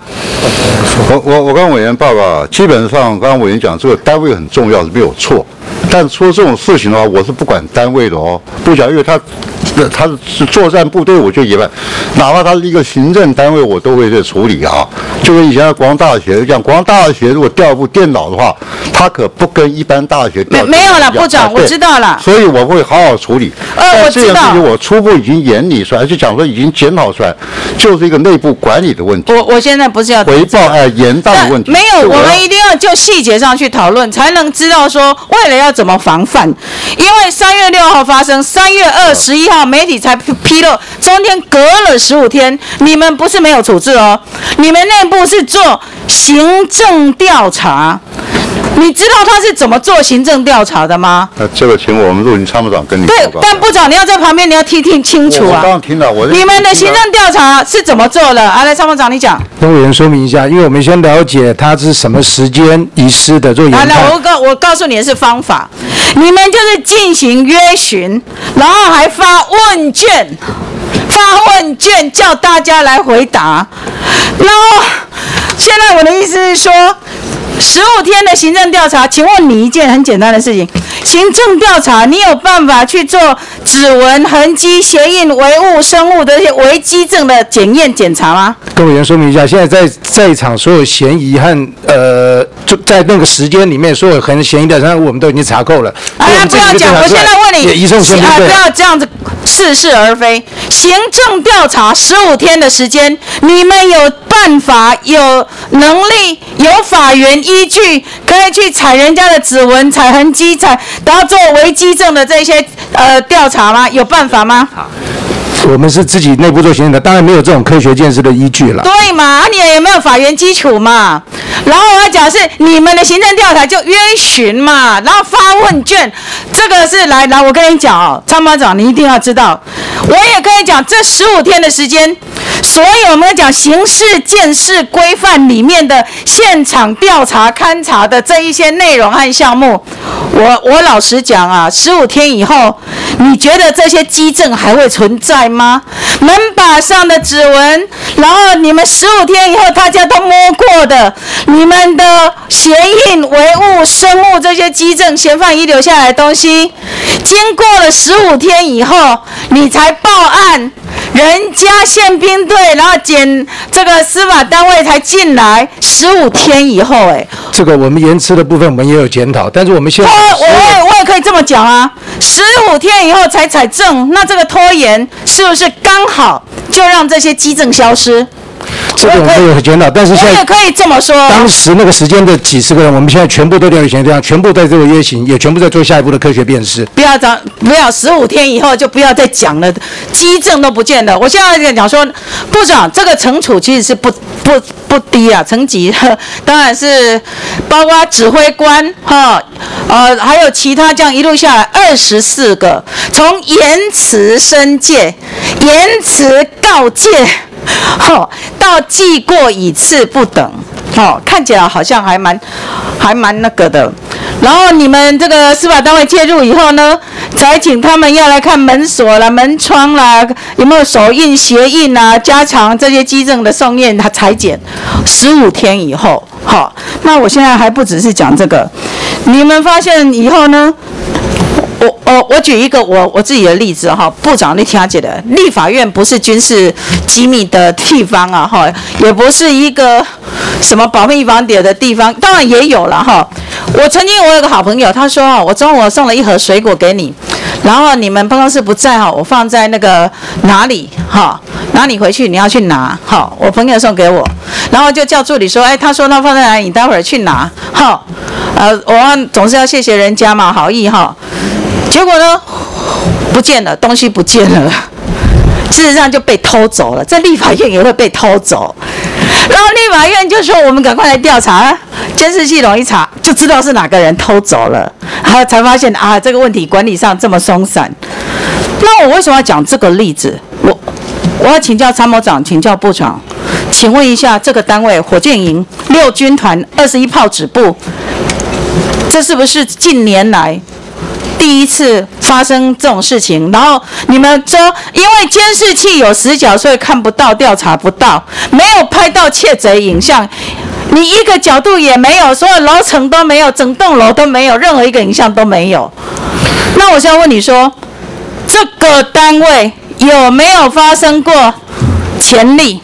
你回答我这个问题。有近期发生过两件，我们都深切检讨内部管理的问题。近期过是什么时候？近期什么两件一？百零七年，就二零一八年的八月也发生过。发生过什么事情？发生过，当时我们在雷霆两间系统的一个定位定向器，这是一个影响妥善的，呃，当时有遗失，但是这个案子在二零一九年已经由新竹地检来签结了，当时调查过程也有营长以下九个人遭受惩处。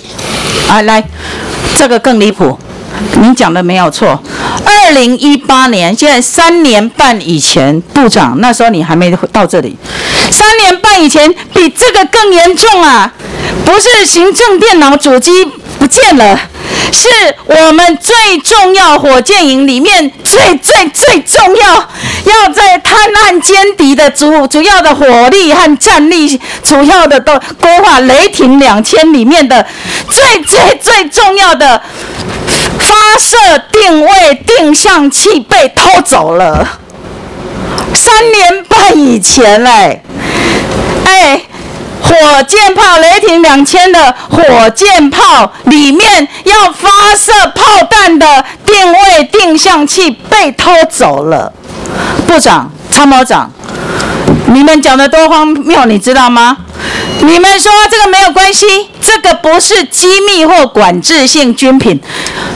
哎，要发射炮以前要定位定向这个这个零件，你说它不是机密或管制性军品，这个是我们最重要国防自主里面自制的火箭炮车雷霆两千嘞，里面你说。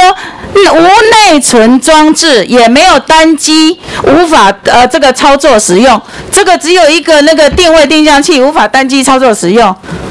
然后你说你们这个全面清查，然后后来就签结了，这这个四两拨千斤了，这乱讲的，为什么你知道吗？因为没有办法查，查不出所以然，所以检察官只好签结说查不出东西，是这样子签结的。哎。这不荒谬吗？老实说，参谋长、部长，我部长，老实说，如果现在你任内发生了这样事，你最重要的火力火箭炮车里面要发射要有定位定向器，结果被偷走了，中科院设计的，法国制造的，然后被偷走了，人家看你设计什么，你的定位定向器的能力设计能力到哪里了，制造的好不好？你现在的火力配置里面到底堪用不堪用？中国打过来的时候，你的火箭火箭营里面的炮车能不能打？零件都被偷了，关键性的零件都被偷了。你说这个东西不属于机密，不重要？我凭良心讲，参谋长、部长，这个重不重要？委员，请容我十秒钟说明一下，我们这个当然要检讨，但是我们不是说可能说明的没讲清楚，这个定位定向器不能单机使用，我我刚才有说会影响妥善，可是它主要是要配着我设计来用，如果它单机是不能用，因为我要配它飞行设计的姿势和姿态和角度位置。好啦，你讲这个，我我我跟你讲，你这个答非所问啦，因为定位定向器，人家讲说，当时有很多的共谍案，然后也有人怀疑说。这个是有没有可能偷偷去卖给中国做研究，让他们了解我方的能力到哪一个层级呀？你应该去想象这样的事情，他当然不能够这样子独自操作。这个我们检讨。但是呢，独签调查不下去，调查不出来，才被迫签结呢。那我也就，哎，你检讨不是重点。你二零一九年，你二零一八年发生，你们就说检讨了，这这个东西要跟射控系电脑系统连线，然后呢，因为火箭炮在射击的时候瞬间的高温和冲力，所以这个系统它最重要的是要防震，不能够宕机。那在这射一次以后，你马上就要校正，你就要变成精准。在这种状况，人家当然要了解台湾的能力到哪里去啊。二零一八年已经小英总统执政了，我们已经是在国防自主产业的路上了。这么重要的东西，你们就说要检讨，检讨到现在，你们现在电脑主机又不见了。我所以才说，哎，一次这么重要的事情，我我还是有点纳闷啊，因为当时六军团的指挥官现在都是陆军司令了。当时把这个东西搞丢的六军团的指挥官，现在当司令，当时新闻都没有报哎。二零一八年的这个事件，媒体都没有揭露，也都没有任何人知道，是司令自己兼司令的时候，自己跟记者讲的，记者写出来的。二零二一年去年才曝露了这个事情。我部长，我觉得我们很无奈。但是我们，你知道，我们真的是多么的支持国防预算，我们是多么的支持国家自己的军队、国防部，预算上能够支援的，法律上要配套的，我们都责无旁贷，大家都一起极力的拥护。但是出事了，不能从宽了，也不能包庇，也不能演，每一个出事我们都要严办，才能够。你因为你们我们咨询的时候，你老是说这国防机密，我私底下跟你报告，啊，这国防机密我不能讲，那我没关系，都让你们私底下报告，让你们不报告我，也不跟我们讲也没关系。你的卖出代机，啊，那出代机你来从严处理。我跟我们报，我没有从来就从来讲，在这国防机密不准报啊，我是是看状况，有一些。诸元性人数量的问题，我当然我要保留，其他我没有答复的。但是这个责备，这个东西我们都支持。我意思是说，我们你看我们的态度，我们对国军、对国家呃国防、对对你们的支持，真的是没有条件，你们说了算。我我们知道，我们并没有讲在违。可是我要跟你讲说，二零一八年这个事情，你们媒体没揭露，没有人知道，你们。哎，一个行政电脑，你们说没有任何机密的丢掉的，惩戒就从指挥官，然后到下面。当时二零一八年，二零一八年指挥官掉了一个这么重要的秘武器的秘密的零件，结果没有任何惩戒啊。当时的惩戒是这样，我看一下惩戒到谁哈，来，抱歉了，主席，抱歉了，呃，惩戒到营长，营长，哈哈，我我我。当然，当时的负责人现在是司令了。司令自己回去，不，一八年不是自己回去看了。一八年六军团司令总呃指挥官是六军团指挥官，但当时不是司令。哦，我知道了，就是指挥官嘛，他现在是司令嘛。哦哦，OK，我只要听部长和参谋长一个态度而已。你觉得二零一八年没有人知道，没有被披露，你们内部就草草了事这样子，然后也调查不出所以然，司法单位也没办法调查下去。然后拖到今天，又发生了一个，甚至比二零一八年，老实说了，情节上没有比超越二零一八年的重大了。好，那个部长，那你们一次又一次，你们学会了什么？你们要改革什么？你怎么要向国人交代？好，来部长，请简单回答。军事安全是个长期的工作啊，我这我也不做任何辩解。当然了，国防部当然要负责嘛啊。像刚委员讲的，呃，怎么样严重，怎么样好像反而到低层级的处理，我没有这个概念。啊，我们后面我也不要讲，哎，呃，委员拭目以待，我不做给人家看。我这个到部里面以后，我就跟同一在强调，内部管理是个重点。是。哎，所以我们从内部管理开始追。所以结果怎么样？我跟委员还要说一句话：我并不主张惩处，但我主张调整职务。为什么不主张惩处？我惩处太多了。你放兵表的话，从记过、记大过、记什么都要记过。对吧？但我没有想要因此，我觉得你看我也一样能够干什么职务？我觉得要用方法，那个我方法我用检讨，部长，我们好了，部长到了哈，要不要惩处或者调整职务，是你管理的方法，你觉得怎么样是恰当？我我觉得尊重你。所以刚刚委员讲，但是惩处我还不知道，但是调整一个人，但是责任要谁负啊？法律责任以外，行政责任每一个都有责任，还有责任要谁负谁扛以外，就是说人民要问责以外。其实就重要是说，这样子如果还是无效的话，那要怎么办？从一八年来看，到今年二零二二年来看，一再的这么严重的，那那那这个要怎么办？好，这是我们陆续犯的错。当然，以前部长不是你部长啦，参谋长不是这个参谋长时间到。了哈。当然，前人都说那些人都换位置了啦。细部的还是要委员请报告没有讲换人，我就不负责，我绝对负责到底。好，好了，部长有时候我们那个是讲说负责是讲的比较容易啊跟，那个要怎么处理委委员啊再做报告好不好？好，谢谢林委员啊，我们时间到了。呃，因为上一次休息到现在，我们已经超过三个小时了哈，我们让部长休息一下，我们休息五分钟。吃饭。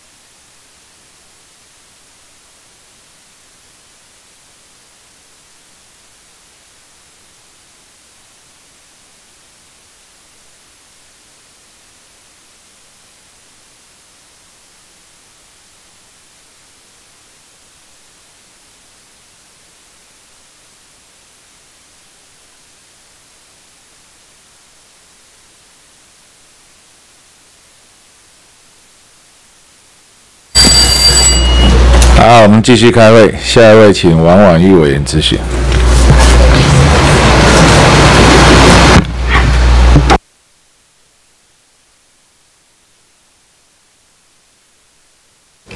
主席要有请国防部邱部长。请邱部长备询。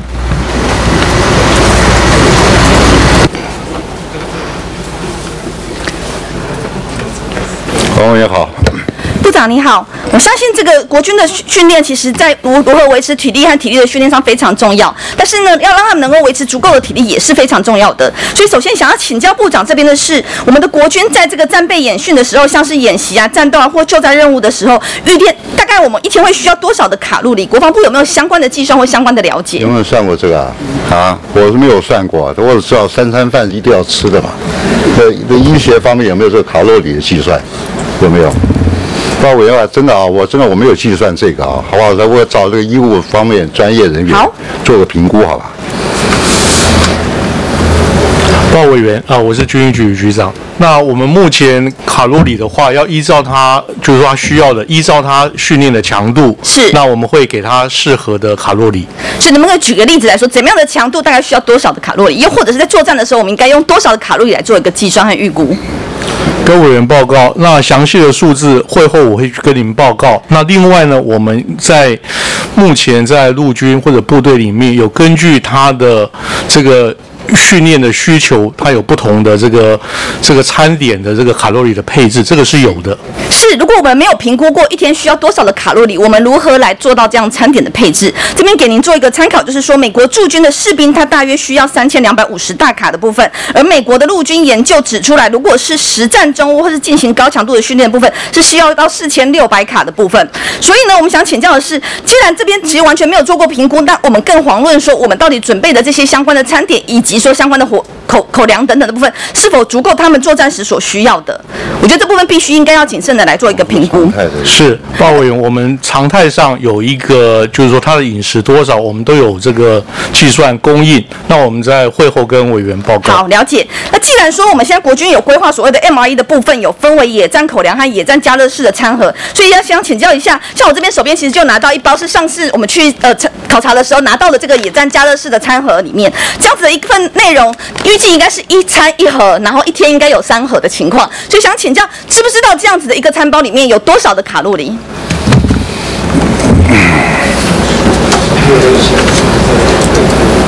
呃，包委员，那个 野战式的口粮一包的话，大概是一千三百到一千四百大卡左右的卡路里。是是。口粮，但是这不是口粮，这是加热式餐盒。加热式餐盒，呃，加热式餐盒的话是八百到一千大卡。了解，所以那我觉得非常的疑惑啊！哈，我们看到里面呢，其实除了呃有一半一一包米饭，然后一包是这个加热式的这个呃呃的它的餐点之外，其实两包其他的通通都是使用的器材。但我们看到外面的卡路里的标示是多少？每一份有三百二十五大卡。我不太知道说刚刚提到说这个一千左右的部分，或是八百到九百的部分是怎么出来的？难道我这边手边国军给我们的这个是错误的东西吗？呃。包委，我我这边的资料是八百到一千，那我下去详查以后，我再跟委员做个报告。好，首先我们看到这个餐盒，我们拿到的部分外面写的是三百二十五大卡，这边也有放到的图片，让大家两个了解。那另外刚刚您提到说应该有八百到八百到九百左右这样子的数量，我们会知道的是，我们拆开了之后发现这边有两包嘛，两包的内容，然后一包是米饭，一包是调味调理包。调理包的部分这边是写的的确是三百二十五点七大卡，就是如同外包装，但是外包装的部分其实应该是要含到两份，没错吧？应该米粉的部分也要。含在进去，所以如果我们搭配的东西光是这样的标示就不清楚，难道我们不需要做检讨，不需要做改善吗？嗯，他了了解啊，他那有什么餐什么餐盒。是米饭还是？我我们的后面好不好？我们把了解以后跟委员做说明。这很抱歉啊。如果我们把这两包加起来，我没有注意到这样这一餐的多少量多少卡啊？如果我们把这两包加起来，也大概只有七百卡而已。所以这委员既然拿到东西，我没有话有，我没有就做辩解，我只是致歉，你讲说抱歉，我对这个我还平常还真没有注意到，因为每天这个吃饭是一定吃嘛，所以没有去算哎这餐饭多少卡，我要耗费多少卡。呃，大概我在这一方面一直没有这个。是，但是我们为了这个暂时的这个评估和考量，其实必须应该来仔细做计算啊。所以我这边来提供参考，就是说我们帮你们加起来的，这大概是七百卡左右，其实也不如刚刚所说的，我们预计要有到九百卡这样的部分。但刚刚委员讲啊，他那一天不用三包哦，这一天三餐饭当中的一份口粮可能是一餐啊，而且是跳着用的，不讲每天中午都吃口粮，每天晚餐都吃口粮，不是这样子。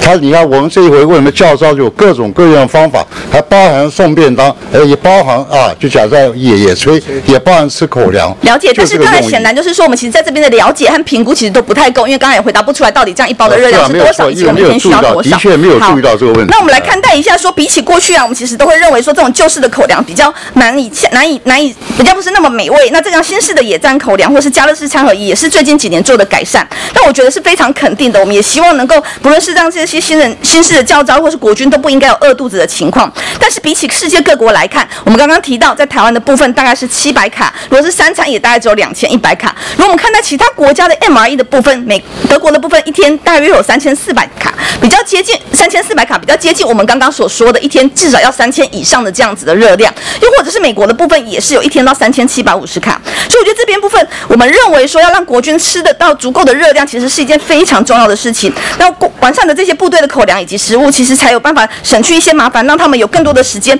能够足够来休息，并且维持体力。所以我的确是表示说，部长您认为说，当然有吃就很好了，但是我们还是希望能够尽可能的在这部分能够做好一个足够的规划。所以我觉得这部分应该真的要来做一个检讨。第一个是标示不实，第二个是热量够不够，第三个是我们到底如何来提供足够的热量部分，我觉得都应该来做一个。我认为出报告标示实不实，我不敢做一定论啊。既然刚才问的跟他答的不一样啊，标示又讲不一样，但是这个包包怎么样，我们去做一个确认啊，再跟委员做报告。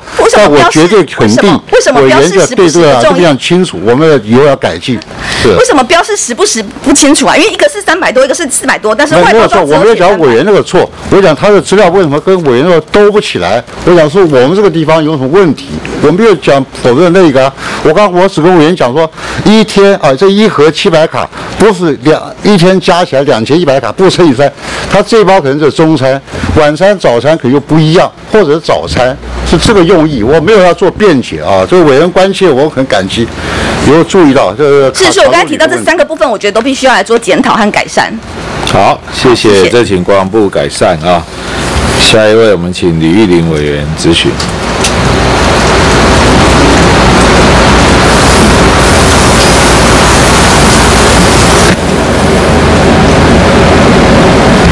谢谢主席，主席辛苦了，请邱部长。啊，请部长备询。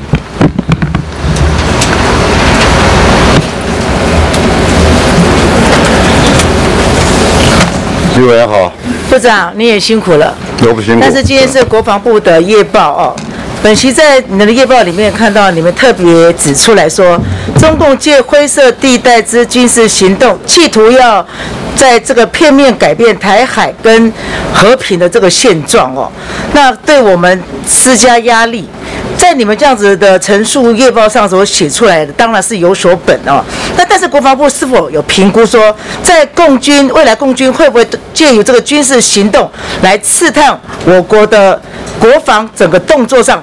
就一定会在加大了，是不是？呃，我跟委员报啊，这边的确啊有所本的啊，往年没有的。今天我们统计出来以后，委员刚刚已经把这答案已经讲出来，他就是以这个方法不断增加频次数量，而且就用借演训的名义，它的用意在哪里？除给我们压力以外，他当然要刺探一些资料，是，就对他们这是你的夜报里面写的啦，我把你摘要下来。但是，因为我们就这样研判的，本身就这么认为，所以他就会为了刺探就。整个加大整个军事行动了。嗯，它本身也在不断在加大的啊，就跟它中共的船舰一定有外籍接机械一来，它一定要跟，因为它有这个能力嘛，有能力可以彰显出我有这个能耐嘛。部长，因为日前俄罗斯单方面有宣布哈，要退出这个跟日本的二战和平条约的这个谈判，那他退出之后的话，就会整个协议的话，就会单方面也都不不再认同了啊。那如果这样子来讲，整个东亚这个局势就会陷入更加的紧张，是否俄国就会未来会对对这个呃我们东亚这个军事行动会也会增加整个防备或者是整个的措施来压制着这个日本嘛？俄乌之间的作战，为什么大家会搞得那么样关注，而且引起世界各国通通很注意呢？因为它的姿势啊，会影响到整个你有评估它会加强加强对这东亚的整个局势的呃，一局势定会啊，行动。就它这个战局一定会影响到印太以后的一个布局啊。那美国在印太，它也是有它的力量。俄国呢，对美国来讲又是一个很大一个阻力。中共如果加入哪里，对对美国来讲，虽然中共说没有说支持俄罗斯面对要更多啦，但是大家整个迹象认为他就是支持俄罗斯嘛，所以他也可能会不会有这个大陆方面的一些军事行动，呃，也会对我们造成一些威胁啊，不管是船舰上的这个这个军事演习等等，您的评估军事？行动，我们各种可能我都要列进去，但是有没有这个发生的几率为多高，我们要看有没有增厚。到目前为止啊，跟委员报告，各种可能都列出来的，但后面增厚没有发生前，我不会对外讲，哎呦，这个可能，那个可能，那个可能。但我跟委员保证。就是这一切真后，我们掌握了以后，自然会归纳出它最大可能为何，事切都跟委员或者因为我相关人们自己做报告都在自自称说我们就是印太战略的一份子了哈，所以呃，日本、美国都是我们坚实的盟友。那但一旦这个俄国跟中国大陆如果加大了这个军事行动，像是对于军演啊，或者是跟日美这方面会更加的有一反制的一个行动哈。那这样子的话，我们参与整个的呃美国或日本的这个演习，我们可不可能一起的来参加军演的可能性这个之前我们在国防委员会的时候一直在提醒，要努力去争取。那这个情形，现在国防部都有看到这种状况了，也应该有去掌握。不晓得你们争取的情形是怎么样？我跟有机会加入？以往没有这个议题，后来会有这个议题的原因，就是国防部争取了很久啊，才有这个议题。但参加联合军演是哪一方面性质的？联合军演啊啊是第一例哎，对，是什么样一个性质？什么个身份、职务去参演？这还在讨论当中。这我没办法给予答案，但我要跟委员报告讲说，你看会有这种议题产生，代表我们平常不断在这一方面有接触、有沟通，有请他们要多加注意。是，其实国防部应该是乐观其成，能够参加联合军演啦。因为这样子的话，我们可以也可以加大程度上去贺阻，或或者是反制这个大陆对我们军事的这些侵扰的一些问题哦。所以我们希望国防部应该有所规划，再积极去争取吧。了解，好不好？好的，那是应该的，嗯。接接下来就是想要请教部长的，就是军品的不足啊。那尤其这个教招结束，应该有很多的一些呃议题都出来的，不管是那刚刚讲的口粮的的那个卡数不够，呃，营养问题，甚至于装备、战战斗装备、各支装备，呃，这些问题，我想部长您应该要看得到哦。为什么有些的装备，我们本身在我们之前讨论过了，就是希望主计室也有看到了，要给我们整个行政的事务费来提高，或者是我们军人的有个服装费，给他们自己去采购等等。为什么你要下达命令说不准去买服装，买战斗的各装？不能买战斗各装，不是可以我把这个拿去买服装这。个规定啊，这国防部它的任何一样装备一定有它的他们规缺什么就买什么就。好啦。不，他的花钱的买出来不不一样啦。我们这手套算不算战斗有消耗？的物品，我们在福利站里面有在供售的。他只要去买，这一定是制式的一个装备，没有讲他个人喜好。哎，我觉得墨镜，那手套呢？我举手套也可以啊，手套现在手套是不行啊，手套都磨破了不行。那可以去买。不是他现在就本席就接了陈情呢。委员就讲说，为了一个陈情案件，要我部长不是为了陈情案件我我没有我们的军人他们的需求，你们给他的费用，他们去买他们的个人的一些装备，补足装备。补足装备是为了补足装备，但是我们国防部很多的线说，这因为这一次这个教招的问题衍生出来的，我们担心的是你是动摇军心呐、我会动摇军心吗？我怕让他们要，他们不要动摇我就好了。你是国防部长，你是大家长，你可不能讲这种话哦。对啊，但但这个因为刚刚讲说动摇军心，好，我部长会动摇军心，我怎么会动摇军心呢？因为我们每次在审查预算，希望我们有充足的预算给他们的装备，齐全，是没有错他们的伙食个装备副食我们品团体我们都要注意，都要给他们。那现在他们有这些反应，我希望你要去检讨他有要去研究啊。不适合，我们当然要改进了啊。但委员不要认为讲，哎，他这个他个人好花钱去买，那我们就要看你买的是什么装备。当然要选他觉得你，不够当然要，他要买当然要有个。规范。我说你的规范里面要更加的他只要清楚，规范的话，有我没有需要的我没有部分，话讲，他去买啊。必须要有供需的平衡嘛。是所以我才说每一年要增加事务费一趴，就在我们跟着我们整个物价的调动，主机师都认同啦。所以如果有不足的地方，经费不够的地方，部长您就去争取，好，好不好？好，好，了解。让我们的军心更加的安定，为国家报效，来保家卫国，这很重要的，好不好？好的。谢谢李云委员，谢谢部长，还有各位长、各位将官们。来，接下来我们有请那个啊孔文吉委员。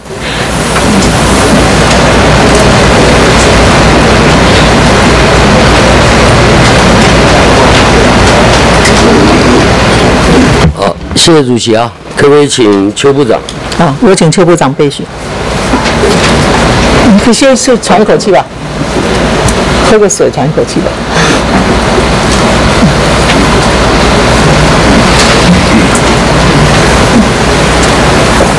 洪委员好，部长你好。现在全世界都在关注俄罗斯跟乌克兰的这个战争了，现在打了将近一个月哈。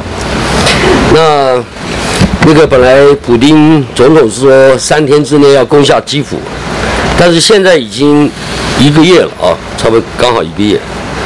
那对于这次这个乌克兰的军军民呐、都能够同心抵抗俄罗斯的侵略，这个可以说令世界刮目相看啊。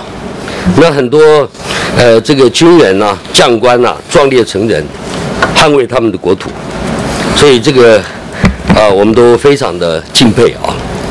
那假定如果将来台湾有这样的战事发生的话，我想请教一下部长，我们国军是不是有这样的一个决心，来捍卫啊我们的家园，来保卫我们的人民？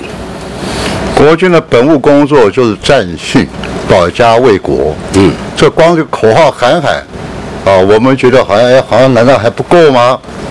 表达几次？我既然这样问的话，那我就再一次表达：国军保家卫国，如果一旦有战况发生，首当其冲，绝对啊去面对敌人，捍卫我们的国家，这不会变的。好，这个就是一个宣誓啊。但是，假如说委员还要觉得还要再强烈一点的话，我部长也不能讲，那我们试看看嘛。好吧，我们平常战备的演训和目的何在？就避免战争。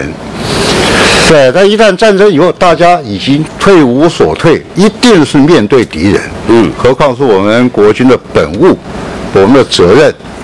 呃，如果到时候临阵脱逃了，那算什么嘞？所以这个这个战事爆发了，假定战事爆发了，我们军人啊，这个要有决心，就像你刚才讲的。那我们的人民呢？那军民要一条心嘛，啊，对抗俄罗斯啊，什么像乌克兰这样这么坚强的抵抗啊，然后呃，这样能够撑撑下去啊，啊，这个是我们非常的敬佩了啊。那这这个战役啊，这个战役呃，你觉得啦啊，你自己预估未来俄乌战争的结果可能会怎么样？呃，我不做这个预估啊，因为这个国外的这些战争，但我跟委员报告的，任何一个国家只要有作战或有这些案啊，有这些这个事态的话，我们国军部队一定会成立一个专案小组，把它纳入一个啊，做一个评估，嗯，评估做部队一个讨论，我不会对外去讲，哎呀哪边赢哪边输哪边，这个利弊分析，这是我们主要讲说，作为以后我们怎么精进的一个参考，这是目的，啊，不去做评论。好，那我们国防部有没有针对这个战争啊，有收集啊，或者是跟欧洲的、美国有这些日本交换或分享相关的军事情报？那这个跟委员报告的确有的啊，这个东西不会停止的。我们每一次想做评估以后，各有各的看法，要做一个共同研讨，这是必要的。没有经过这个话，这个都闭门造车啊，总是让人家觉得有点发毛的。本席是认为哈，这个这个战争啊，我们要注意几项。战战争的时候的宣传跟心理作战，啊，还有一个未来无人机的研发，防空及预警雷达的建制，还有当敌人重点打击的时候，我们国军的有生战力的保存，以及中科院研发的各式飞弹跟数量、发射载具啊，呃，是否符合我们的战时需求？包括手持式的防空，或者是反装甲的武器的购置数量，是否必须要重新盘点？所以请教部长这些问题，啊，我们有没有检讨跟盘点？所以委员讲的很对啊，任何一个例子啊，他山之石可以攻错，人家案例就是我们一个最好的一个镜子。所以这边要一定有我们做一工作，从作战前的准备，到为什么一开头开打了，二月二十四号开打。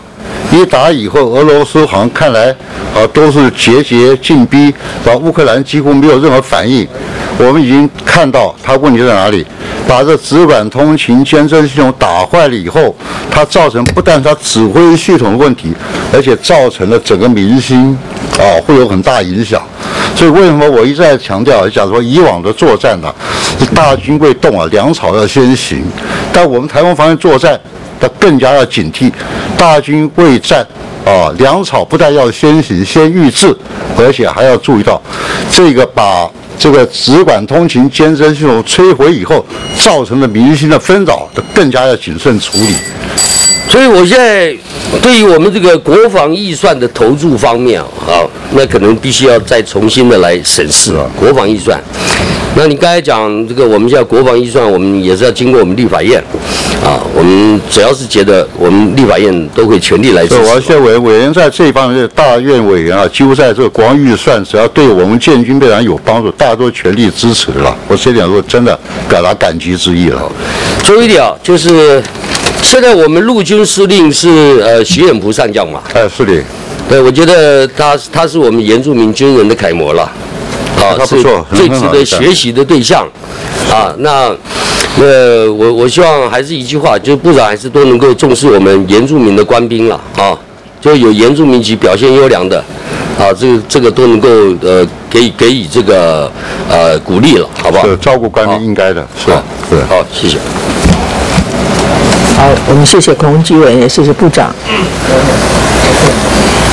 好，谢谢。接下来我们有请罗明才委员，罗明才委员，罗明才委员来接下来我们请汤慧珍委员。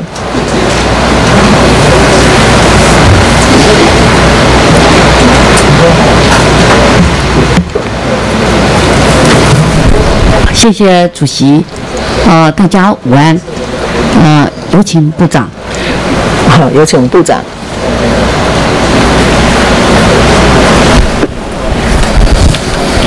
委员好，部长辛苦了。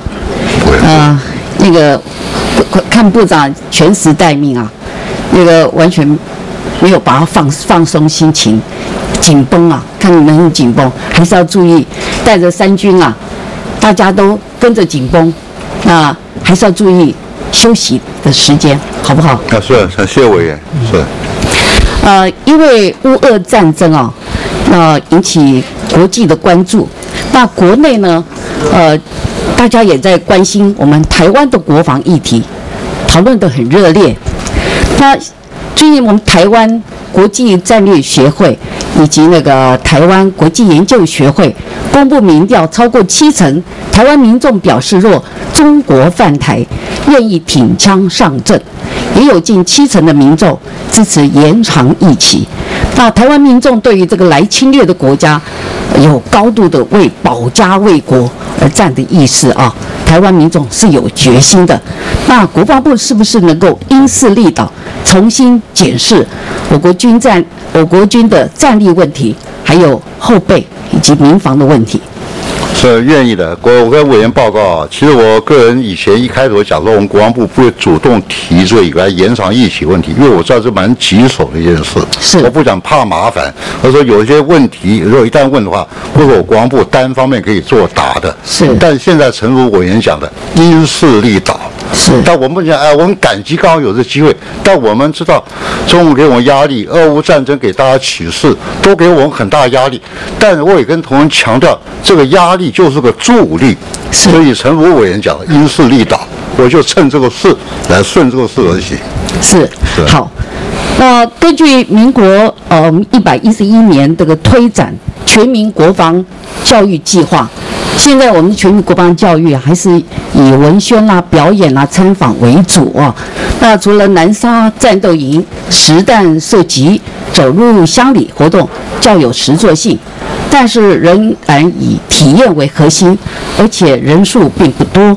那全民国防教育不该只是口号跟作文比赛了哈，国防部应该规划更多实物的演训，并且将全民国防教育真正融入民众的生活当中。那全民国防的概念哦，那粉丝有一个建议，那像我们以前曾经参加过，像味全牧场，它有七蛋七蛋场，那内湾它比如说它有生存游戏场。那能不能透过这些游乐区的建构，我们鼓励寓教于乐，哈？那年轻人或者很多团体，以前我们看到是很多工会啊，去参加这样的一个呃期待的游戏啊。那在穿迷彩装前，那教练就就会呃公宣布一下该注意什么。我们为什么要呃学习这个期待的游戏？希望大家以全民国防的概念，啊，来加入这个期待游戏，给这些游戏，呃，全民国防，呃，全民国防的这样的一个内涵，让他们能够诶在游戏中也可以参与啊，因为我们现在所处理的这些呃营队人数都太少，我们就应也是借着这样民间。建构的游戏场，我们加注全民国防的这样的一个教育，可不可以？可以这样做的，说的是很好的。但有关于那个刚刚讲委员特别讲期待的问题啊，我要从长计议啊考量以外，其他我觉得都很好，尤其像什么南沙研习营啊、实弹射击啊。或者我们到外里岛，平常年轻人没办法、没有机会去的，我们都可以安排。这我很乐于见到这种啊，大家居民之间共同互相了解的一个机会管道，我很乐见，我很乐见。是是，就可以呃去统整一下，看看外面游游乐场有什么样的一个呃建构好，我了解。可以加入我们的全民国防这样的一个教育。是是是。好，在民国一百零五年啊。到一百零九年，我们军人离退欠款已经达到新台币四亿元，而且逐年增加。那国防部去年呃表示，这个退赔系统平台在一百零八年就建制完成，系统数据跟实际的金额没有办法配合，现在是用纸本在做执行追偿的管制。未来希望能够针对这个系统问题。症结能够改善，好不好？这个是应该的，好，这个我们应该要做的，是。好，是。最后一个啊，是。在国防部我们主管的一百一十一年，呃，这个单位预算评估报告，就自愿役总体人数成长有限，甚至下滑。那一八到一九年，我们自愿役增幅都在四到五趴左右，二零二零出现负成长，减幅达百分之一。左右，那么近年这个募兵成效下滑的原因跟改善的方法，是不是要去注意？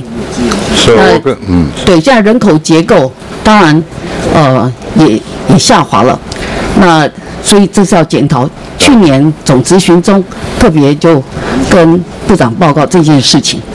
是，这我应该要做的。我觉得想说招募的确啊有很多问题，这整大环境、大社会啊，譬如少子化的问题。是。但国军在这方蛮努力的，但我们不能不预估，逐年人力的下滑，将来兵源来源也一定会下滑。是。所以我们要有很多配套措施，包含现在疫情要不要延长，这也是考虑因素之一。是。还有对于自愿役的军人。就我们的军志愿役军人，这个年资的部分有没有需要再做一些调整？有有时候年纪这么轻，就马上面临要退伍，他要再去找另外一份社会上的其他工作。在国内，他呃在国防里面，他是一个专业的军人，但是出去他是重新再学习。反而对你要说三宝啊，对，我我我跟委员简单讲也讲一下啊，这个疫情呢，它可以牵涉流营，当然我们也知道它有很多困难要考虑，要转换跑道的确是一个挑战。啊，但是我们尽量鼓励他能够留在军中，但我不能讲说为了要冲这个数，任何人通通留下来。所以我们在这个纪律、品德方面的要求，对，我会这可以持续来考核过强化的。，可以考核过哈。是。好，还有最后这个近期有基层士兵对媒体公开表示这件事情哦，那我们也是希望我们国防部能够正视呃问题，制定改善的方法。好，那不要说等媒体这个报道我们才动作，好不好？是我了解，对，所以我们要检讨，是。好，以上。谢谢委员。嗯汤委员，谢谢部长。好，接下来我们有请陈椒华委员。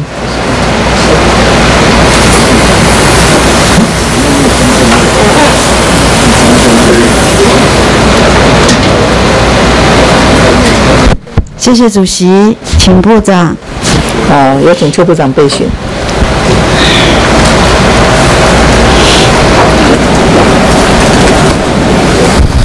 陈委员好好，，部长好，辛辛苦了。都很辛苦。今天我来询问哈有关我们国军采购方面的问题。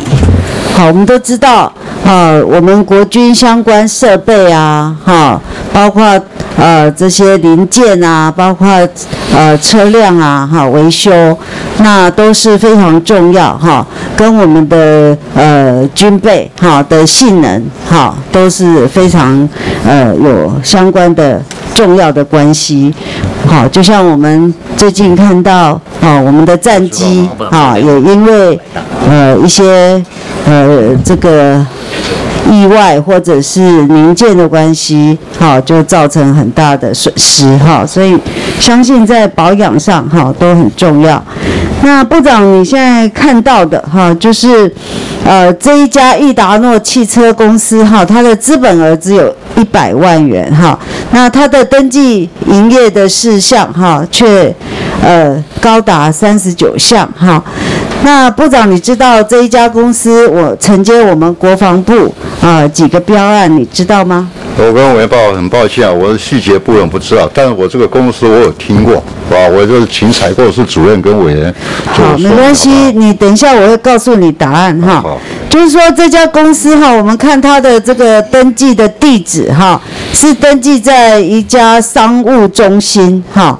那这家商务中心它同一地同一个地址登记的公司哈，有高达四十间哈，四十间。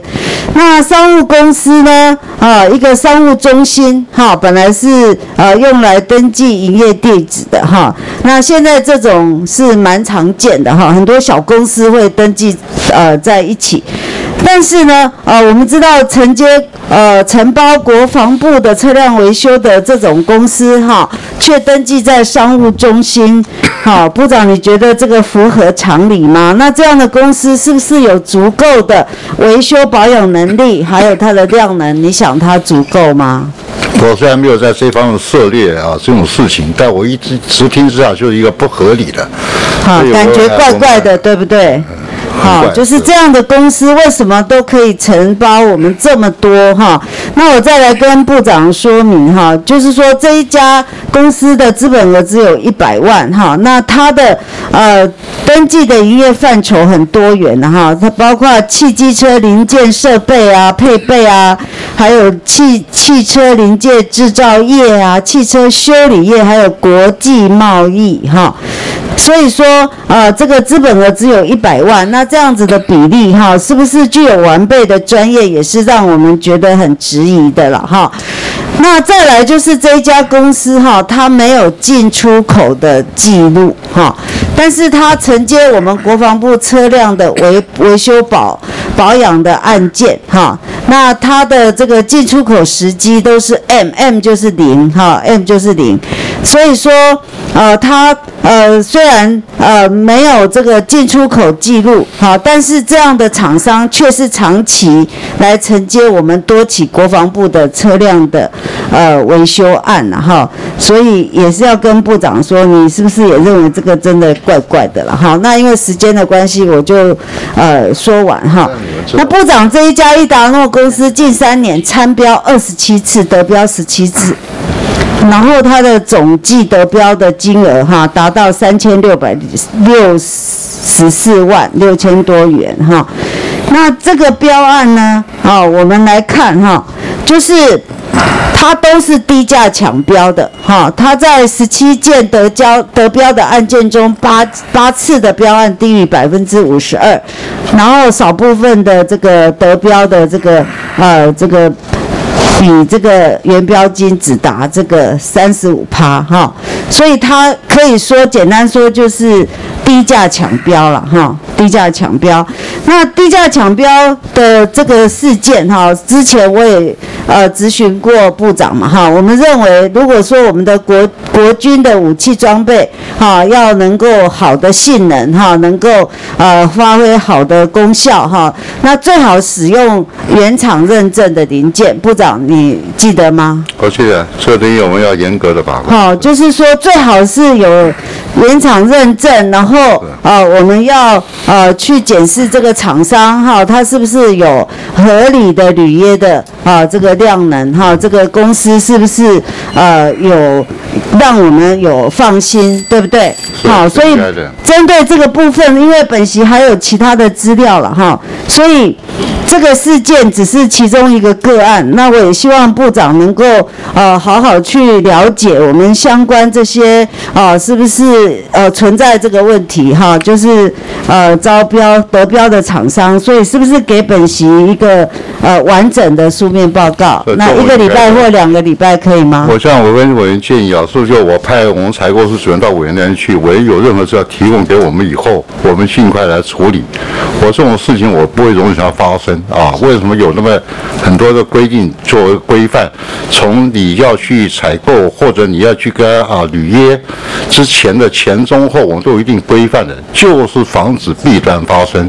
对，我们真的也担心，就是有弊端嘛，哈，还有呃，我们的维修保养都用劣质的零件，哈，所以这个案子是很很严重的哈。我们那部长就是在派呃相关单位人员，我们了解，那也提交书面报告，部长 OK 了哈。可以，是那委员会到我们办公室去好，那部长我们就一两个礼拜来提交报告，可以吗？对，委员好，谢谢，谢谢。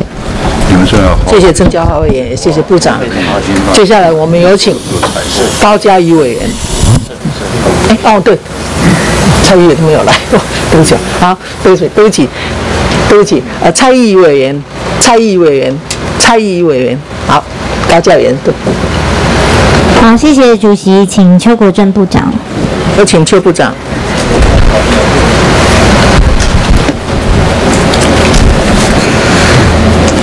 高委员好。啊，部长辛苦了哈，因为今天大家也都很关心，您有说义务役要延长哦。那但是就是说义务役目前是四个月，那四个月您认为是不够的吗？军事训练役，因为他军事训练营嘛，当初为什么变四个也有他原因嘛？那够够不够？我没有评论的。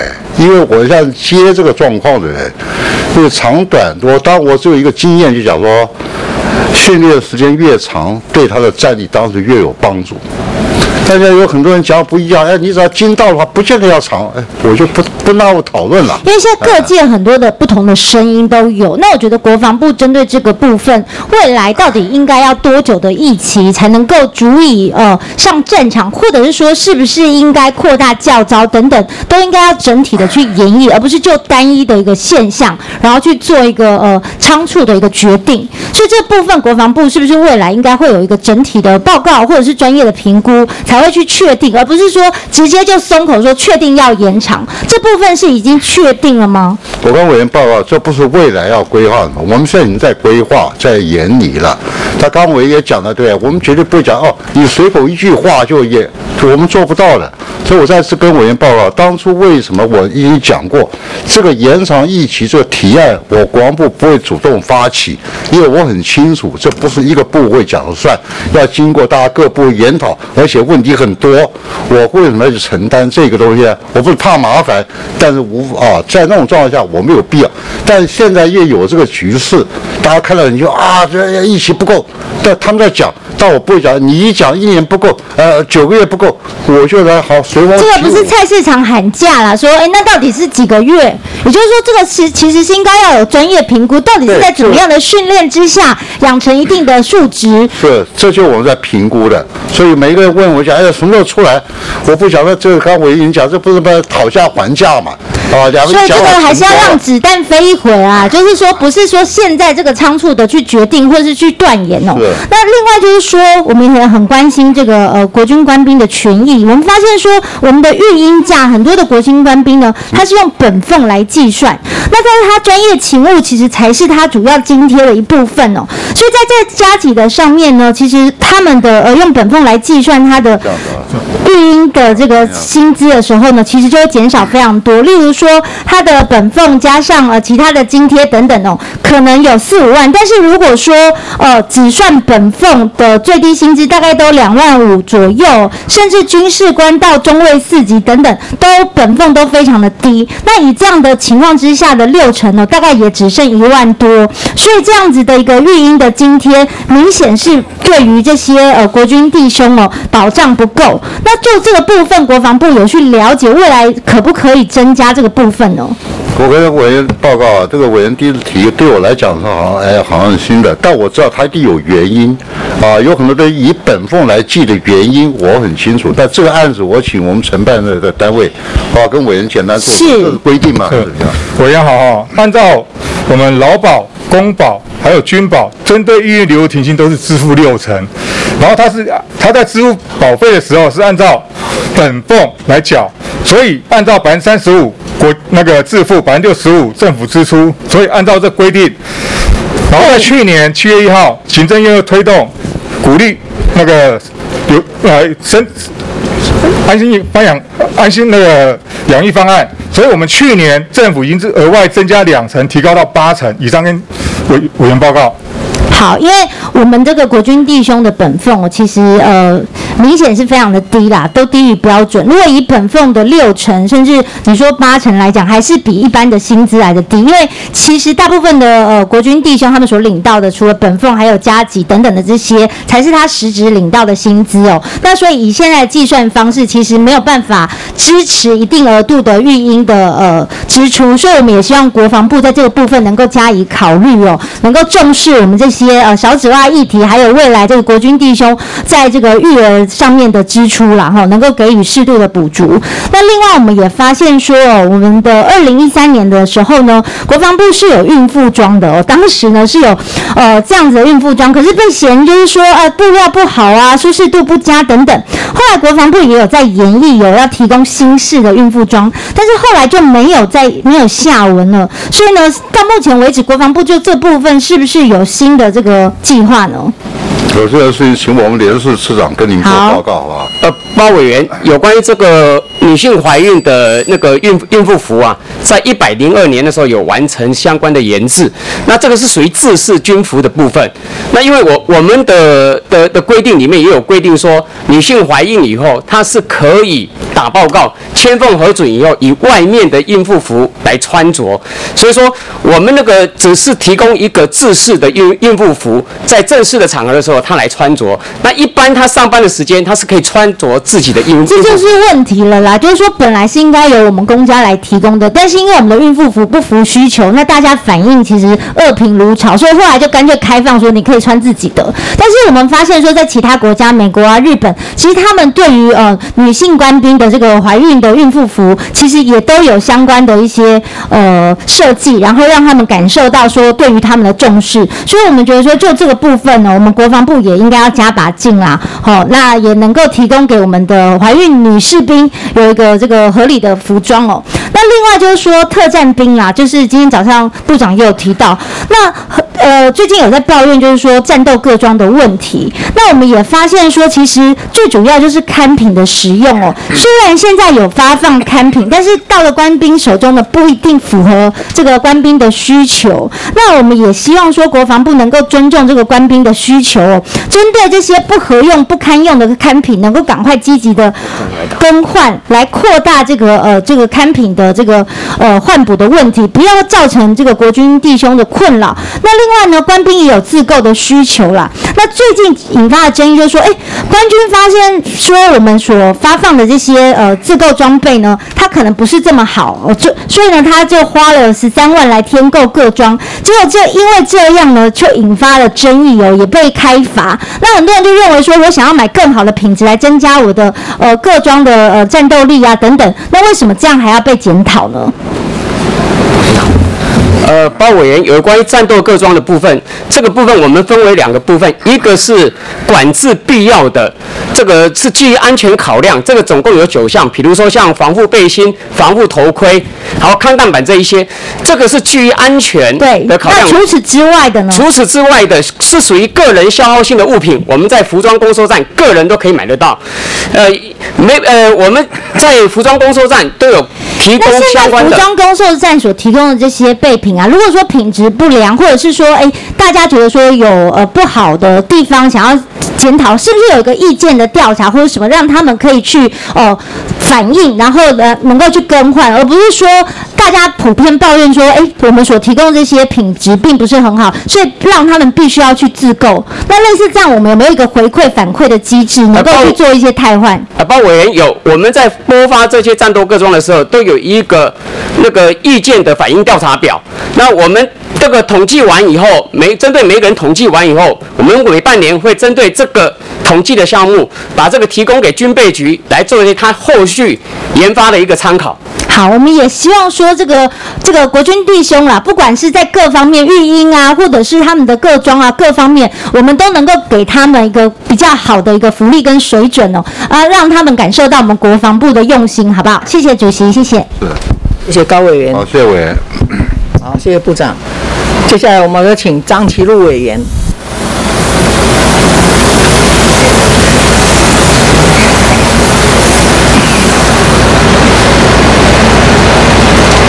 好，呃，谢谢主席。那么还是一样，有请我们邱部长，邱国正邱部长。好，有请邱部长备询。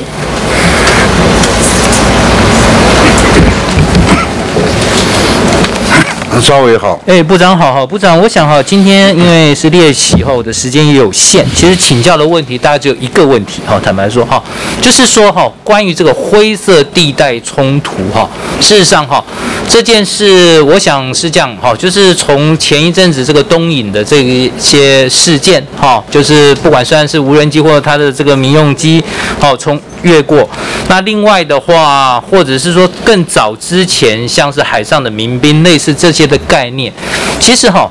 呃，这些年来哈，其实应该这样讲，当然国防部夜管的是主要是作战这些的概念，好，那但是事实上现在这个战争发生哈，已经更复杂，哦，我想这个部长也很清楚。其实为什么我们叫灰色？哈？因为它其实就是所谓把这个这个呃，我们这个 warfare 哈里面的这个直接的战争是黑色嘛，好，那和平是白色嘛，那但是现在就是介于黑跟白之间，这个这个 gray，好，所以这个地方就是说，在这个地方，当这个地方当然复杂性很多了哈，甚至说实话，我们从这历史上来看，其实当时这个乌克俄乌战争当然是现在进行时，但是之前像克里米亚战争的时候，其实呃这个俄罗斯在侵略这个克里米亚的时候，其实他们也是用这种所谓 hybrid，其实也就已经是这种灰色地带冲突的这个概念了。好，其实就是这里面包括认知战，甚至它有什么什么绿色小巨人，这个先先去制造了一些混乱，好等等。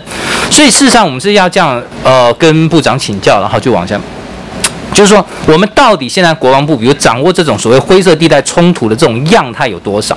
好，那这些结果影响我们是不是怎么评估过？我直接就问题讲完了哈。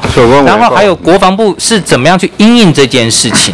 还有预测未来会不会有大规模的是更多是这种形态的这种灰色冲突？我跟委员报告，这所谓灰色，不光是在我们台湾海峡这个西南端或者东北端，还有本多南海的问题也是一个灰色地带。为什么呢？因为灰色地带是造成一个争议，但为什么平常的争议课题没有出来，大家相安相处啊，都平和没有事？但一旦要找你麻烦的话，这灰色地带就制造纠纷一个最好的一个起点。没错，所以这个灰色地带目前对我们来讲的话，我们已经看到了，而且我们周边的啊灰色地带还蛮多的。是啊。那么至于好像比如说中线。中间并没有订立条约，对，它就一个默契线，但他家要破坏就破坏了，所以我们都是啊，都相当要关注的。但现在我们所看到的这几个跟台湾。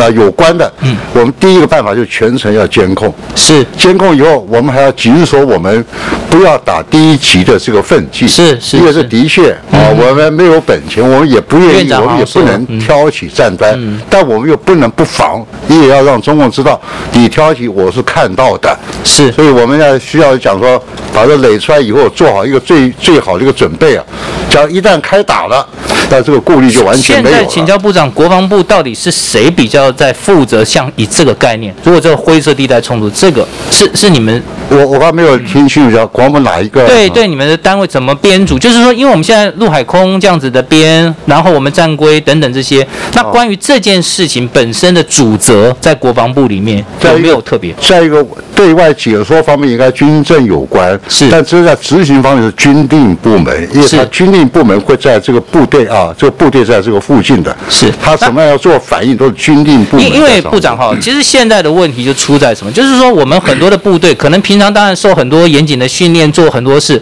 可是在这件事上，我我会觉得说，其实不管我们是这个我们的各部队也好，或者是说我们在第一线的人员也好，其实有时候并不清楚。就像上一次东引那个飞机进来，就是说我们。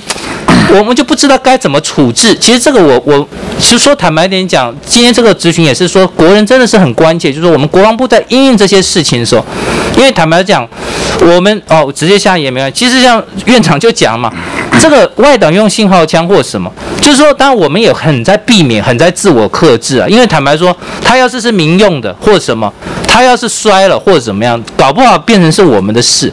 所以其实这件事确实是一个，呃，坦白说，我也承认。非常不容易处置，好，那到底要怎么去对应？甚至我们预测会不会越来越多？这个，因为这个讲难听点，就是一种蚕食鲸吞，好，甚至它也是造成你一种内部的恐惧，好，就是说这些事情有时候直白说哈，比那个军机绕台，因为军机绕台它还是真的就出来了，但是这些都是模模糊糊的 ambiguity，哦，就是这个概念，好，然后说这个不也它也是不对称哦，它其实也是一种 asymmetry 的观念在里面在操作，所以就是说，我是觉得我。们部里面，或者是说怎么样建立一个呃部队中或我们各单位他自己的这个对这件事的心防跟准备，这个准备这方面部里面是怎么应应的？我跟委员报告，像这种状况，委员都很清楚了。嗯，我们部部连同名人也很清楚。嗯，深圳面临到最大压力就是这些外离岛的指挥官是是他的部队，所以有的时候我就觉得，哎，好像部队没有反应。嗯，我觉得他们真的很冤枉。是，他说老百姓看，哎，好像一看到飞机，好像地面部队。没有动，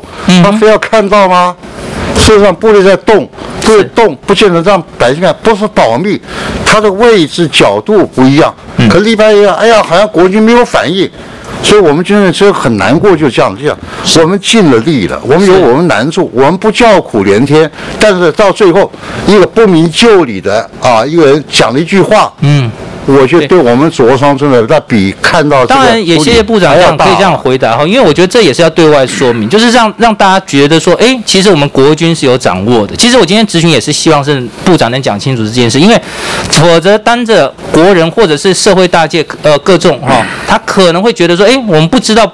国防部有没有做这件事，或者我们不知道我们一般的部队有没有这种硬硬的 SOP 或什么，这就是比较危险的地方。所以我也是建议部长哈，就是说这件事，我觉得还是可以在适时的跟社会进行比较好的沟通，让大众知道，其实我们的呃国防部或者我们的各军种其实都有掌握，尤其像外岛这些方方面，好这些事情是有被掌握的，而且我们也有我们的操作上的这个准则啦。我觉得说这件事应该要，我觉得以后在适当是。适适切的播放出来，或让群众知道，我们也会好好去好好，谢谢部长，好，谢谢主席，谢谢。谢谢委员。谢谢张其瑞委员。接下来陈明文委员，陈明文委员，陈明委员不在。李坤泽委员，李坤泽委员，李坤泽委员不在。庄敬存委员，庄敬存委员不在。邱志伟委员，邱志伟委员，邱志伟委员不在。罗美玲委员，罗美玲委员，罗美玲委员不在。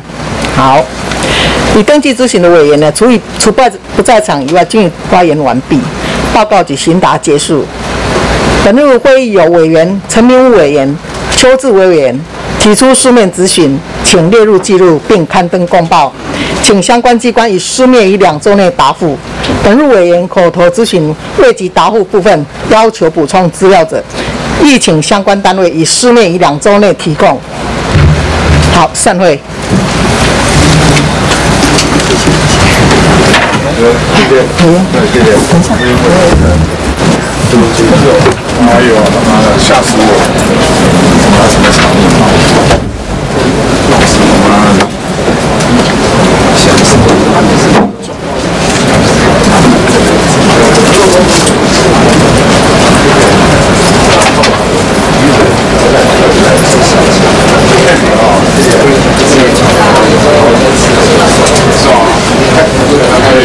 します。